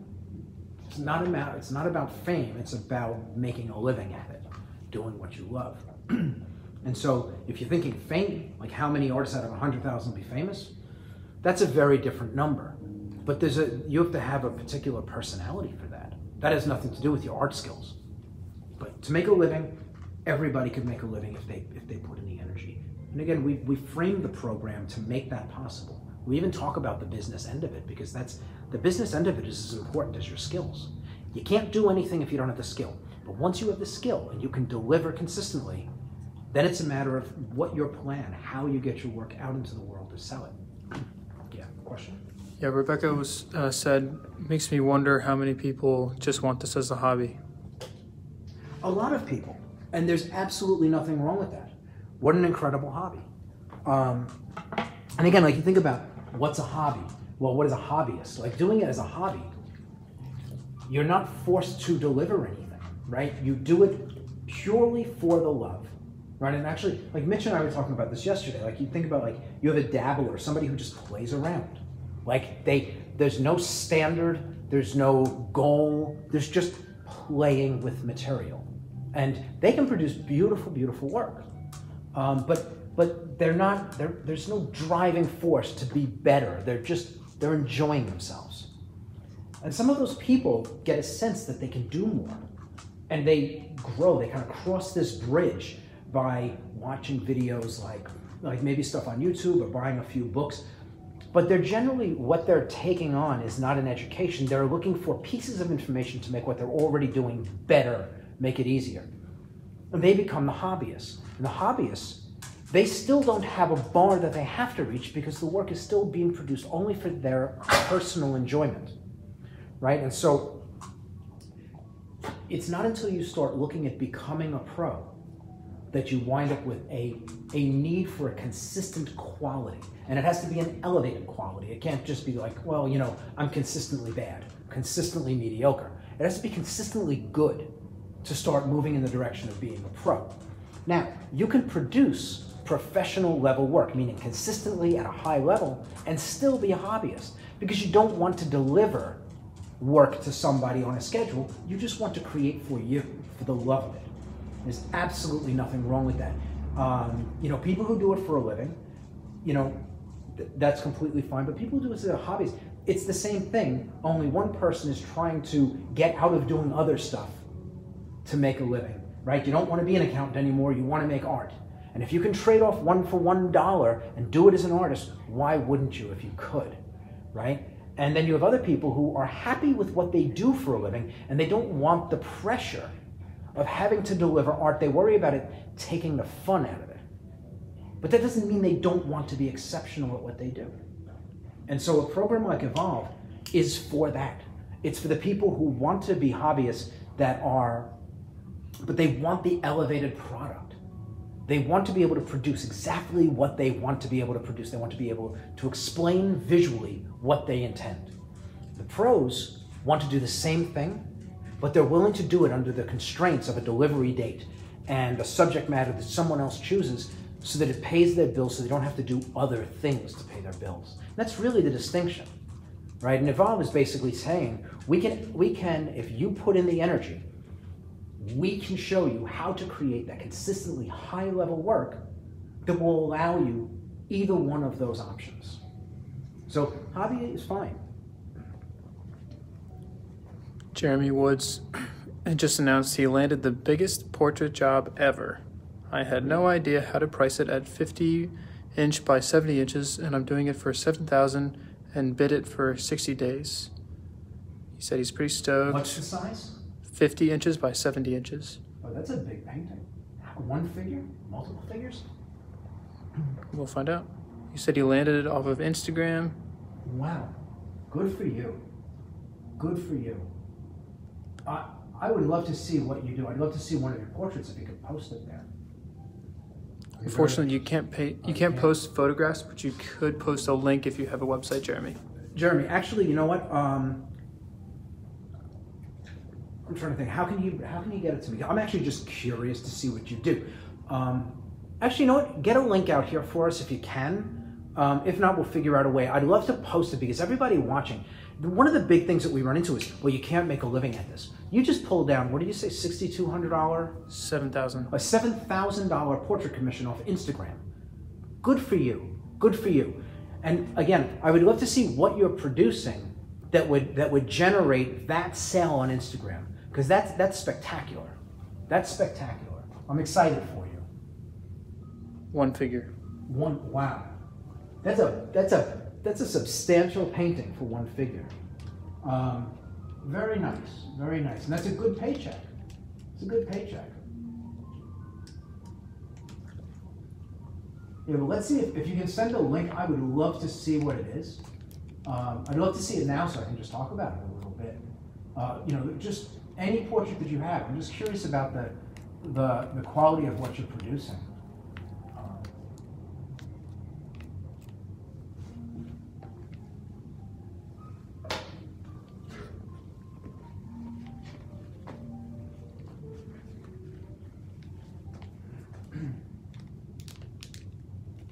And so, also, um, Jeremy, if you, I, you said it's the biggest thing you've ever done. If it is by far the biggest thing you've ever done, meaning like two or three times the size of the biggest thing you've ever done, if you need any help kind of getting it off the ground, figuring it out, um, please feel free to reach out to me.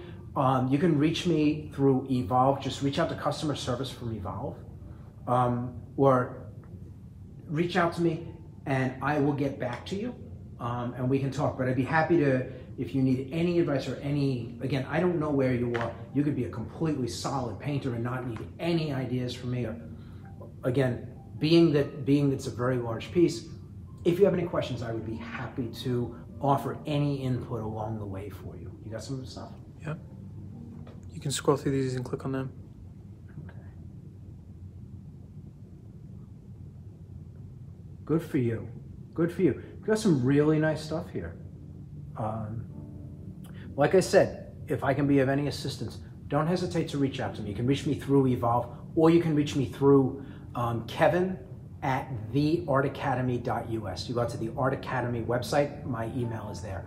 Reach me either place. I would be happy to, to, to give you some, some time if you need it. And again, I, I don't want to overstep, but if I can be of service, please feel free to reach out to me.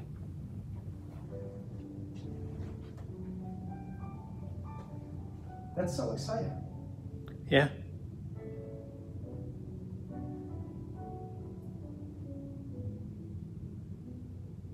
And it's funny because I don't perceive Instagram as a place to sell portraits, but clearly I'm mistaken. I guess any place that you're any place that you're putting something that's good, um, you you run the risk of running into somebody who wants to own it. That's great, though. Very nice.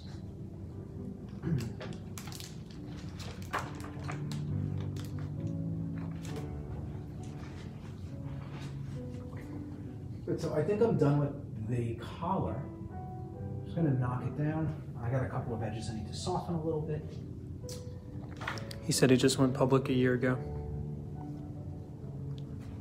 Very nice. Good. Very, very exciting.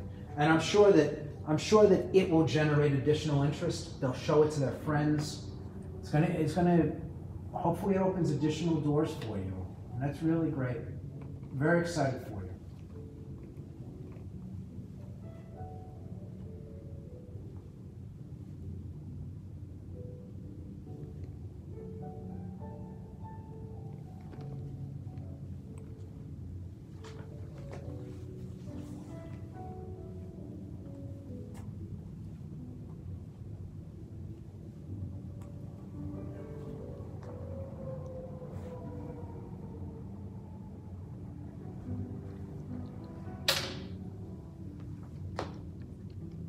Jeremy said, Thanks. I'll keep that in mind. I've been painting about three years. And thanks, that is great. You are that, that is great that you were there. Promote, promote, promote. A closed mouth doesn't get fed right. Yeah, definitely. Definitely. Yeah, as long as you have the skills to deliver, then it's just a matter of getting your work out in front of the right people with the right language. Right? And and you know you you figure it out as you go. In a lot of cases, you know, obviously, no no one size fits every scenario. So you figure out what is what you know what are your strengths when you speak. Like how do you because not everybody is necessarily a great orator. Um, some people are uncomfortable. So how do you get around that, right? You don't want to you don't want to sell what you do in a way where you diminish what you do, right? If you're if you're uh, uncomfortable around people, maybe being out in public and selling is not the way to go, but there's another means to do it, right? And so you want to find the way that best fits who you are um, and utilize that as your way of selling.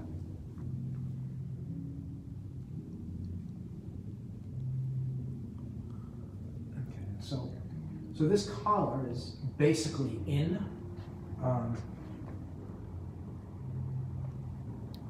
uh, Belinda Jackson. She's she's new. She just uh, jumped onto this live video. She's asking, how big is that painting you're doing? This painting is well, it's life size, um, but it is a three quarter life size. It is 35 inches wide by 53 tall.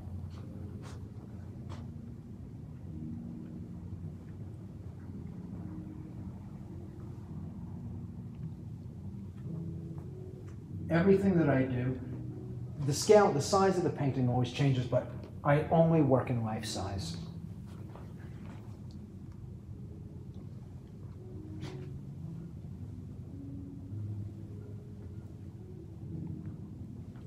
All right, so here's just a little thing. I left this out accidentally the other day, so I want to get this in. Again, I'm just trying to close the door on everything that, that needs to be done before that third pass starts. making sure I've left that I've everything is just it's ready um, so that when I get into the third stage, if I miss something and I do the third stage, I get started, I will then have to go in and surgically fix. And that's a lot of work. You have to go down to tiny little brushes and really kind of refine an area. And I want to try to avoid that if I can.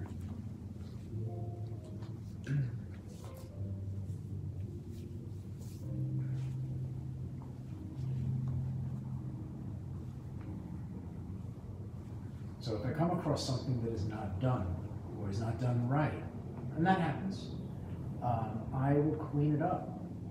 Clean it up when I find it. Try not to leave it. Try not to leave it for later, if I can help it. And again, I'm not dropping what I'm doing. Like I just, I knew I was going to come around and take care of this, get it in with the, you know, so that because it's part of the jacket. Um, I knew I would do it before I moved on from the collar.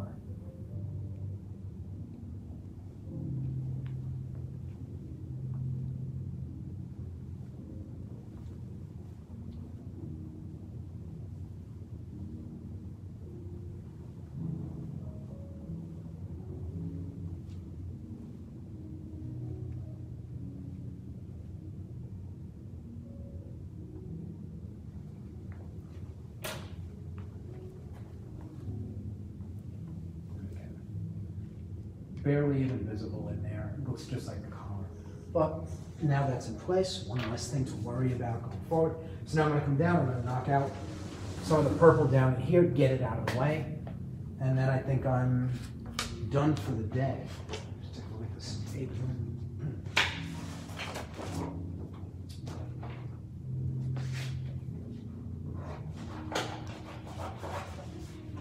What's the plan for tomorrow?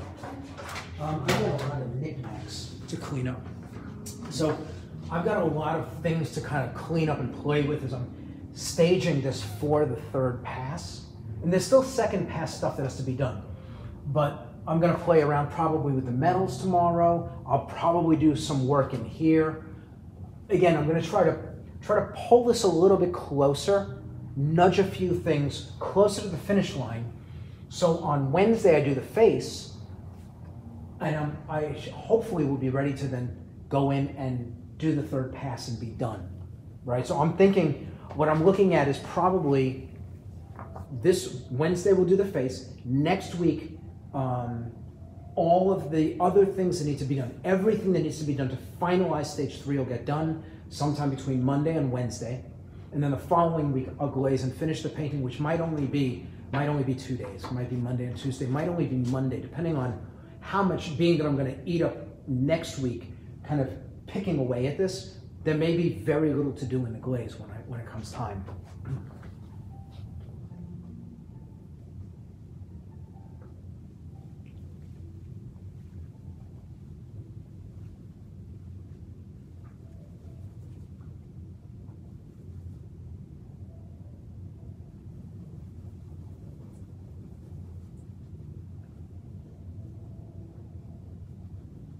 And so I'm just gonna go back in here.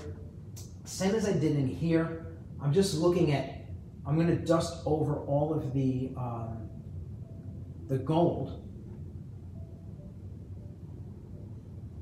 that is in shadows.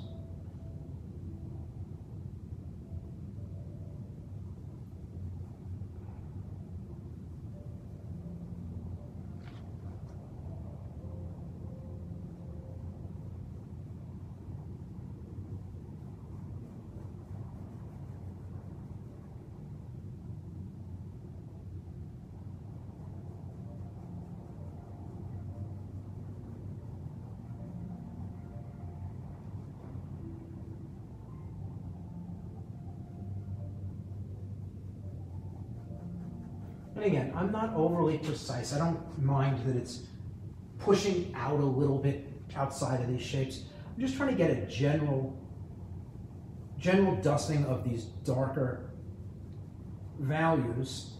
Again, the gold is so reflective that even in the shadows, it still holds a lot of light.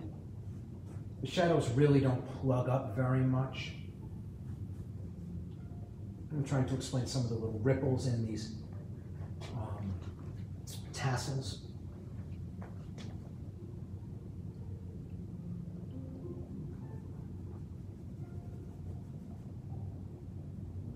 And again, this isn't the end of the detail work on these on these decorative elements. It's just the be, it's actually the beginning of it.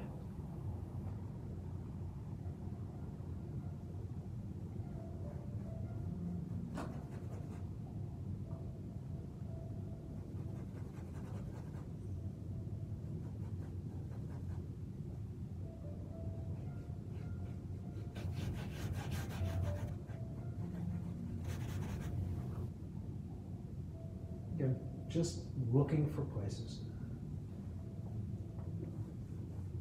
And again, it's easier for me to put it in here when I can do these big, messy brush strokes than to try to do it later on. But if I drop it in now, they can be big, wet, just kind of bold strokes. If I do it later, I've got to work around everything.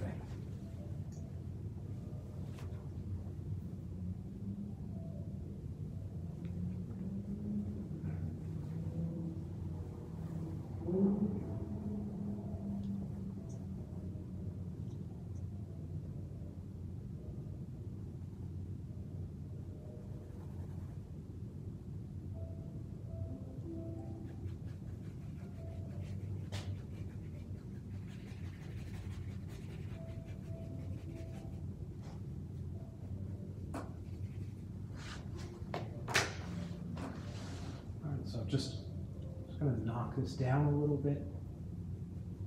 Make it smooth and even. I wanna be able, I don't want the marks that I'm making to make it harder to see the drawing shown through underneath. So I want to get rid of all the texture. So first thing I'm doing is just kind of beating it up, trying to knock edges down, neutralize some of it a little bit, spread it out. And then once I've got that, then I'll go with another brush, a softer brush, and I'll um, neutralize it a little further, and then I'll go and I'll drop it on my purples. These shapes are much bigger, so it should be a bit easier to, to get all the, um, the purple of the apron in um, without it being so labor intensive. Again,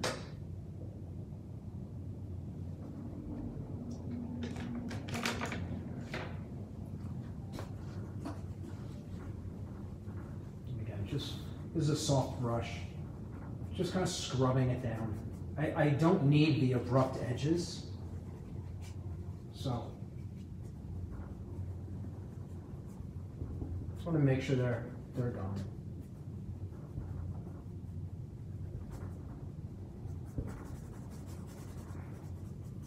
And a lot of the places where this is really kind of messy, it's going to be filled in with white and with purple, so it's not going to show. So it can be messy,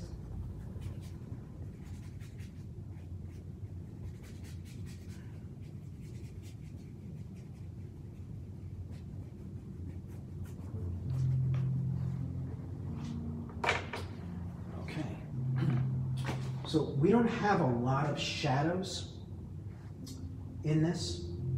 Most of this apron is in the light. So um, getting the shadows in should be relatively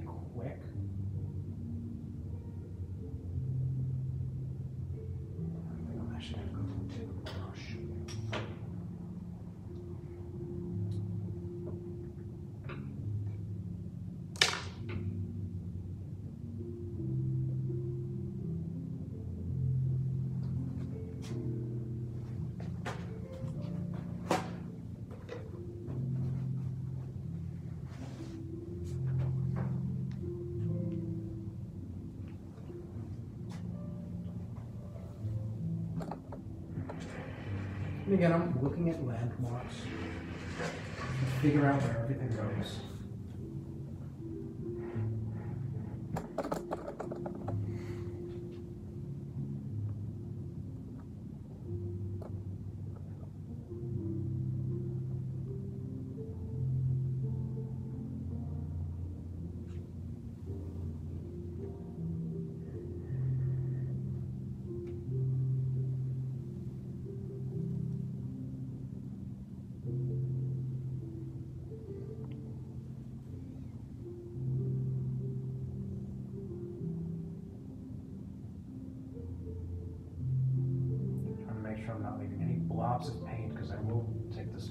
Fan brush to this afterwards. I don't want to brush these dark colors into the golds.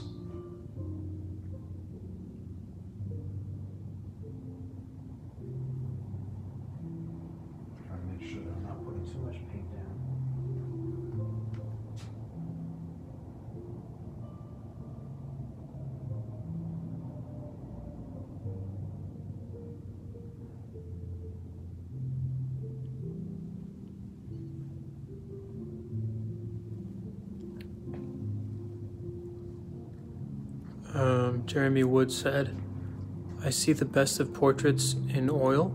Yours look very vintage.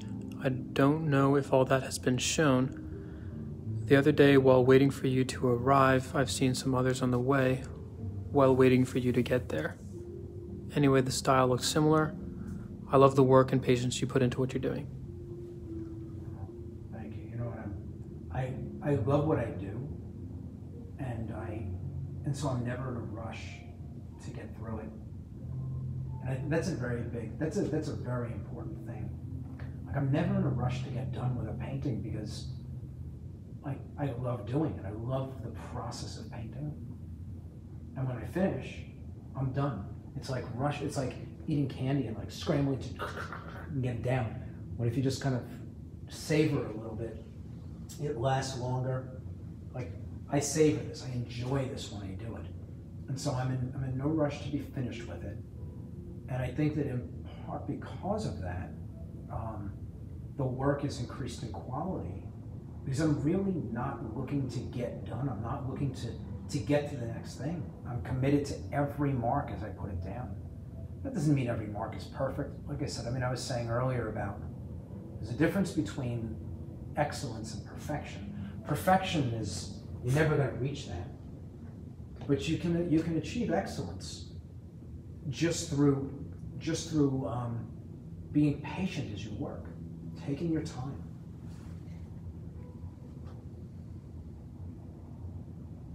I know this is not, it's not the, the purple here, but this color is about the same, what I'm putting down, as the jacket.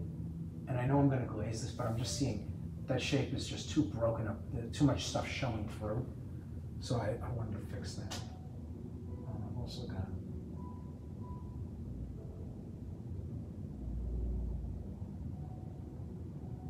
just a little shape in there.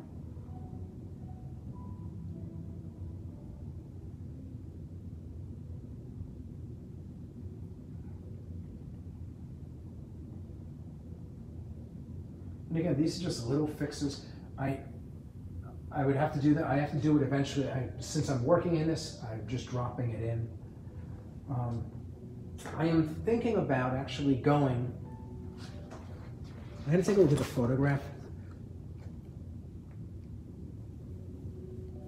The, the purple on the cuff and the purple in the apron look a little bit, I know they're the same color, but they're darker down below. I'm actually gonna stick with the same color, um, and then I'll glaze the difference in later on. I was debating, was debating how I wanted to handle that. Um, I think it's easier to just do it that way.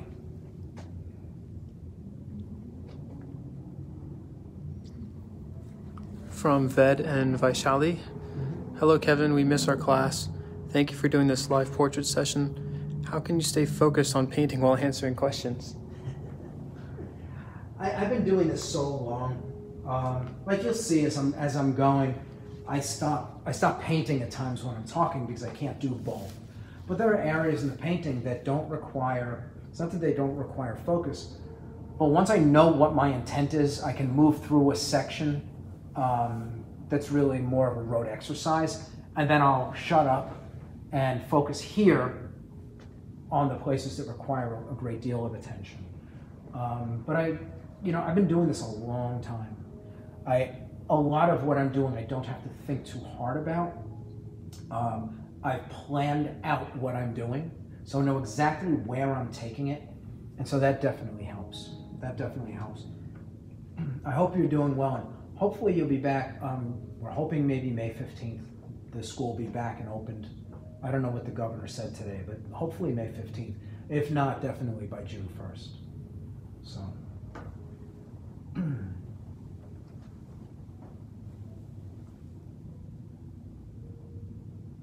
we have a lot of people from the school asking when we're going to be opened. Um, I'm surprised. I'm surprised how many phone calls I get. Russ said, I bet he talks in his sleep. I wouldn't know. No, you know what? I think I get it all out while I'm awake.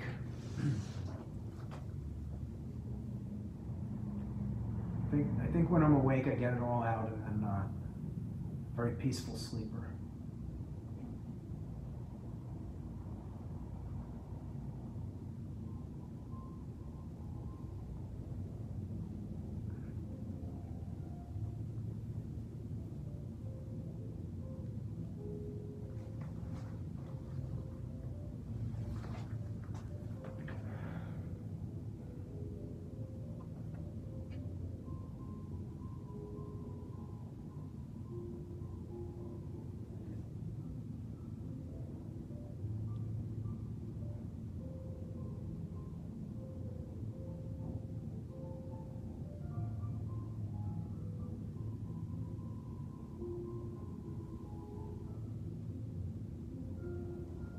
Purples are so bold against the against this orange. Um, once like this is such a nice feel. I don't know how well you see it um, on screen, but this is just it's just got such a really sweet feel to it. I almost don't want to paint over it and put in the uh, the details. I don't have a choice, but I really don't want to. Um, I'm trying to figure out how to to do the least amount, or to change the area the least amount possible, and leave as much of that exposed. And imagine this is going to feel the same way when it's in. Um, a really nice um, vibration um, because of the color combination. And I know where I intended on taking it will eliminate that vibration. And so, debating whether or not to go there.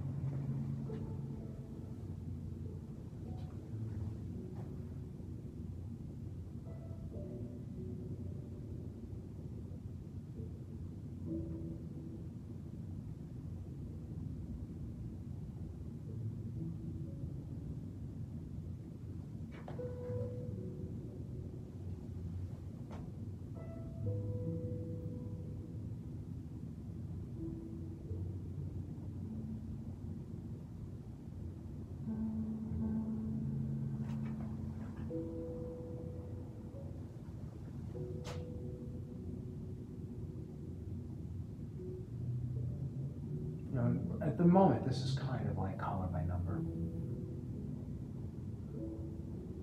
Which is nice. Uh, it's a nice break from like what I'll be dealing with.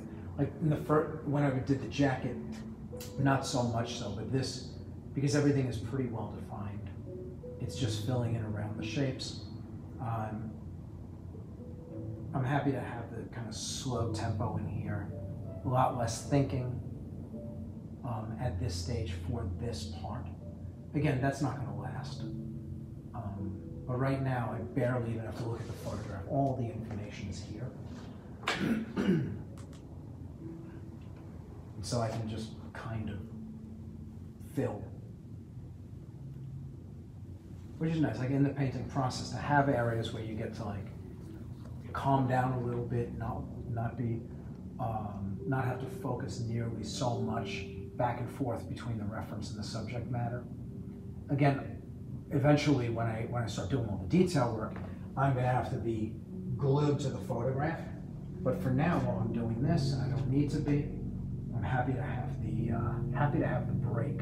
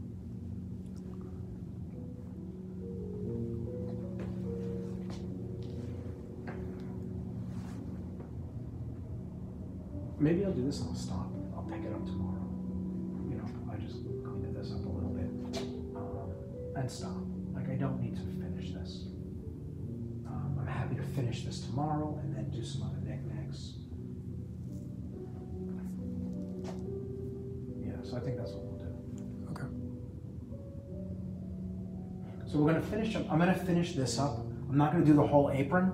I'm gonna finish this up and then we're gonna call it a night. We tend to have problems here with our, um, with our internet. At about five o'clock, it starts to get crazy and we get all glitchy. That's assuming we're not already there. So I'm gonna polish this off, just this little section where I can get a little break point down in here. And then tomorrow I'll finish this and then move out into the rest of the painting and start cleaning up other things. Um, set the stage for Wednesday's face.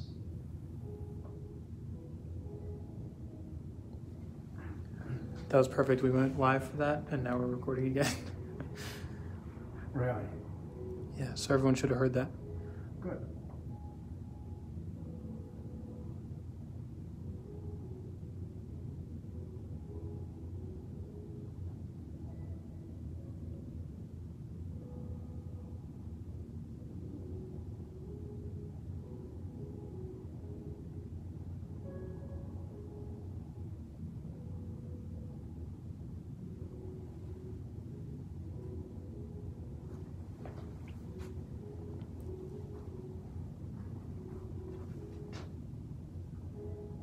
Question from Rebecca Yes. Is glaze on top of a painting repairable in like 250 years? Yeah. Why wouldn't it be? It's just a layer of paint. It's just a layer of paint. So, yes. All of the old masters glazed, and their paintings are all repairable. So,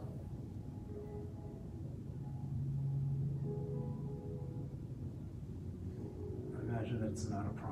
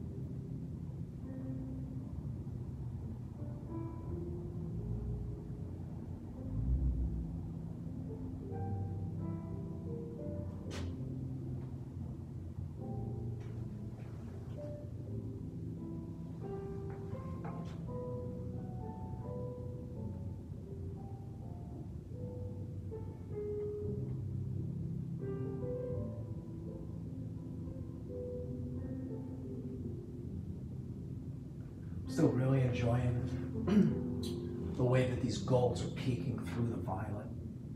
Really, really nice. Again, when the painting is done, I'll post a really clean high-res version of it um, that hopefully will show off um, the colors that you might not be seeing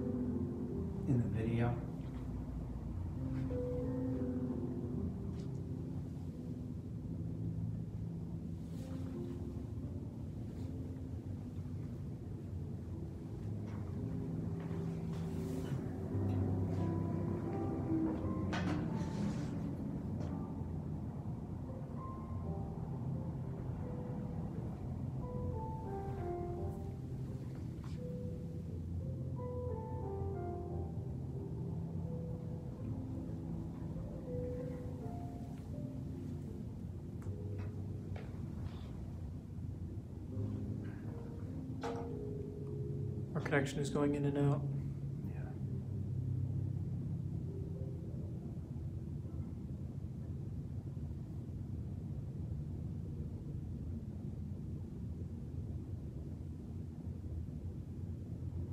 I'm not gonna do any, any real conversational stuff.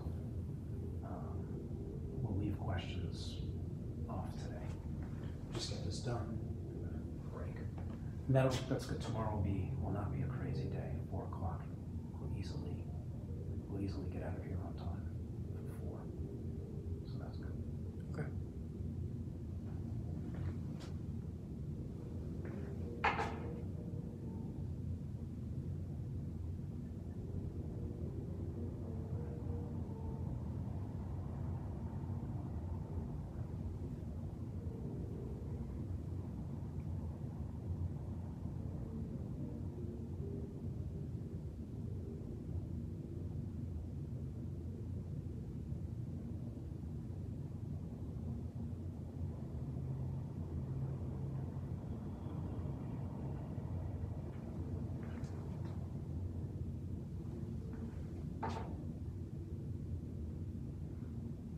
So what I'm, what I'm working towards here, why I didn't stop right in the middle, I'm gonna do it down here, where I'm only gonna have a tiny, tiny little bit of purple that's gonna have to be married to turn the corner tomorrow.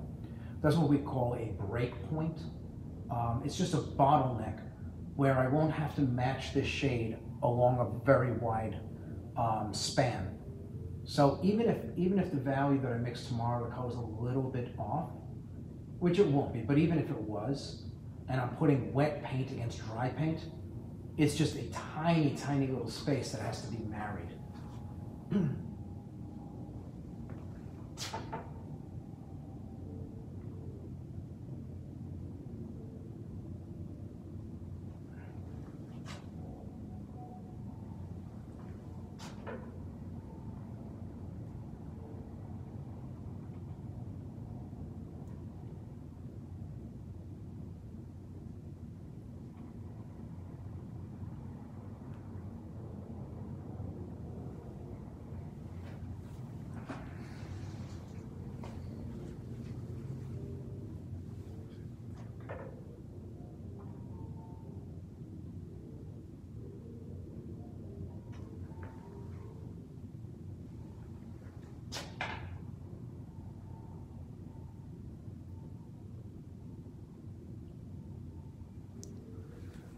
While we're live right now, I'm just going to announce to everyone that we will not be taking questions for the remainder of this. Kevin is just working to get to a break point um, so that we can pick this up tomorrow when we're not having quite so many networking issues.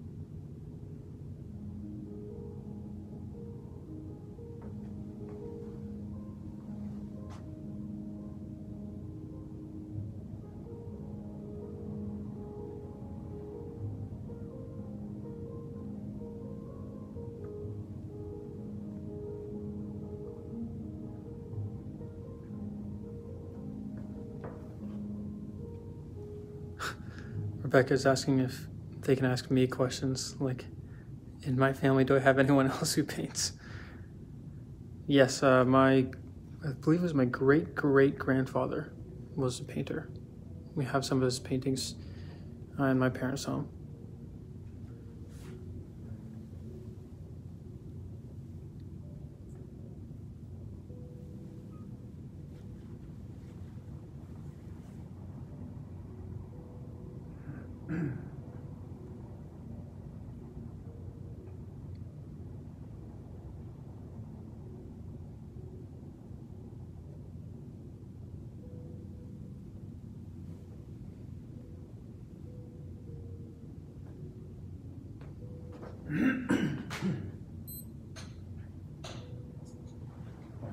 I wasn't not I wasn't not taking questions um, because I couldn't concentrate and do that.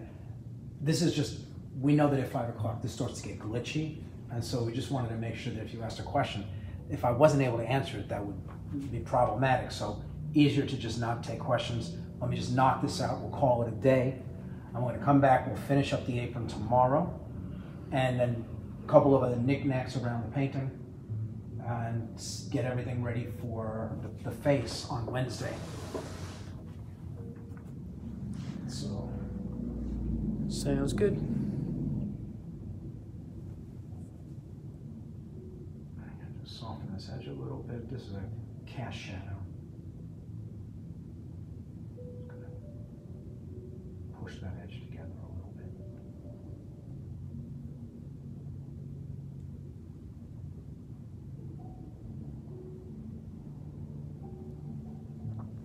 Derek Scott says, Thank you for doing this.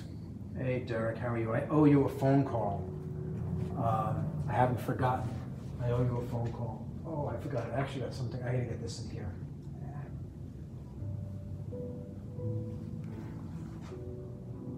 I don't want to leave just the shadow.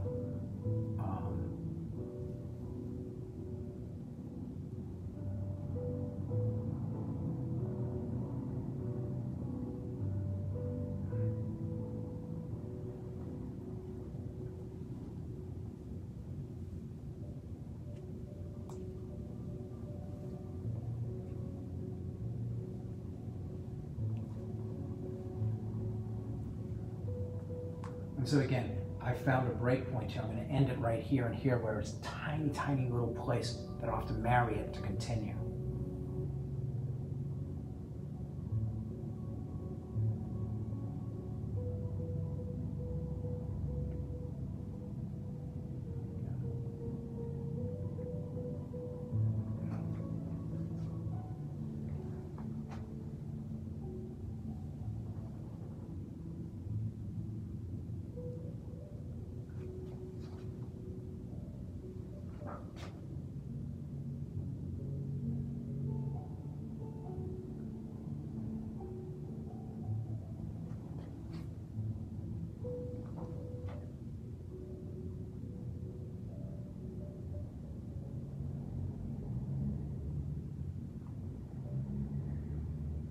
Bottom is going to be a relatively sharp edge.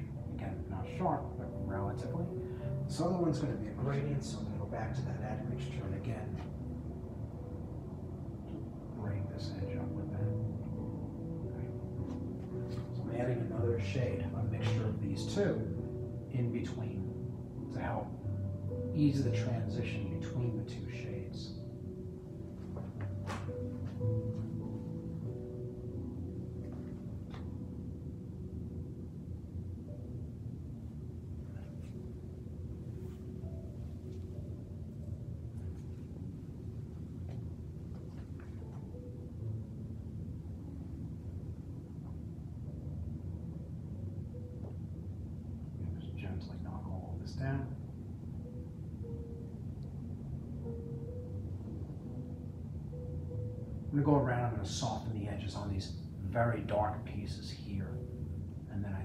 как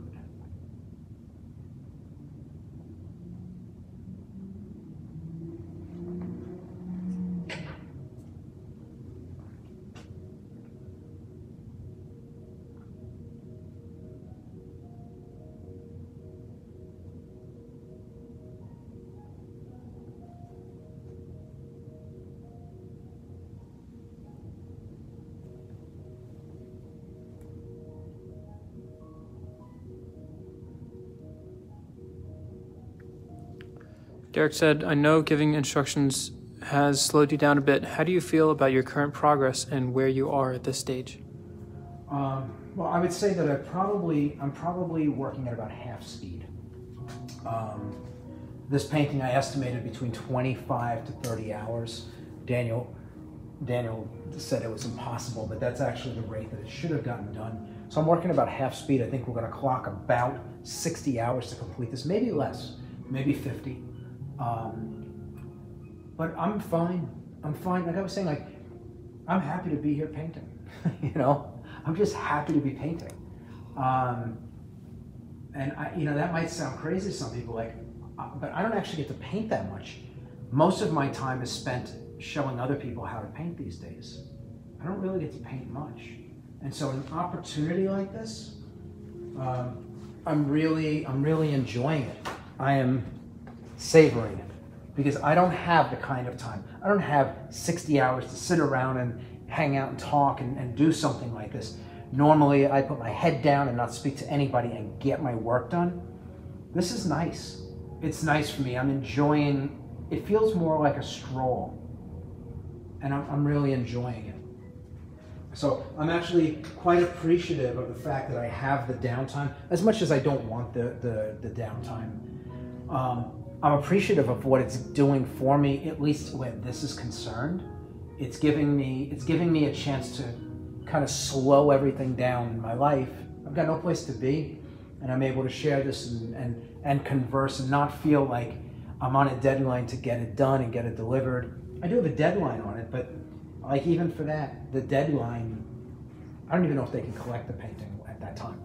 So. Um, I'll, I'll basically I'll meet the deadline, and then it'll just, you know, it'll be a matter of whether or not they can um, take possession of the painting. But um, I'm just enjoying the fact that I get to I get to kind of hang out. Like I'm, like I, I'm not sure if you can tell, but like as I'm working, like I don't feel any pressure. Even even the stuff that's not necessarily easy, I don't feel any pressure. I'm just kind of relaxed and kind of moving through the piece.